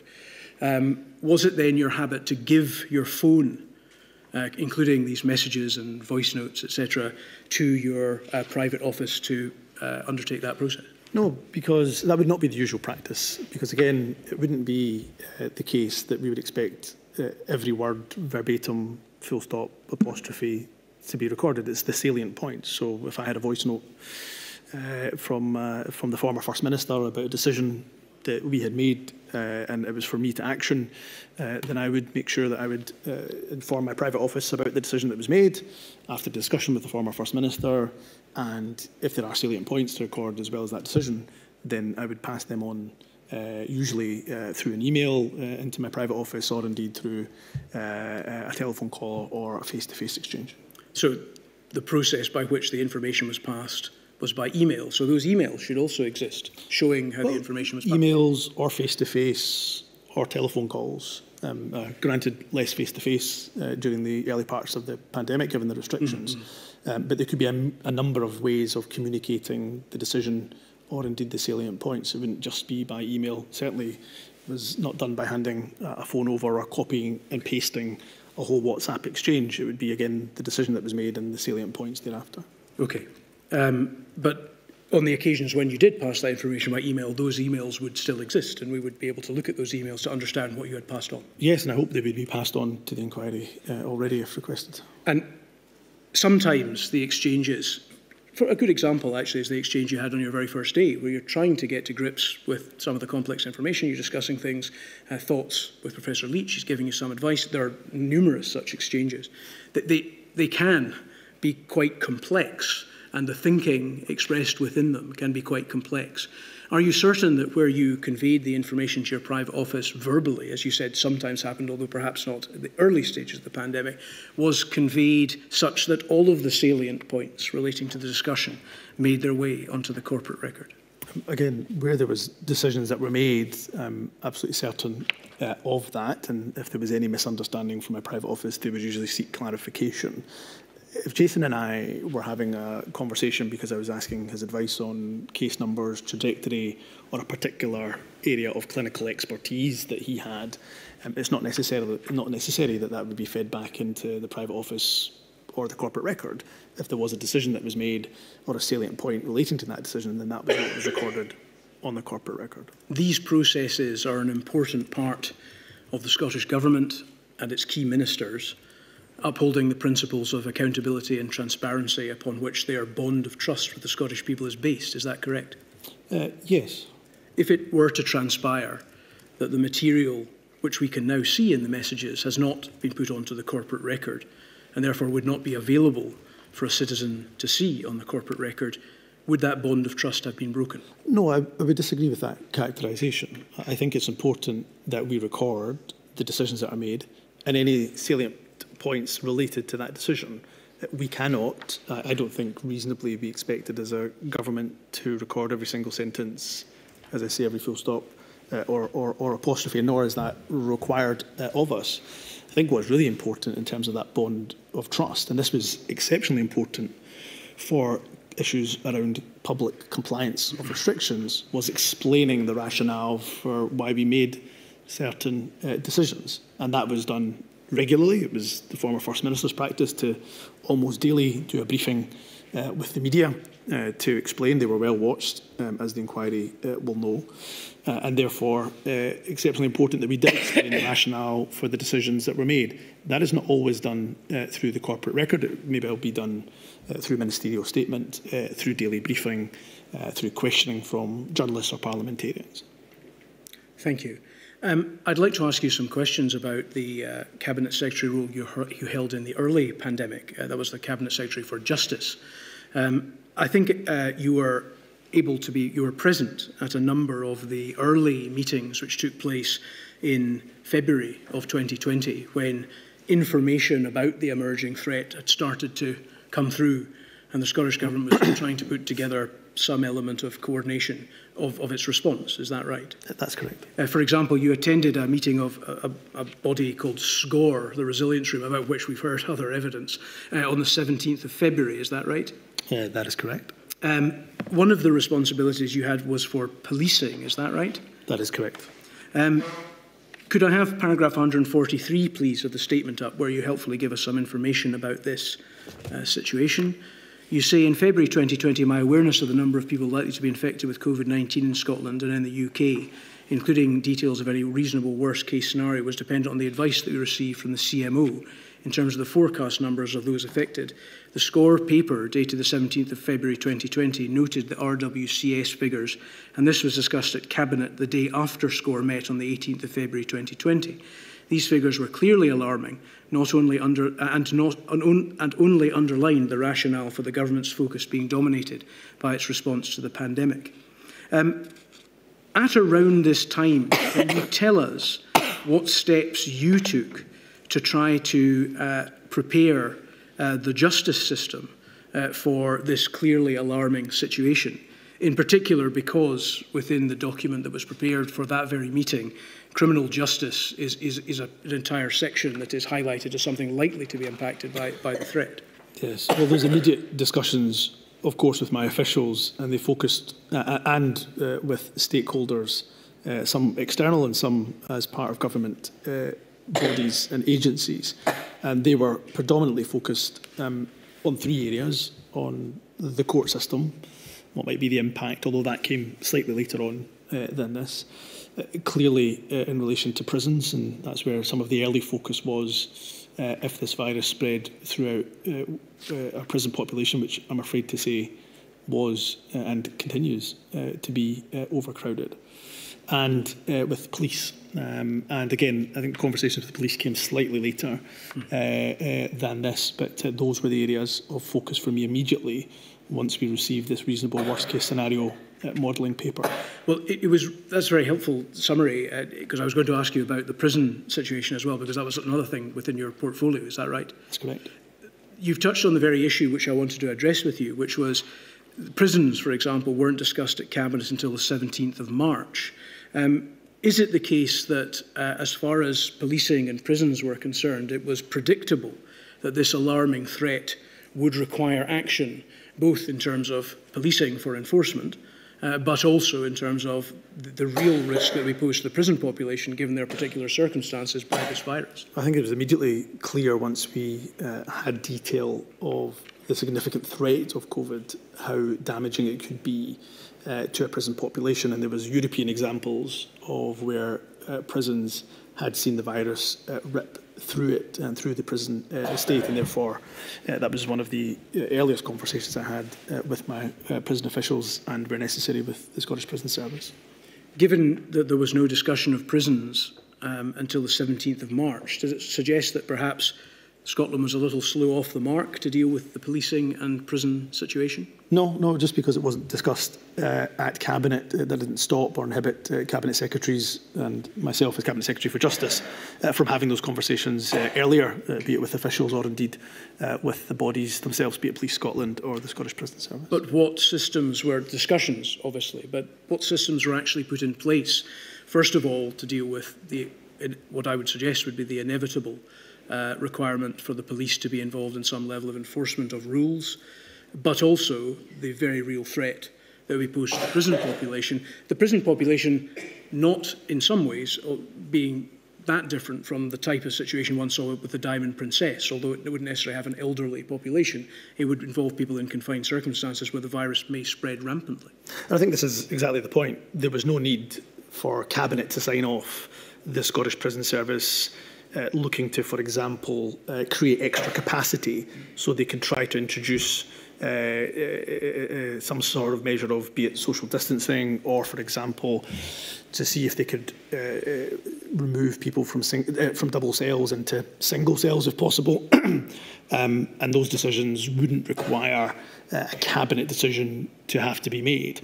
Um, similarly, discussions with police um, when it came to issues of potential enforcement, uh, when it comes to legislation being introduced to the Scottish Parliament uh, and being passed by Scottish Parliament, it wouldn't necessarily require a cabinet decision in relation to the operational independence of the police. Police Scotland had operational independence to make decisions uh, based on uh, any any uh, uh, legislation uh, that was passed in the subsequent uh, enforcement action. So these matters were you're explaining not necessarily matters that Cabinet would have to decide, but they were within your remit to decide. Is that right? Uh, they were in my remit uh, to have an overview. Uh, I should stress the point about operational independence for the police. It would be absolutely a matter for the Chief Constable of, to determine how they enforced and the, the, the four E's approach mm -hmm. uh, that they took was an example of a decision that uh, was made very much by the, the Chief Constable. What concrete plans were put in place with regard to the police and prisons at this early stage in March? So discussions were held around uh, with clinical experts to understand what needed to be done to try to, to, to slow uh, the uh, transmission of the virus in a uh, setting such as a crowded prison uh, estate. So at the time, the Scottish Prison Service tried to use whatever capacity it had, whatever additional space it had, to try to create, uh, for example, social distancing measures Um, we were, of course, in the early, early days of trying to see what testing uh, was uh, available uh, at that stage, of course, in its development uh, phase. Uh, and then regular discussions with Police Scotland, uh, and I instructed regular discussions with Police Scotland in order to determine what actions we could take collectively in relation to enforcement um, when, when that became apparent. Another area which I think from your statement you had responsibility for um, was travel restrictions in that post. Is that right? For a period, yes.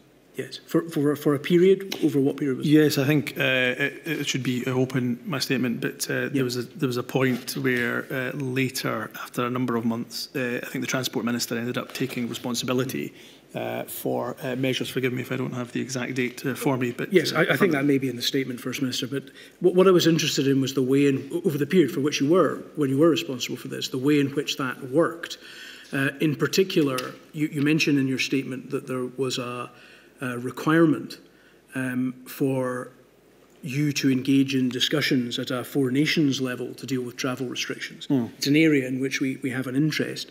Um, you, you explain in your statement that the engagement was pr primarily at the UK government level with the Transport Minister, but you did have limited engagement with uh, Mr Jack, who was the Secretary of State for Scotland. Um, is, was the, was the, what, what role did Mr Jack play? Because in our, in our assessment, one might have expected in an area like this, where there is an obvious need for UK Four Nations cross-border cooperation to the extent that it can be achieved for the Secretary of State for Scotland to play some sort of role more than what you describe as limited engagement? Uh, yes, it, it, uh, I can't obviously speak uh, for the Secretary of State uh, for Scotland in terms of what engagement he had with his UK counterparts. I, I can only speak for the fact that when we were on these Four Nation calls, his engagement was very limited and there would often be meetings where he wouldn't say uh, anything at all and perhaps he was there to, to observe what was said on the meetings as opposed to necessarily contribute. Mm. Um, but uh, of course I couldn't speak to the discussions he was involved in privately with colleagues mm.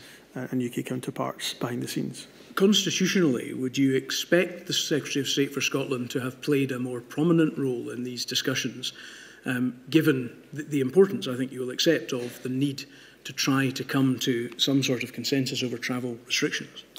I mean, I was curious at times why he was on the calls if there was no contribution um, that was being made, kind of call after call, uh, if that was the case. Um, but uh, no, ultimately, there was a devolved responsibility uh, for us in the Scottish Government, um, and there was uh, devolved responsibility to other governments in terms of their jurisdictions, England, England Wales, uh, and Northern Ireland. Mm -hmm. With travel, it was always going to be more difficult for uh, those uh, other nations uh, outside of, of, of England because whatever decisions were made by the UK government for England were largely going to impact the decisions that we made uh, in Scotland, particularly mm. around international travel. Mm -hmm. well, th this, is, this is what I wanted to focus on because our understanding from the evidence given by Mr uh, Kenneth Thomson, who you'll know was a senior civil servant, was that Scotland always, the Scottish Government always had uh, responsibility for uh, external borders, with the external border of Scotland, uh, because of the fact that there were, public health was a devolved matter, and that was effectively a public health decision, even although the question of borders, as far as immigration and nationality is concerned, is a reserved matter. Um, so, as far as we understand the position, from the very beginning, Scotland effectively controlled its own borders. But uh, is that correct? Is that your understanding? It's a very complex matter uh, and complex issue, just as you have uh, articulated it. Ultimately, if we when we got to the phase of decision making when we were looking at international travel corridors, we're looking at various different lists, whether a country should be on a green list, an amber list, a red list. Uh, you are absolutely correct. Scotland could have made a decision, and there was occasions when we made decisions mm. where we put countries uh, on a different list to the UK government, for example. But that was rarely done because ultimately uh, there was implications when the UK government made a decision to put a country in England on a green list. Ultimately, if we went and put that country in an amber or red list, people may well just arrive into port in England and come up to Scotland.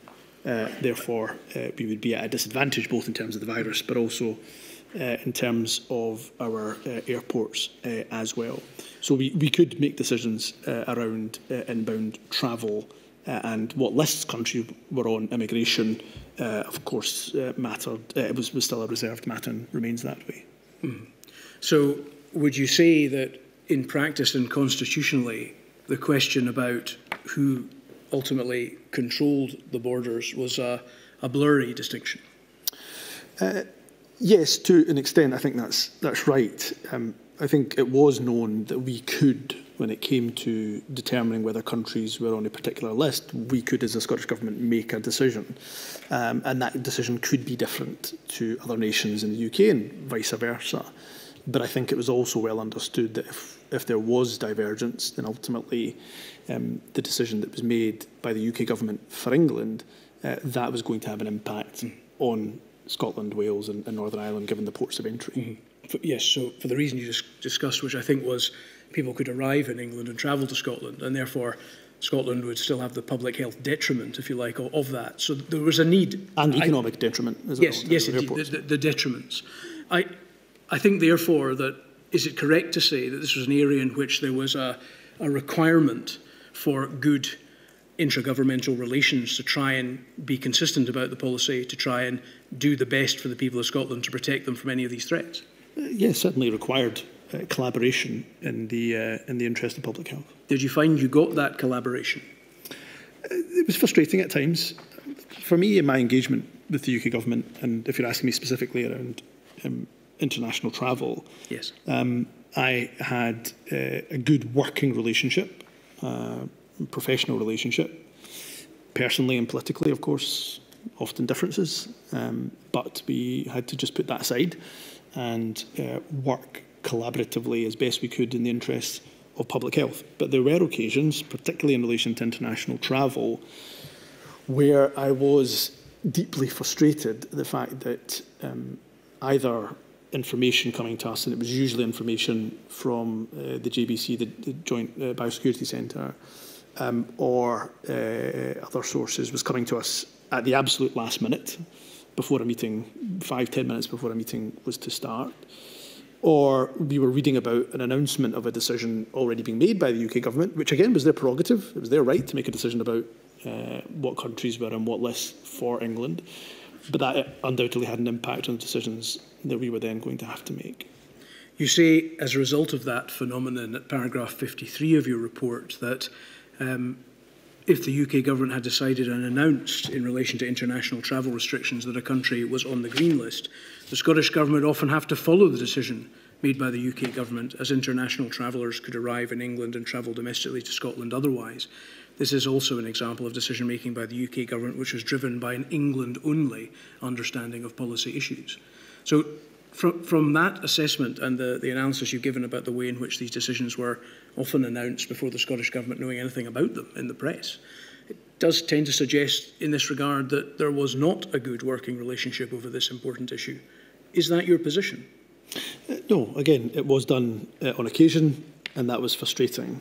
But ultimately, um, I found that where we had to work together, where we had to collaborate with the UK government, um, in the areas where I had responsibility as Justice Secretary and as uh, Health uh, Cabinet Secretary for Health and Social Care, uh, often we could collaborate uh, in the interests of, of, of public health. But you know, to be frank, it could be frustrating on occasion.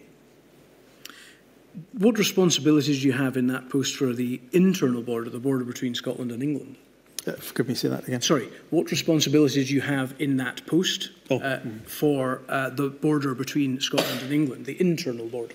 Yes, for the internal uh, border, uh, again, uh, where decisions were made, and there was periods throughout the pandemic where decisions were made around cross-border travel, uh, the responsibility I would have would be liaising with Police Scotland, but ultimately it would be an operational decision for Police Scotland to determine how they might well enforce any ban that might have existed between cross-border uh, travel. So my my my uh, real role was uh, with interaction uh, with Police Scotland, accepting, of course, it was an operational decision about how many resources or assets they deployed uh, to the border. Um, but uh, yes, my main my main interaction would be with Police Scotland in that regard. I think in we understand it was certainly reported in December 2020 that there was a ban from the Scottish government side on travel between Scotland and the rest of the UK. Is that right? Uh, yes, I think that's the correct date. Yeah. And you um, would therefore, you, you detail in your statement your very regular contact with Police Scotland throughout this and the whole of this period. Was, was that something that you discussed with them as regards how that would be enforced?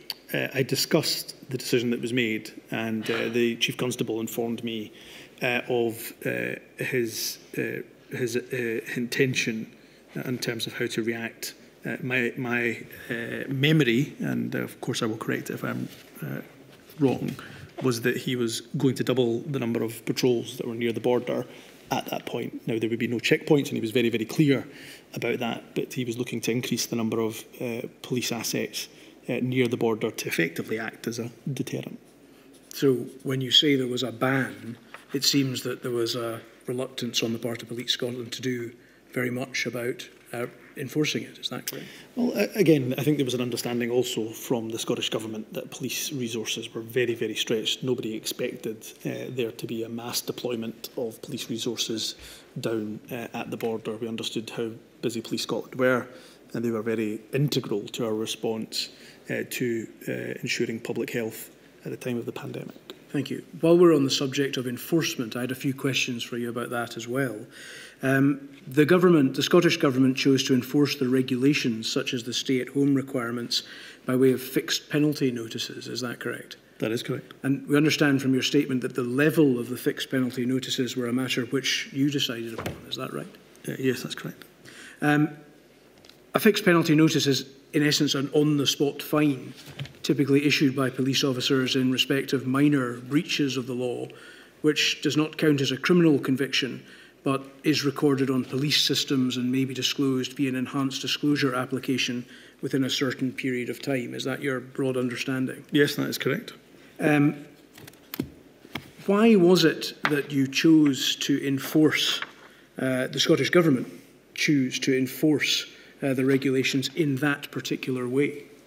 Uh, can I say that uh, I understand uh, that there will be very different viewpoints on uh, the use of fixed penalty uh, notices. And from a government perspective, um, we had to have some sort of deterrent once the regulations were in place. We thought that was important in relation to compliance, but understanding that the vast majority of compliance would take place without any police interaction whatsoever. In fact, if I went a step further, even when it came to police interaction or police activity, the vast overwhelming majority of that would be done without enforcement. And the police had their, their four E's uh, approach, with enforcement being the very last uh, E uh, that they chose to deploy. And uh, my understanding from the figures that I've seen is that police activity during this period uh, 94% of police activity uh, didn't require an FPN, a fixed penalty notice, whereas only 6% required that level of enforcement action. Did you or the Scottish Government more broadly give consideration to the possibility of seeking to enforce the regulations without using fixed penalty laws? I think our, uh, and my recollection is that uh, our concern would be that if we used anything else, so for example, a, a recorded warning, uh, that it would not have the same impact or effect or understanding. I think we were very conscious that people understood what a fixed penalty notice was. People may have had it for speeding, littering, uh, and so on. So it was an understood, uh, well understood system, whereas a formal police recorded warning might not have the same impact hmm. uh, or, or, or effect. So uh, it was the government's uh, view that a fixed penalty notice was the right uh, uh, mechanism uh, to use for deterrence purposes. Was it was, was that not precisely potentially the problem with fixed penalty notices in this circumstance? Because whereas they might be used and there's an existing administrative system to uh, process them for things like speeding, speeding offences are relatively cut and dry, whereas the question as to whether someone is breaking one of these uh, regulations by, for example, not being at home without a reasonable excuse is a much more difficult and nuanced question to answer. I, I'm interested in whether consideration was given within the Scottish Government to alternative means of trying to ensure that the rules were followed, other than the FPN system. Yeah, forgive me, I would have to look over kind of previous cabinet discussions, but certainly uh, I know uh, that uh, there was uh, certainly uh, an understanding that there was other systems available, such as formally recorded police uh, warnings. I think for the confidence that we had in police officers was that uh, every single day, I suspect, police officers have to try to exercise a judgment. You're right, there are some issues which are just cut and paste. They're dry, they're black and white. You understand exactly uh, whether or not uh, an offence has been committed and therefore a fixed penalty notice must be issued. But Police Scotland, police officers, I think every day probably are in that area uh, where they have to make a judgment about whether an offence uh, has been committed uh, or not. So there was, uh, there was certainly a, a belief in Police Scotland's ability if it was necessary to, to, to issue a fixed penalty notice, that they would do that in the correct and appropriate manner. There was also an understanding amongst all of us, government, Police Scotland, that enforcement, such as a, a fixed penalty notice, would only ever be the absolute last resort. Therefore, we did not expect um, there to be uh, a significant amount of fixed penalty notices issued. The inquiry has heard some evidence from Professor McVie on the subject of enforcement uh, in her statement at paragraphs 8.1 to 8.2, excuse me, she suggests that internal Scottish Government correspondence suggests that Scottish ministers took the lead from the UK Government on offences and fixed penalties. Um, at uh, paragraph 13 um, of, a, of a separate document which she relies upon, she also suggests that the decision also administratively, as you've suggested, fitted in with an existing uh, system of um, uh, antisocial behaviour legislation. Uh, what I'm interested to try to explore, First Minister, is the extent to which any real consideration was given to the possibility of not using this method, method of enforcement, um, or whether uh, it was simply adopted because it was the approach the UK government had decided upon.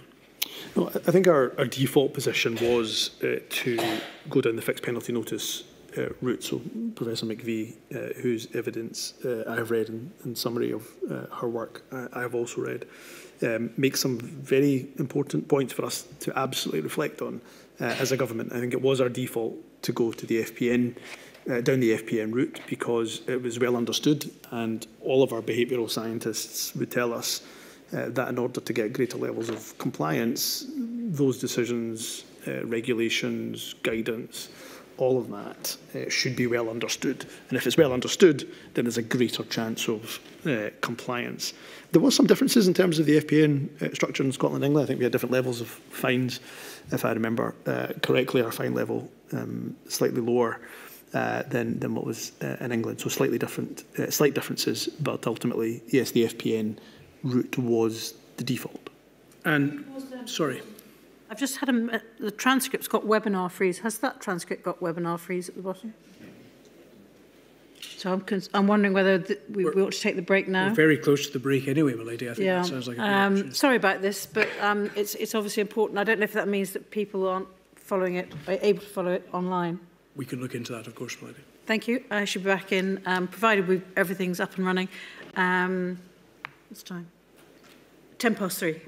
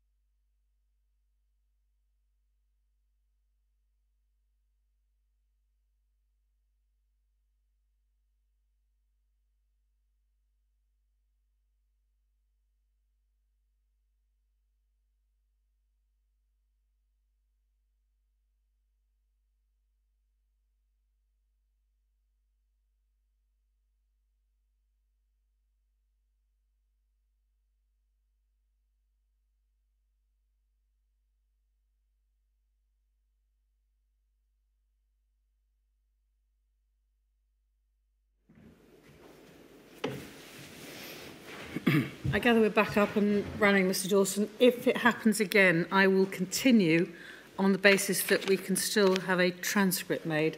Because obviously, although I have a duty to make sure this is, these proceedings are accessible as possible, there are limits when technology fails us. Thank you very much, my lady. Um, First Minister, if I could just return to a point that we were discussing a little bit earlier in the conversation. that's been brought to my attention by the Scottish Government legal team It related to our discussion about uh, publication of cabinet minutes. We were discussing uh, matters on the basis that cabinet minutes would be accessible. And they've asked me to clarify um, or point out, perhaps, that in fact automatically cabinet minutes are not released until no. after a period of 15 years. Is that your understanding? Uh, yes, we yes. just released a whole tranche of papers, in fact. Yes, yes, but, but for our purposes in our discussion, I think the material point uh, is do you accept uh, that documents which exist are susceptible to a freedom of information request by an interested citizen? Documents which do not exist are not. Isn't that right? Yes, yes, and I think I, I, in answer to your question, referenced uh, FOI because that's exactly how somebody might be able to uh, uh, attain some documents. Uh, of course, exemptions do apply to FOI legislation. But yes, that's correct. Yes, thank you very much. We, we were talking uh, before the short break uh, about the process which had been undertaken to try and work out how Scotland would go about enforcing the regulations, and you told us about some of the processes. You, you, you intimated that Scotland had some differences, although the fixed penalty notice system was broadly similar uh, to that in England. Um, one other matter which has been brought up with other witnesses is the fact that one difference was that Scotland's FPN system applied to 16 to 18 year olds. Um, this was a matter uh, which, again, was covered uh, with Professor McVie. Um, what uh, active consideration was given to that difference between the UK government system and the Scottish government system such that younger people would be caught by the FPN system in Scotland? Yes. Uh, my recollection, again, uh, happy to be corrected if wrong, but that, that of course was changed uh, by regulation. It, it was. Pretty, it was changed subsequently. Yes. Yes, and pretty early on. Uh, after regulations uh, were passed in order to bring us into line with our requirements in relation to the United Nations Convention of the Rights of uh, the Child. So it was raised to, to 18. Uh, the reason uh, why that was perhaps not given consideration uh, early on was uh, the thinking that if this was to act as a deterrent, uh, it, it, should it capture as many people as possible uh, in order to then subsequently have the public health uh, benefits. But on reflection, that wasn't uh, the, the, the, the right calculation to make or the right uh, factors to consider. The, the, the correct factor in, relation to those who are 16 to 18 uh, is, of course, their rights. And uh, that's why we made the change as I say, to align us more closely with the UN uh, CRC. So the, the change was made, you're absolutely right, First Minister. It was the Coronavirus Number 2 Scotland Act amended the existing Regulation 9 to raise the age to 18, which came into effect on the 27th of May of 2020. Mm-hmm. However, What I'm interested in is the extent to which consideration was given to Scotland's and the Scottish Government's uh, international obligations with regard to children uh, in setting the age at 16 at the start. Hmm. Was that considered?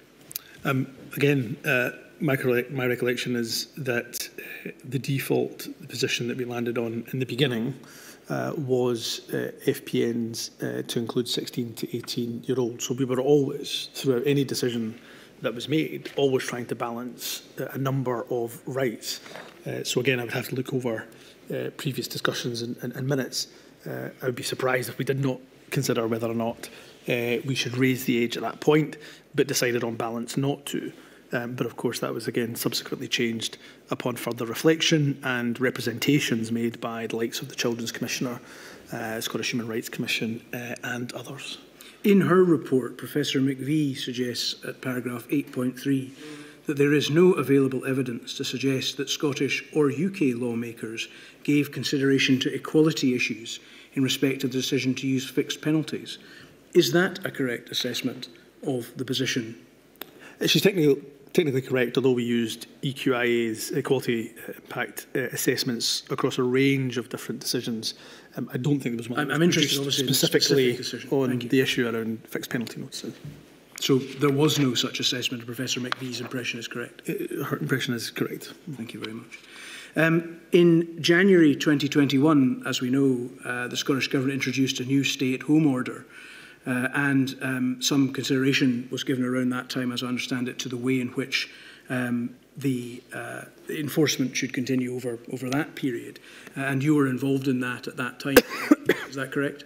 Yes, that's correct. Um, could I look, please, at INQ 000214456?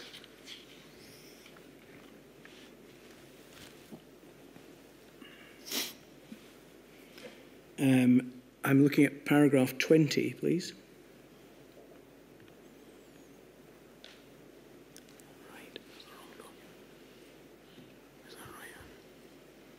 Excuse me just one second.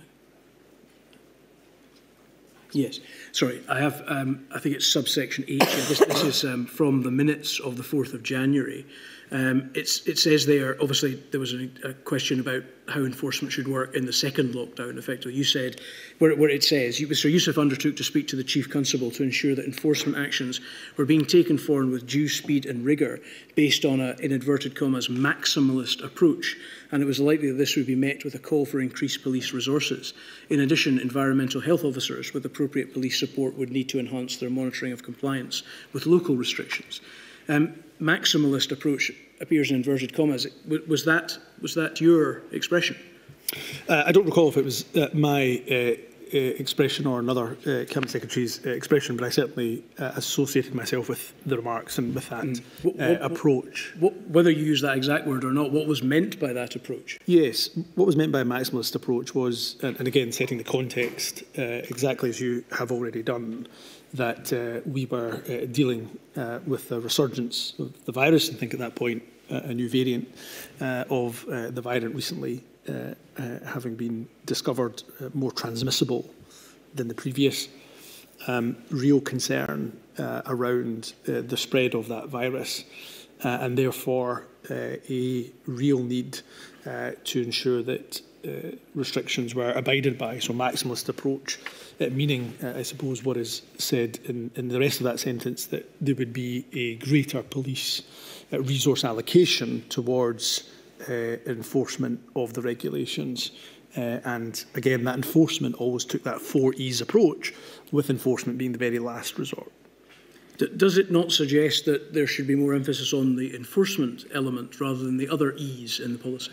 No, not necessarily. Uh, It's a maximalist approach. We're trying to cover, uh, I think, is uh, trying to cover geo geographically as much of the country as we could, but also the various sectors uh, and uh, elements of society where regulations impacted and affected, uh, and therefore uh, a greater coverage of police resource may well be required, hence the rest of the sentence. Likely that this would be met with a call for increased uh, police uh, resource as opposed to uh, any uh, uh, additional focus on the enforcement element. That, that was never a uh, conversation that was had. The Chief Constable was always very, very, the former Chief Constable was always very keen to stress to me that he did not want um, the policing by consent model uh, to be diluted in any way, shape or form and that he and his officers would always put an emphasis on the first three E's, uh, the engage, the explain, the encourage, before they would end up at the enforcement space. What uh, equality impact assessment was done of your uh, proposal that there should be a new maximalist approach? I don't think there would be an EQIA on uh, a decision to, for example, increase police uh, resource. Uh, there will have been EQIAs in relation to the regulations uh, themselves, but you wouldn't necessarily do an equalities impact assessment on, on an approach, an operational approach uh, that was perhaps taken. It would be important in order to try to uh, adhere to the four E's approach that you've referred to, that people should be able to understand the regulations clearly. Is that correct? That is correct. Yeah. What was done at this time in particular to try to ensure that people understood precisely what the regulations were? a whole range of activity. Uh, of course, uh, the well-watched uh, media briefings were going to be important. there was communication that would have gone out from the government uh, where necessary from Police Scotland as well, and that would be materials not just on the television, on the radio, uh, social media assets uh, would be deployed as well. So we always endeavour to do our best to ensure that there was a wide uh, understanding as possible of the regulations uh, and indeed the guidance. And uh, we know that at times and on occasion that could be particularly complex. The rules required to be clear so that people could comply with them. Is that correct? Yes, as clear uh, as they could be uh, would help in relation to compliance. Yes, that's correct. Could I go to INQ 000334792, please?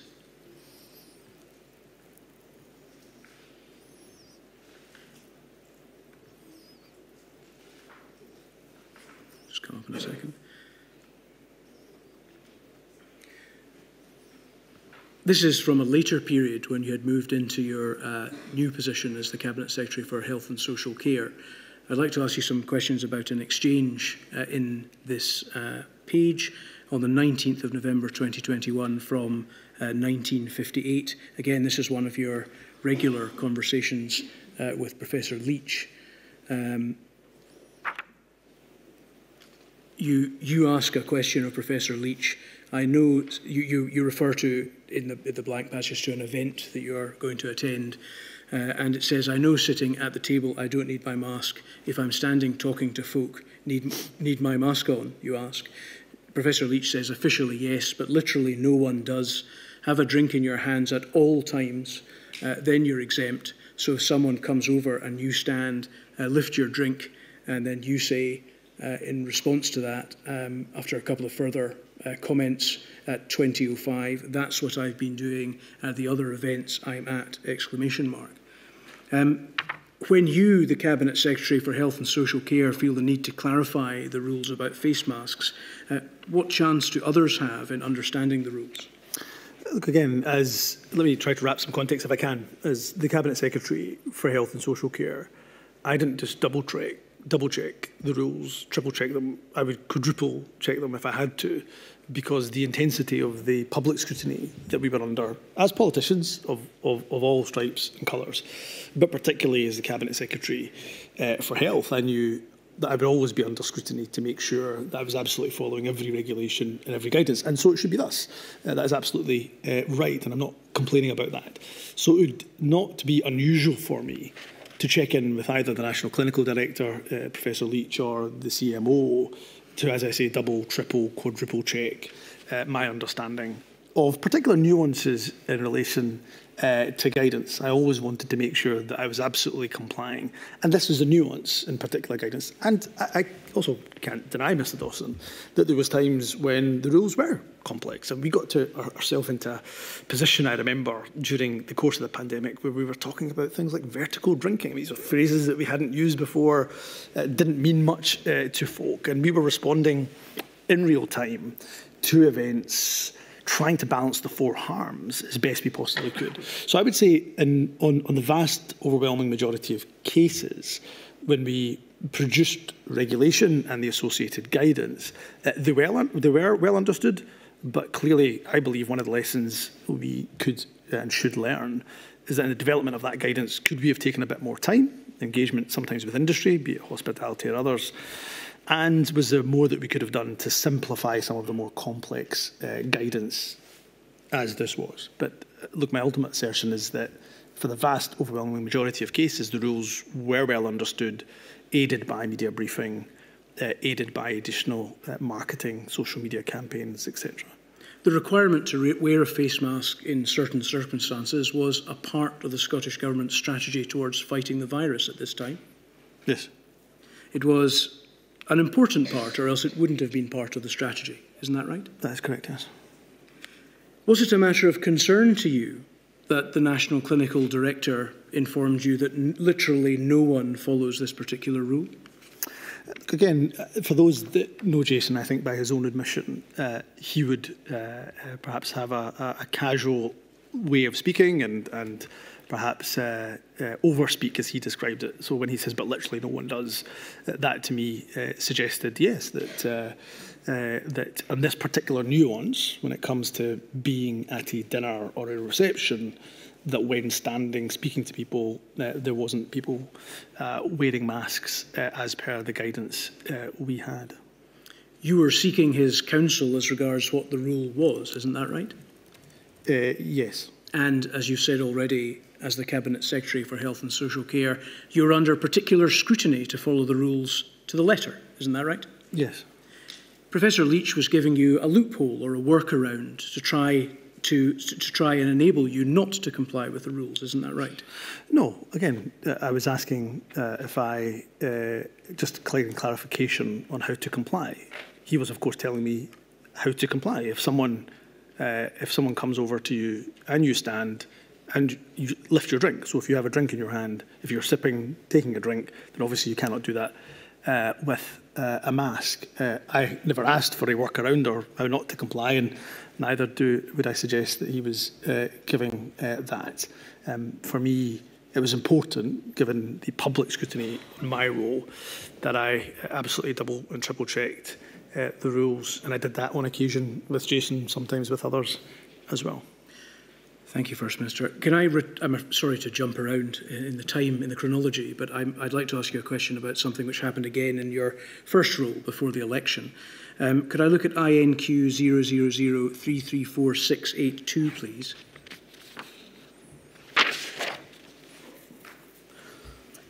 This again is uh, in a slightly different format, I think, some of the WhatsApp messages that you helpfully provided to us. Um, it's a WhatsApp exchange. Uh, the, the, one I'm looking at is, is between yourself and uh, Mr. Swinney. I'm looking at 19-6-2020 at 10.26. Um, your, Mr. Swinney says to you that you have just caught up with the latest insight into SPF thinking. Is that the Scottish Police Federation? That's correct. And you reply, they're a disgrace. Right through this pandemic, they have shown an arrogance and retrograde thinking. Chief was livid last night. Can you explain, please, in what regard the Scottish Police Federation were, in your view, a disgrace? Well, again, this was me expressing my frustration uh, in a what would have been a private conversation uh, with a colleague, and sometimes you, when you are venting those private uh, frustrations uh, to a colleague, uh, you, you, you, you use language that you regret. And I had a good relationship with the Scottish Police Federation, we didn't always get along. Uh, the previous leadership of the Scottish Police Federation, in fact, it's fair to say at times we would have very robust uh, disagreements. Um, my uh, concern uh, uh, in this uh, particular instance, if I remember uh, correctly, uh, was that I, I didn't think that they were being uh, supportive of the chief constable uh, and uh, police officers more generally uh, in relation to enforcement of regulations. Uh, and I thought that the way they uh, articulated that uh, was deeply, deeply unhelpful. These were the people upon whom you relied, the police officers, to enforce the regulations which the government had imposed, isn't that right? Police Scotland, uh, of course, and police officers as part of Police Scotland uh, were the ones that we relied on. Of course, the Scottish Police Federation, with a professional body uh, that uh, represented uh, police officers, but my concern was not with uh, police officers or individual police officers, far from it. I had the greatest amount and continue to have the greatest amount of respect. They were absolutely integral to our public health. Uh, to, our, to our public health efforts. And my concern was with the leadership at the time of the Scottish Police Federation, with as I say, had a good relationship, one where we spoke uh, on, on regular occasion, uh, had robust exchanges. Uh, but at this point, as I say, venting a frustration to a colleague in a, in a private space. Thank you. I'd like to ask you some more questions, please. Again, sorry to jump around in the timeline. About the period during which you were Cabinet Secretary for Health and Social Care. It, it might be helpful, first of all, to try and place your appointment in some degree of context uh, before we do so, in terms of what happened over the period, but in particular what the state of the pandemic was at the time of your appointment. Um, the, in April uh, of uh, 2020, uh, Scotland's R number um, had fall, sorry, 2021, the Scotland's R number had fallen for the first time in four weeks, uh, dropping from between 1 and 0.8 to 0.7 to 0.9. Um, on the 25th of April, free lateral flow kits had been made available for anyone without symptoms. Uh, on the 26th of April, there had been a significant opening up with non-essential shops, gyms, swimming pools, pubs, restaurants and cafes allowed to reopen, while travel between Scotland and the rest of the UK was also permitted again. On the 6th of May, uh, which was the day of the election, you'll recall, uh, First Minister, uh, public health officials warned that in Moray, uh, they were experiencing an uncontrolled, sustained community transmission of COVID-19 uh, with a case rate of 81 in 100,000. On the 17th of May, most of mainland, and Scot mainland Scotland, with the exception of Moray uh, and Glasgow, moved from level 3 to level 2 restrictions, allowing pubs and restaurants to open for indoor service. And indeed, as I think we've seen from some earlier messages, uh, there was a concern, really as almost exactly the point of your appointment, First Minister, about cases starting to rise in the Glasgow area. Does that give a fair description as to the background of the situation that you walked into, or are there any other salient features of the pandemic that you, you would wish to point out? Uh, no, I think that's a, a fair description of the point uh, by which I was appointed. I think the only thing I would, I would add to that is there continued to be uh, extreme pressure on the health service uh, as well. Yes. And, and usually by spring, uh, out with the pandemic, you would begin to see some sort of easing, though you tend to have respiratory uh, viruses uh, sometimes uh, during the Easter holidays. But you would tend to see a bit of easing.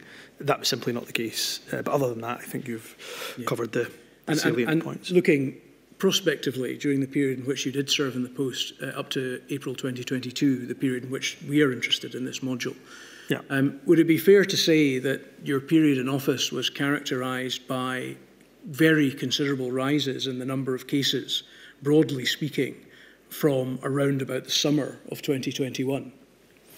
Yes, there would be fluctuations. Uh, of course, uh, there would be, but of uh, the time that I was appointed, there was a number of waves of the pandemic, and uh, of course, uh, in 2021, uh, we also then had to deal with the Omicron uh, yes, variant. If we just take it sort of in a stepwise fashion, we, we've seen some evidence from st some uh, statistical experts that in the summer of 2021, not long after your appointment to this post, cases started rising significantly, and that that was associated with the Delta variant of the of the uh, of the virus. Is that your broad recollection? Yes, Um, and as you say correctly, um, cases remained high. They were up and down, but they remained comparatively high in Scotland compared with the rest of the United Kingdom uh, over that period. Do you remember that being the case? Over what period? The period from the summer till the Omicron arrival towards the end of the year that you described. Yes, uh, cases uh, were fluctuating, rising often. Um, in terms of how they compared to the rest of the UK throughout that period from the summer till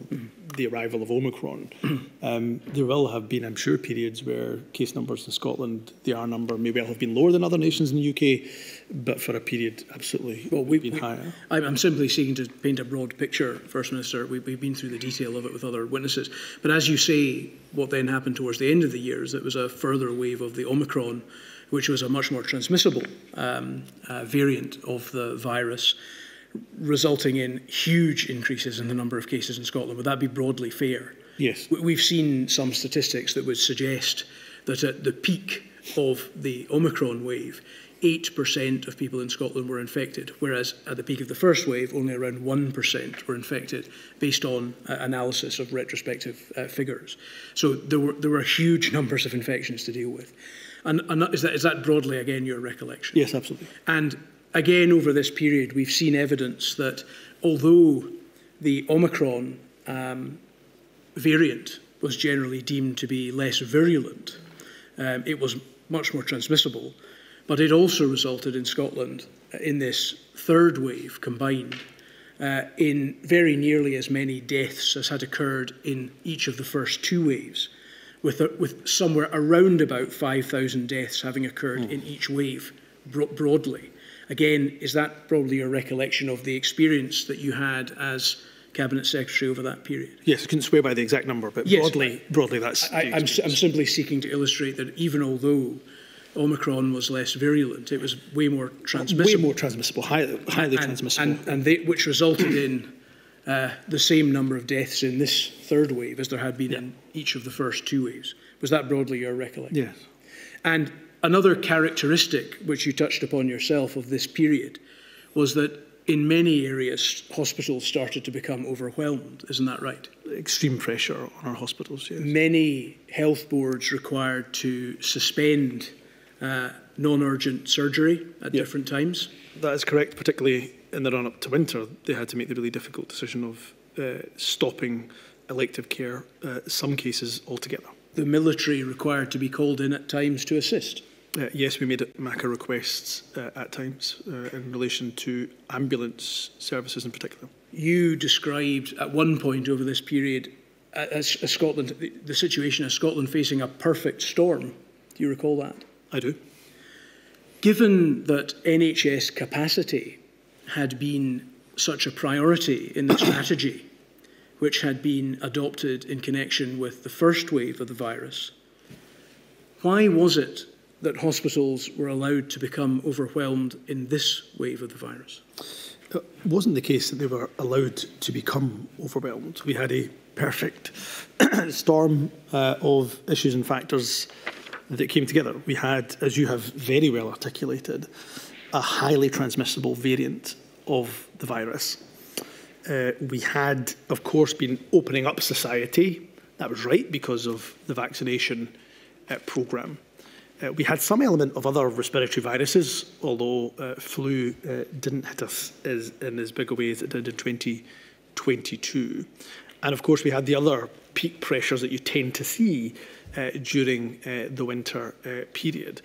But when you have a highly transmissible variant, as Omicron was, way more transmissible than previous variants, uh, hitting you at about the winter time, where, of course, not just where you often see other respiratory viruses, but people tend to mingle more, uh, go to social events more often, uh, Christmas parties, New Year functions, then all of these factors coming in together made the pressure on the NHS extreme.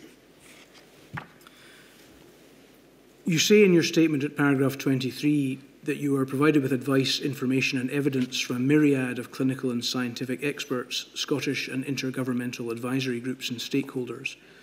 Um, and then you say at paragraph 63 that there wasn't a risk of information overload or repetition for key decision makers. Um, would it be fair to say that the main person to whom you turned for clinical rather than medical advice was Professor Leitch?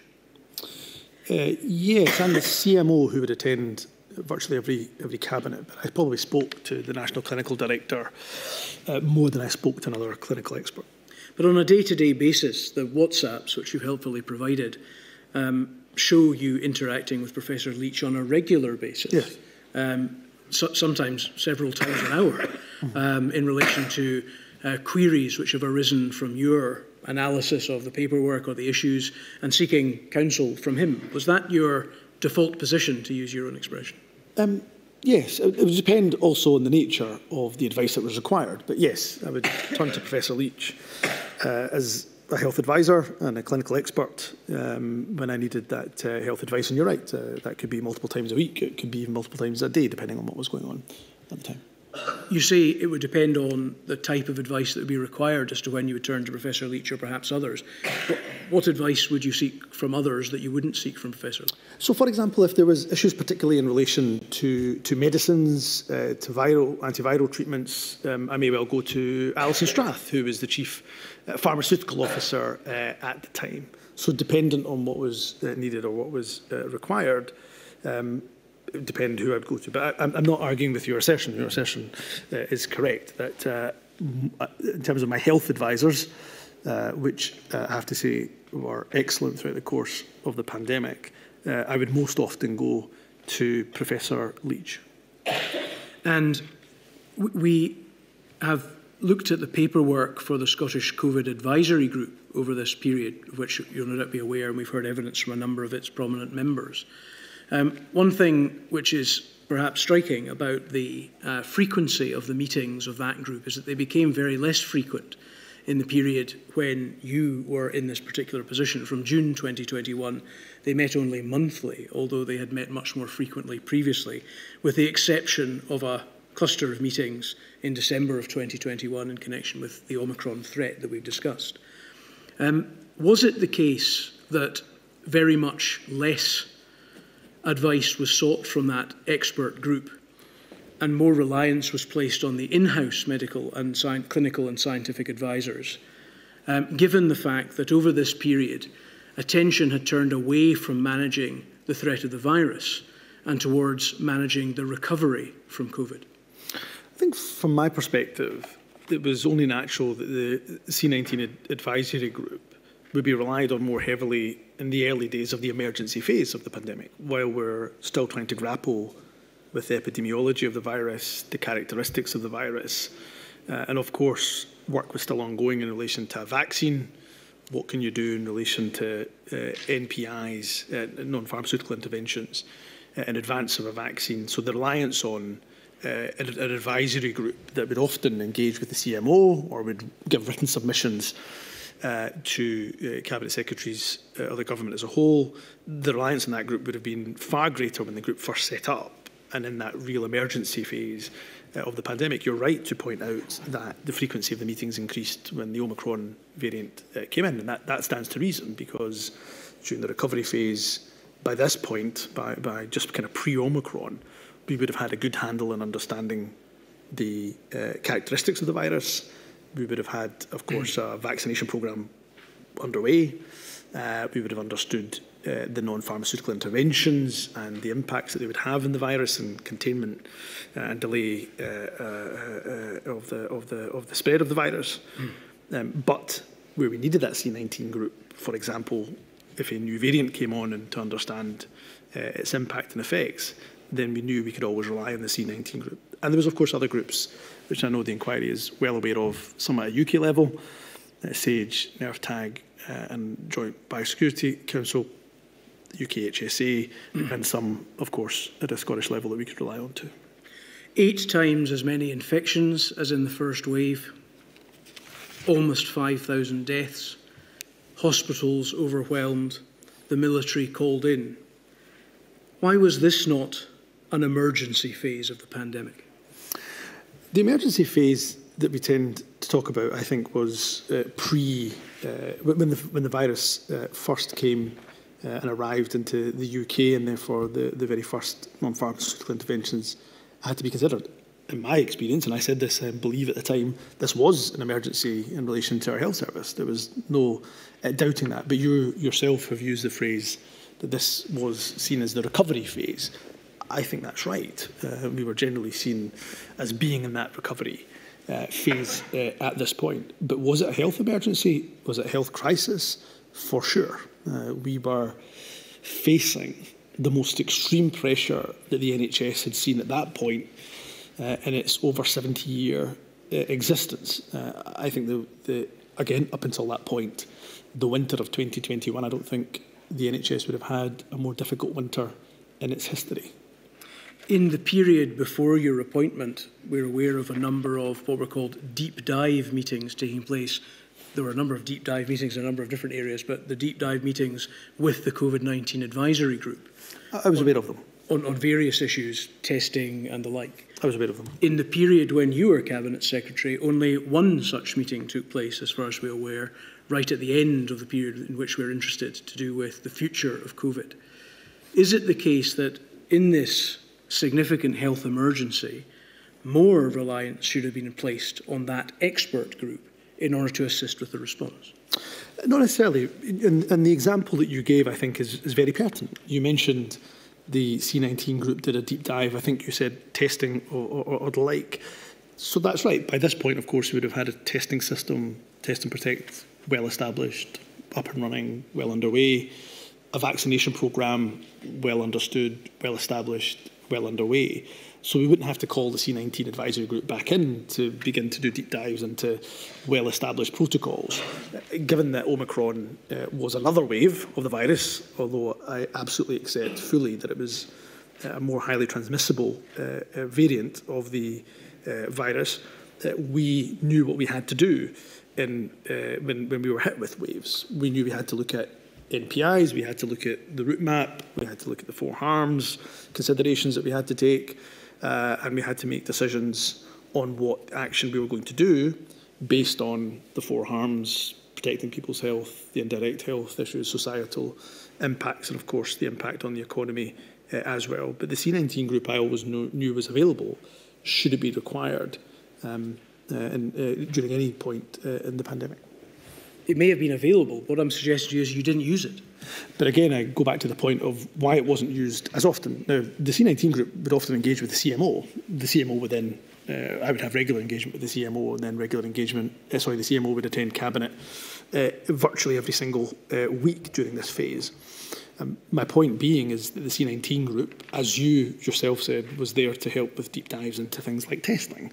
Uh, these were already established. I wouldn't have to bring the C19 group back in to have a deep dive into testing established, vaccination established, and so on and so forth. But uh, again, uh, there was advisors available within the C19 group should I have needed them bilaterally as well as part of a group. Even although systems were in place, would that C19 group not have been able to assist with the strategy in this further emergency phase of the pandemic?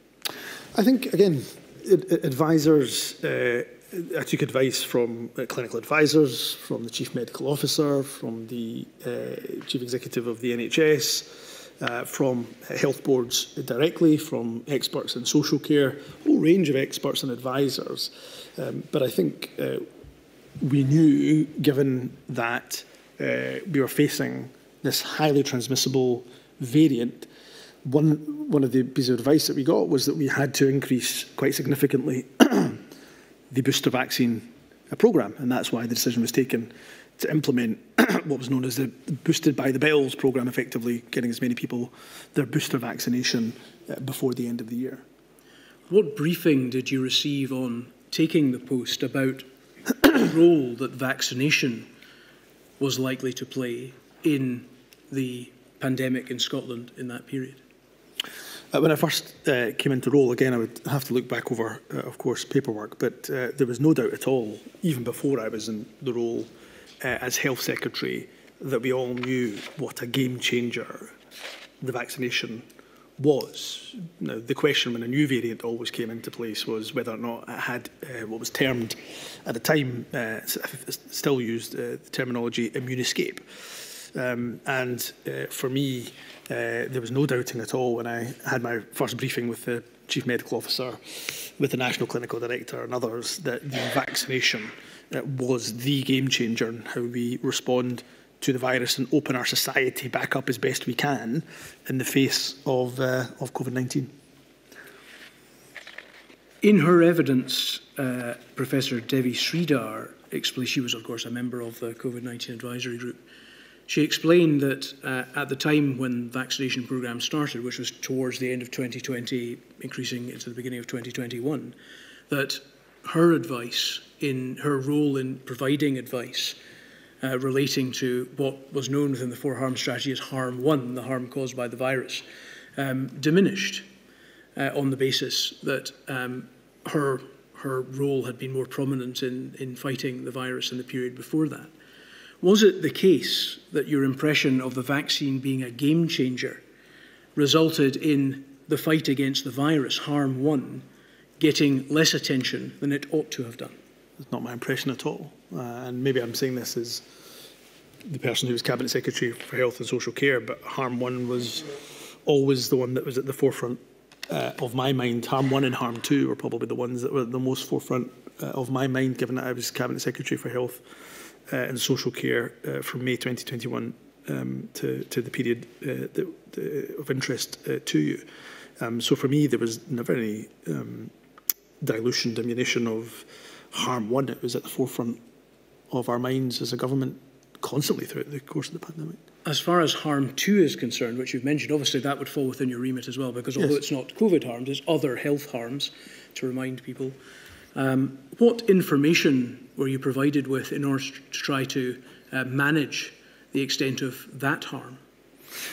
Um, again, I think when we had conversations, we were alive and alert to obviously all four harms. In respect to harm two, particularly the impact on mental well-being, um, the most important thing that I could do was speak to those who were either directly impacted or represented those who were directly impacted by harm too, in particular if I think about the mental well-being aspects um, that uh, people suffered or chronic illnesses um, that they suffered, uh, then I would often engage uh, with those representative groups or indeed those with lived experience uh, directly, as well as getting the usual briefing. There would always be briefing uh, made available uh, when you first come into position. You're you're you're, you're given multitudes, plethora of, of, of, briefing to, to get your head round.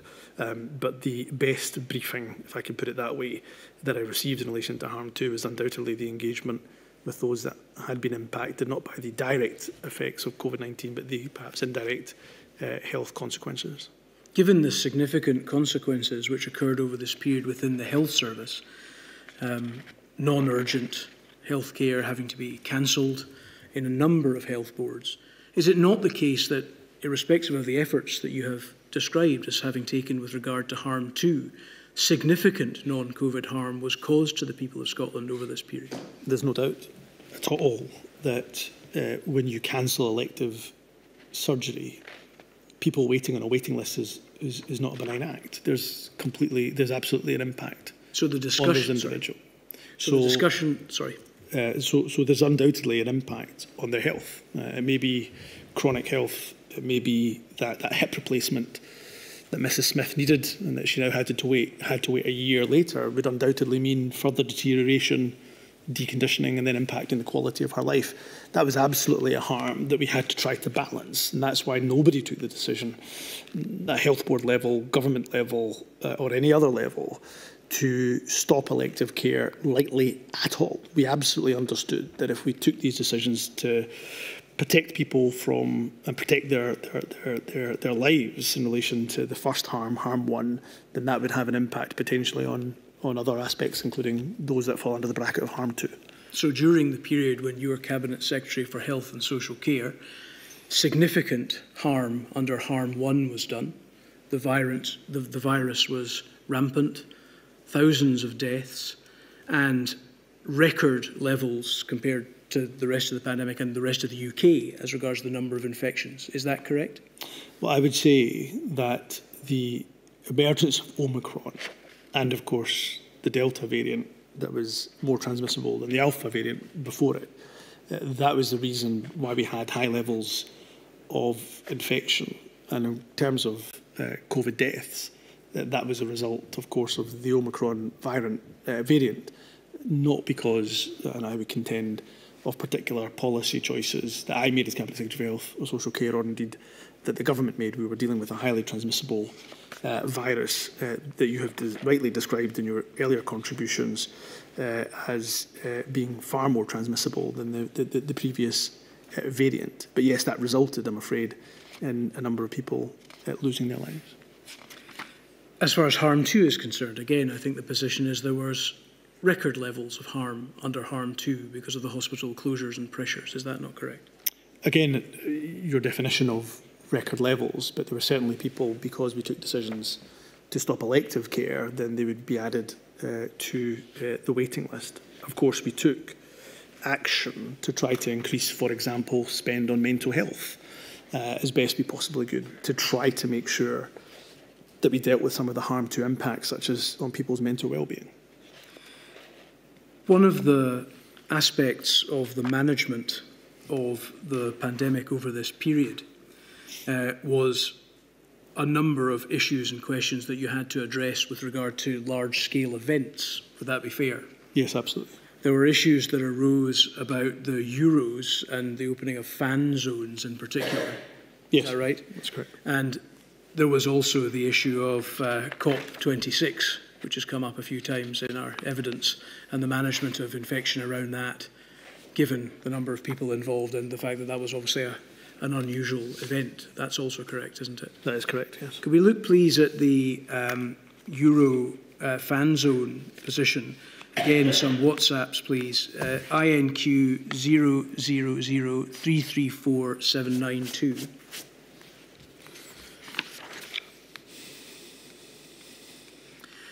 This is an exchange um, between yourself and Jason Leitch again in which there is some discussion as one sees this regularly, discussion between the two of you about what you're going to do, what the solution is. And at uh, 1339, um, you, could just get that up. Um, yes, thank you. Um, you say at its lowest over the last seven days, we saw Glasgow case numbers dip to around 87 cases. Obviously, now seeing an increase over the last two days, test percentage remaining relatively stable. Understand FM's worry about losing the dressing room, but can't do anything other than leave Glasgow in level three for now. Big question, and opposition are asking it not unreasonably. What is the way out? Are we doing enough here to break the community transmission instead of just targeting the hotspots? Does enhanced testing, prioritising vaccines, etc., need to be done citywide? Then there's a, a, further discussion about all of this, and then um, at 1402, um, this is particularised in relation to the question about whether the Euros should be allowed to, well, whether events relating to the Euros should be allowed to proceed. Jason Leitch says, and I agree, if trajectory continues and doesn't accelerate everyone down a level, that would allow Euros. Uh, he then says cancelling crowds and the fan zone would be very difficult. 1404, you say that's the danger though. Football is on, pubs open, lots of people mingling indoors, including in households to watch the game. All the while, Glasgow is still picking up 100 odd new cases a day, um, and there's some surprise. Then over the page, uh, 1407, You say, all that said, we will lose the dressing room. People want to watch the match with friends and family after waiting 23 years for Scotland to qualify. Um, further exchanges, and then you say at 1411 to mitigate the surge in cases we will possibly see as a result of the Euro is not better keeping Glasgow in level three as long as possible before the first game. Fanzo makes that tricky right enough. And then at 1429, Professor Leach says. So more testing, case finding exactly what we want. Um, as Trump said, the problem with you public health idiots is if you do tests, you find disease. So this is a discussion between the two of you of the, about the, the case rises in Glasgow and the extent to which it would be wise to continue um, with the planned fan zone in Glasgow uh, to allow people to watch the euros. Is that right? That's absolutely correct. And I think your position here, as I understand it, is that you are quite concerned about whether these events could be allowed to go ahead, given the fact that the background is there's high levels of cases, and you are rightly debating that with Professor Leach. Is that right? I'm very concerned. Yeah.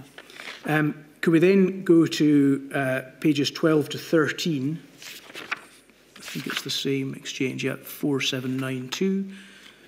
Uh, pages 12 to 13. This is now on the 10th of June. I'm looking at um, 10 6 2021 at 1145. Yep. Uh, just up at the top there, you can see um, Professor Leitch says, and it still goes on. FM wants more advice. Her instinct says cancel fan zone. Her office will write back, which Ken is writing to ask for more, and then Ken will gather uh, legal, etc., to reply. Uh, then there's a further exchange. Um, you, you indicate that you've, there's been some attention paid to the cost of cancelling the event, which might be £6 million. You raised the question of whether that would or would not include compensation for those who have lost money. Uh, and then at 11.55, um, Professor Leitch says, yep, I think that's cost not profit in the £6 million analysis. Uh, and then he says she needs to do it before or at FMQs, if at all. And you say, I'll tell you what, from knowing her for 15 years, it is not often her instincts are wrong. And I think ultimately the position is that the fan zone is allowed to go ahead. Does this exchange show um, you being very concerned, understandably, about the, the situation in Glasgow, but ultimately there being a reliance on the First Minister's instincts as to what to do? No, I think there uh, exchange uh, is an understanding that this is not an easy call. You've got high case numbers, in Glasgow. You've got a huge footballing event for which Scotland have qualified for the first time in over 20 years. And you've got to make a decision about whether or not a fan zone, which is an outdoor, fairly regulated space, and I went to the fan zone to see it myself, hand hygiene measures in place, one-way systems in place and so on. We put other mitigations, which I can talk to uh, as well. Do you have that highly regulated space? And if you don't have it, then do more people go into spaces which are more conducive to the transmission of the virus, i.e.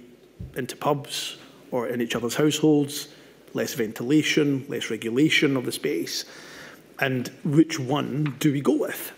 And ultimately, I remember the First Minister was asking questions to which, to be frank, we would not be able to answer. If you close the fan zone, how many people, extra people, end up in pubs?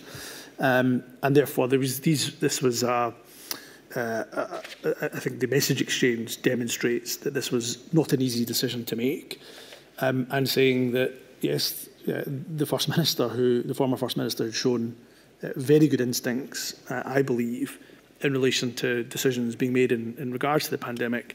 There was ultimately a decision that, that, that, that had to be uh, made here, and we had provided her clinical advisors. I had also spoken to her, of course, about the fan zone given uh, my view, um, but it was not an easy decision uh, to make at all. I think ultimately the right decision was made, given the mitigations that we were able to put in place in relation to testing and so on and so forth.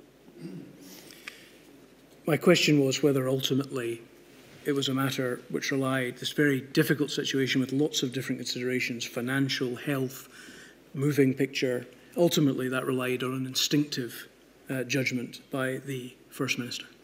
No, didn't rely on that. Uh, her instinctive judgment was important, but it relied on, uh, I think, being all of all of those involved in the decision uh, being confident that the appropriate mitigations were in place and understanding the impacts and potential effects of cancelling the fan zone and what that would mean for public health as well as other issues too.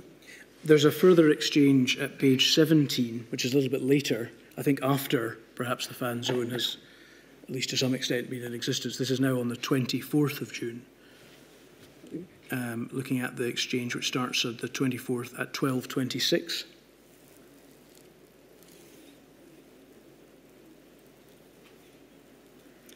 you're discussing, I think, the position um, with regard to the numbers, and you say, I would certain we'd be well above the 3,000 mark. Just doesn't feel right that we aren't effectively able to do anything in the immediate and short term to drive those numbers down, other than imposing restrictions, uh, which, as the FM says, the public just won't stand for. Professor Leitch says, keep your fingers crossed it is a temporary Euros phenomenon. The expression keep your fingers crossed is one which appears on a number of occasions in these exchanges. Is it the case by this stage that you are relying on instinct and luck to manage the pandemic? No, I would reject that charge in its entirety. Look, I'm, I was the Cabinet Secretary for Health and Social Care. I was always going to be the guy in the Cabinet that pushed for us to go the hardest, the fastest, to do more in terms of NPIs and restrictions. I suspect that is true of every health secretary right across the United Kingdom. Um, that was often our, our position, and my position as Cabinet Secretary for Health was no different. So there was occasions in Cabinet and uh, uh, in Gold Command and other fora where I would be pushing harder, but ultimately there came a collective decision, and in this case, for example, um, the First Minister, the former First Minister's belief that if we had imposed restrictions particularly during the Euros, the public just would not accept it. And that, of course, would be, you know, would, would be dangerous for compliance. And, and, and then we would not just lose the public, which was important in relation to future compliance, but we'd also have no impact on the virus either. Do you use the expression, as one, one of the passages I went to there, uh, to the possibility of losing the dressing room? That, that expression features on a number of occasions in your exchanges with Professor Leitch. Again, at this stage, are you effectively uh, suggesting that although there is good evidence to suggest that more needed to be done, the concern was that you would lose the confidence of the public such that you just allowed the virus to run rampant? No, you see, it's not a case of simply losing the dressing room or the public won't stand for it. What that in effect means, of course, is that we don't, we will not have compliance. And that is the worst of both worlds. So you end up in a position where people aren't complying. I just won't stand for it. At this point, we've been living with the virus uh, for over a year, and people have been through numerous restrictions. So you get the worst of both worlds. They don't comply, and then that therefore means that you continue to get increased levels and numbers of uh, cases. I think that was particularly, it was more difficult, I think, to bring forward the NPIs, the non-pharmaceutical interventions, when we had a vaccination programme also well underway and a testing system that was well established as well. But I go back to the central point in this exchange that we were facing an incredibly difficult set of circumstances with not just the fan zone, but uh, generally speaking, having lived for over a year with this virus, people's patience, understandably so, uh, with, with, with restrictions uh, wearing relatively thin. But at this stage, was it not possible to try to mitigate the possibility of losing the dressing room by using strategies you suggested were used early in the pandemic, explaining things to people, explaining what the data was, explaining why it was in their interest to uh, adhere to the restrictions? It seems here that there is a discussion about those risks, a discussion about that data, but you simply give up and rely on instinct. No, again, I don't agree that we, we gave up. There was, first and foremost, at this point, restrictions in place. It would be wrong for anybody to suggest there wasn't any level of restriction uh, in place. But what we also did was we took additional measures, particularly in relation to the fan zone, but also, of course, you'll be aware then, in addition to the fan zone, uh, there was some matches being played at Hampden with a, a reduced capacity. So we made sure that significant uh, mitigations were put in place in relation to testing availability, test kits being sent out to people, um, uh, mitigations around uh, hand hygiene, one-way systems, and so on and so forth. We took a, a number of mitigations, so this wasn't a case of, look, we're not going to take any action, we just have to live with what, what will happen. And ultimately, of course, the data, it demonstrates that when we look at the Public Health Scotland COVID-19 statistical report of the 28th of June uh, 2021, uh, that between the 11th and the 28th of June, 1,991 people in Scotland with a COVID diagnosis were identified as having attended one or more Euro 2020 events during the infectious uh, period. But they were tagged uh, in terms of where the, what events they attended. Um, and nearly two-thirds of the cases, 1,294 people, reported travelling to London for a Euro-related event uh, and game. Um, when we look at those who were tagged for the fan zone, out of the 1,991, 55 cases came as part of the, the, the, the fan zone or travel to the fan zone. And the Scotland match against Croatia, 38 tags, and the Scotland match versus the Czech Republic, 37 tags. So really a small proportion of those positive cases um, went to the fan zone or indeed attended a game at Hampden. And that to me says that the mitigations we put in place uh, were relatively effective. Could I then follow this attempt to try and understand the decision-making process over this period into, into the later uh, variant emergence, which you mentioned yourself, the Omicron uh, variant. Uh, so if we could go then to um, I think it's the same document, 4792 at page 45. So at this stage, late November, Omicron has started to become the, the next issue that we have to deal with. I think that you say in your statement that there were um, some gaps in data around Omicron, which caused some issues around that time. Could, could you tell us, do you recall uh, what the gaps in data were around this period that caused difficulty in trying to come up with a strategy? In terms of Omicron, um, yes. I think if I could just, I could read the passage out if it's, it's more heavy, I might refresh your memory. I do recall times when there were gaps in the data, scientific information or advice, particularly in relation to a new variant. For example, when information emerged about a new COVID-19 variant, Omicron, in late November 2021, advisors were understandably unsure about the extent of immune escape or severity of Omicron. Scientific research was still in the early stages in South Africa, where Omicron was first identified, and while it was quickly established that it had a high transmission rate, other factors, such as how it would impact those who had the booster vaccine, were unknown. The lack of scientific understanding was communicated to Cabinet at the time, both from the CMO and in papers provided to Cabinet and taken into account when making decisions. So that there were, I think you're trying to say there that simply as a result of the fact it was a new variant, there was inevitably a lack of data about the, one of the particular factors about it was whether there was going to be immune escape. such that the vaccines might not work as effectively against this new variant. Is that broadly correct? Yes, correct. Yes. And so at this stage, one might think that one required to reimpose or reconsider a precautionary approach because of the possibility that the great protector, the game changer, as you described it, the vaccine, may no longer be the protection which it might at once have been. Is that right? That is uh, one conclusion, yes. Is that a fair assessment of the approach which ought to have been taken?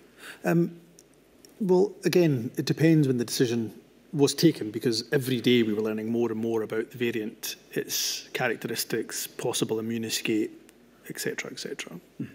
So if I could take you to the exchange, please. I'd taken you to page 45, sorry, before asking that question, at uh, the 13th of December at 1956 yeah. uh, discussion here in this context, where you, again, discussing, uh, as we see often uh, with Professor Leach, keep me updated on what comes out FM call. I will be really disappointed if we end up with just window dressing, to which uh, at 2013 Professor Leach describes it's window dressing. We edged her to limiting households everywhere. We, could, we could, but it's marginal, nothing significant. You say, just don't get it. Take it it's coming down to finance. So big events can continue, people can meet in as big as numbers as they like in pubs and restaurants. Madness. You say, working from home. Professor Leitch says, all about money. Professor Leitch says, yep, yes in regs. You say, frustrating thought Kate, which I assume is a reference to uh, Ms. Forbes, mm -hmm. um, have thought Kate might have pulled something out of the bag. Was she on the call? I might try and call her tonight. Uh, will have limited effect, I suspect, but be helpful to understand the analysis she has done of costs involved. So is the position here that you are suggesting that greater steps require to be taken to deal with this situation, but for, amongst other reasons, financial reasons, uh, those steps are not being taken, which is causing you a great deal of frustration. That is a fair summary. So uh, I remember this period mm. uh, very, very well. And I go back to the comments I made uh, a moment ago in response to a different question that you asked. As Cabinet Secretary for Health, I was always going to be the person around the Cabinet table that was pushing the government to go further, to go faster, to go harder, uh, given that I was the one who was dealing with the health service on a day-to-day -day basis and seeing the impacts uh, on uh, the health service. I think the other important point of context around funding and finance here, which is exceptionally important, is of course by this point, I believe, the UK government had already significantly reduced, uh, if not entirely withdrawn its funding in relation to business uh, support. So therefore, if we were going to try to find money for business support, if we were going to introduce restrictions on hospitality, um, then we would have to find that compensation within the Scottish Government's budget, which was already under extreme pressure uh, given that we were still uh, fight, we had been fighting the pandemic uh, that uh, whole uh, year. So there is no doubt that I had thought at this period in time that we should have gone further, and I'm not sure if it's quite at this time or slightly later in the month that we end up with an options paper uh, around various different options that Cabinet considers. Now, it's no surprise that I am the one who opts for what I think was option C at the time, which was the one with uh, the most restriction uh, in place, including further restriction on hospitality uh, and uh, leisure. But we had to consider not just all four harms, which was our guiding light, but we had to consider uh, whether or not we would be able to compensate businesses or not if we added further restriction. So yes, I think your summary uh, is fair. I wanted to go further, but ultimately that had to be a collective decision uh, that Cabinet would have had, uh, I, uh, considering all of the factors uh, including finance, of course, as well as ultimately the priority, which is public health. But First Minister, over this period, as we described, there was considerable uncertainty as to what might happen. There was a threat from a new variant, cases were rising. There was a need to take a precautionary approach, was there not? Uh, yes, and that's why uh, further uh, limitations were brought in, and you can see that from the exchange uh, with Jason, uh, uh, limited households, limiting households everywhere, you know, but it's marginal, and I would have wanted us to go further. I think by this point we also had a better understanding uh, about immune escape and that the vaccine was still very effective uh, against our booster a dose of that vaccine was incredibly uh, effective against the Omicron variant. So again, as well as NPIs, the non-pharmaceutical interventions, we were also looking at how we would rapidly increase the level of vaccination as well. There are some further exchanges in this regard, expressing your frustration at the position the First Minister seemed to take. This period, the correspondence goes on in this vein over this period. If I could take you a bit further down, please, to the um, 5th of January 2022 at 119, sorry, 118.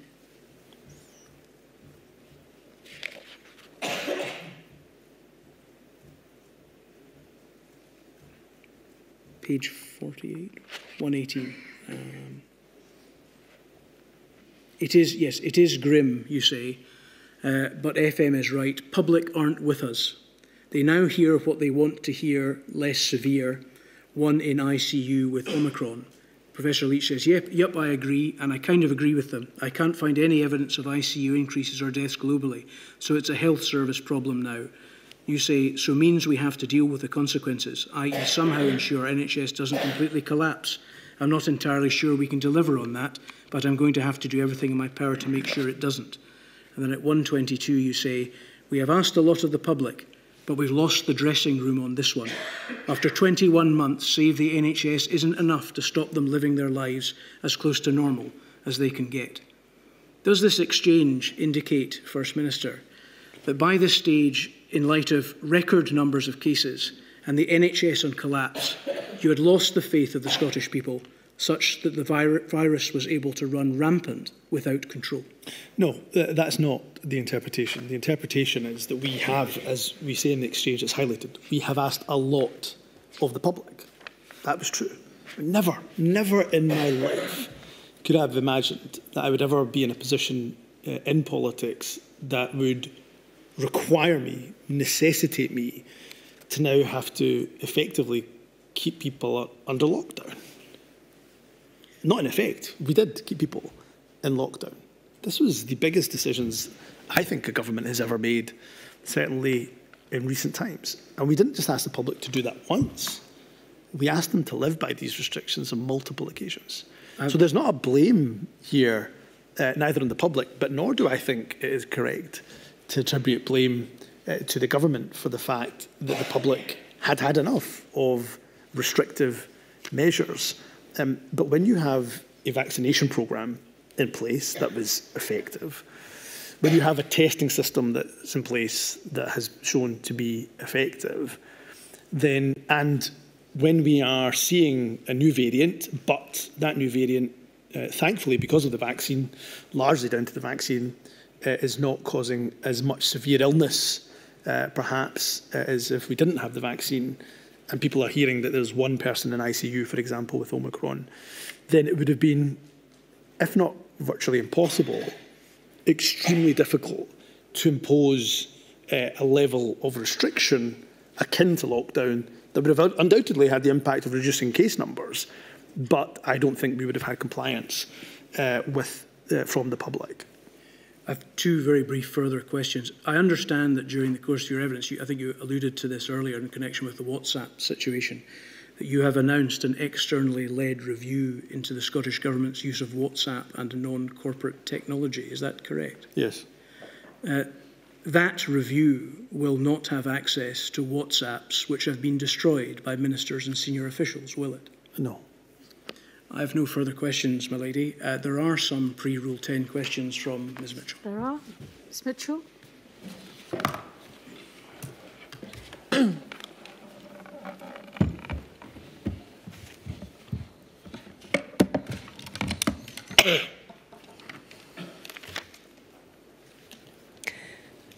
First Minister, I appear as instructed by Aamer Anwar and Company on behalf of the Scottish COVID bereaved.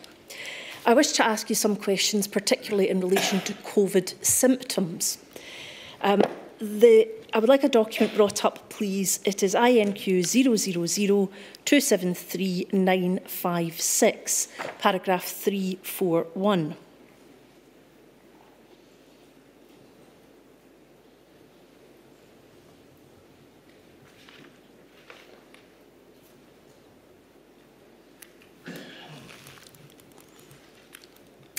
I'll start by explaining that paragraph says in 2020 the Cabinet Secretary for Health and Sport would have received advice from scientific and clinical experts in relation to the risk of transmission within care homes of patients being discharged to care homes from hospital care.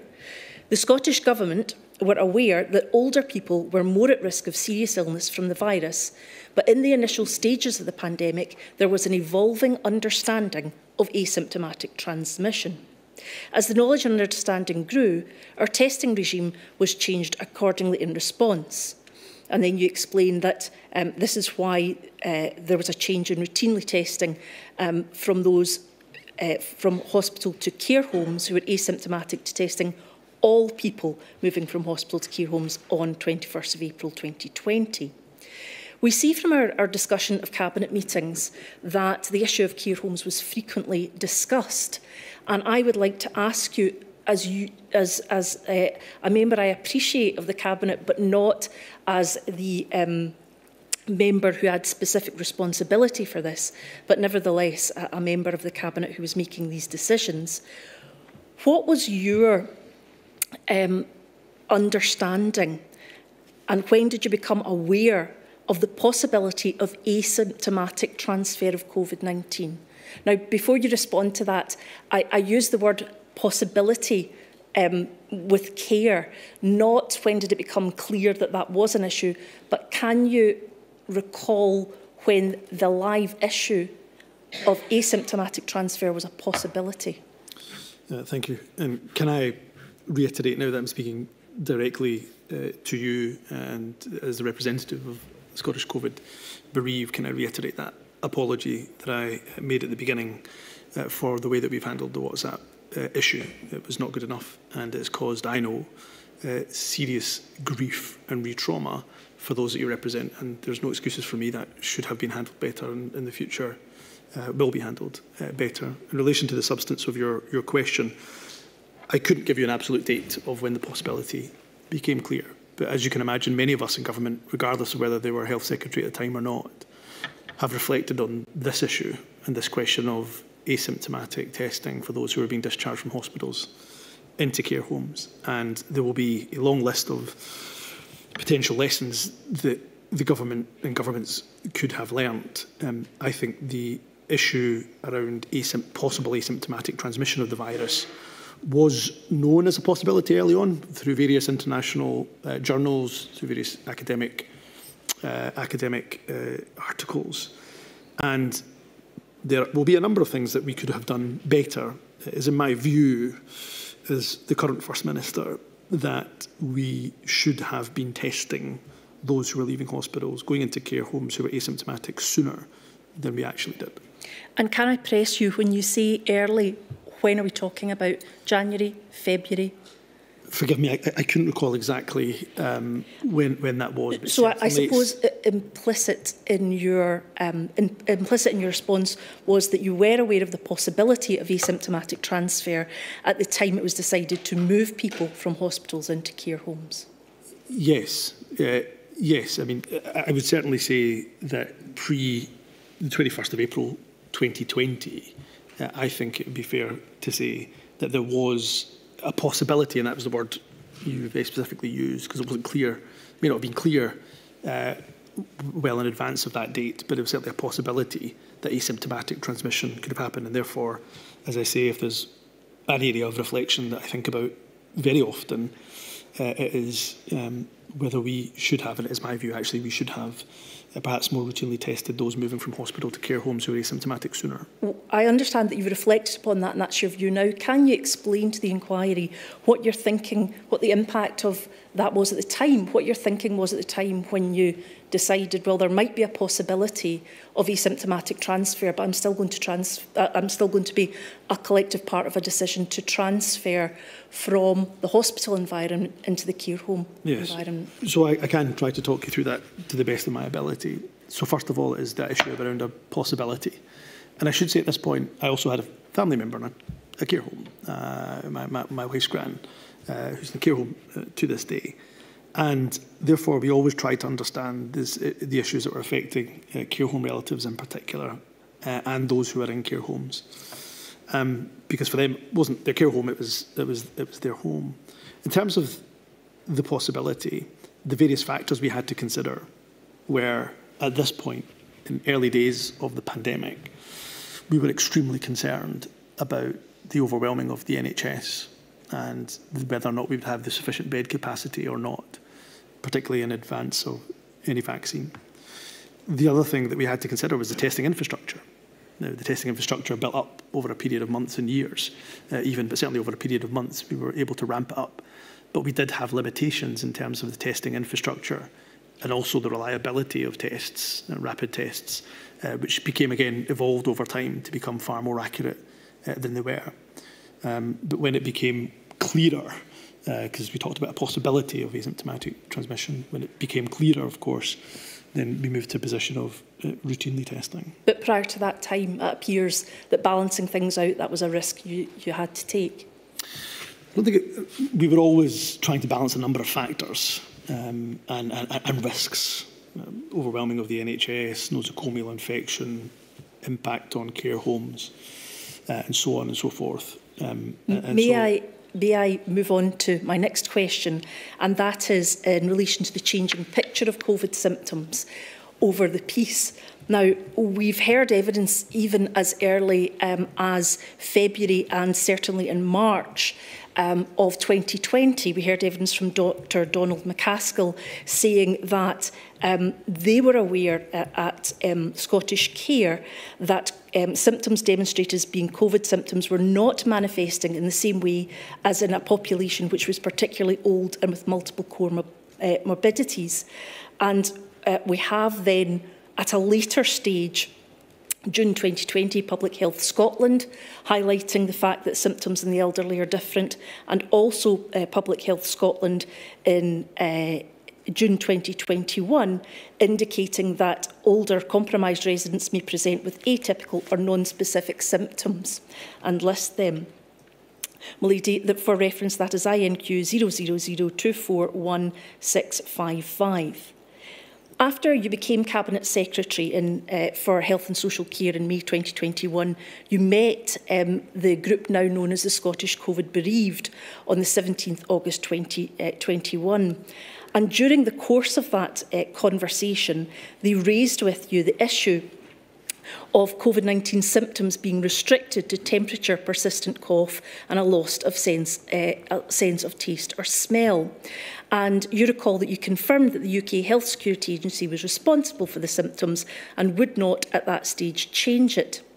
You say that in respect of the steps taken to revise the symptoms, um, you recall inquiring with the CMO as the potential scope for expanding the line of symptoms. In that regard, um, this would be um, Gregor Smith that you would have been asking. Do you recall if you asked him in person or in writing?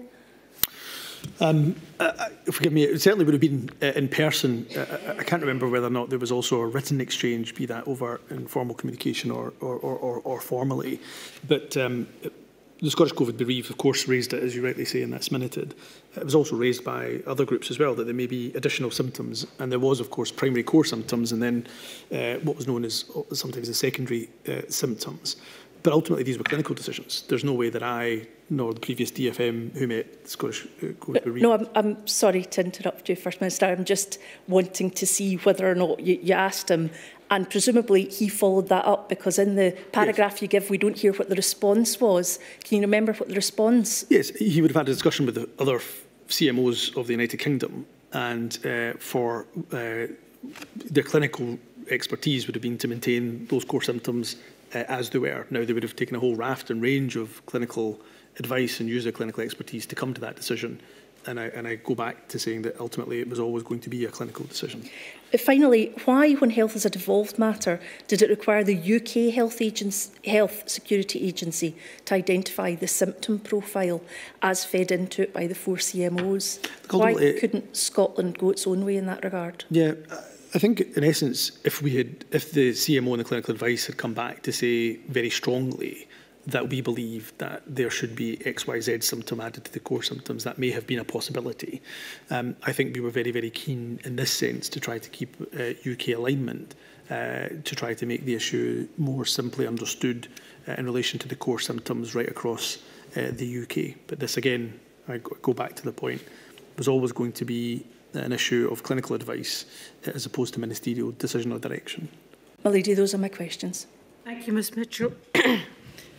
Thank you very much, uh, First Minister. Very grateful to you. Sorry about the constant coughing. I'm afraid it's been a feature of this inquiry, um, certainly in Scotland. Um, I'll see everybody on Monday at 10 a.m. Thank you, my lady.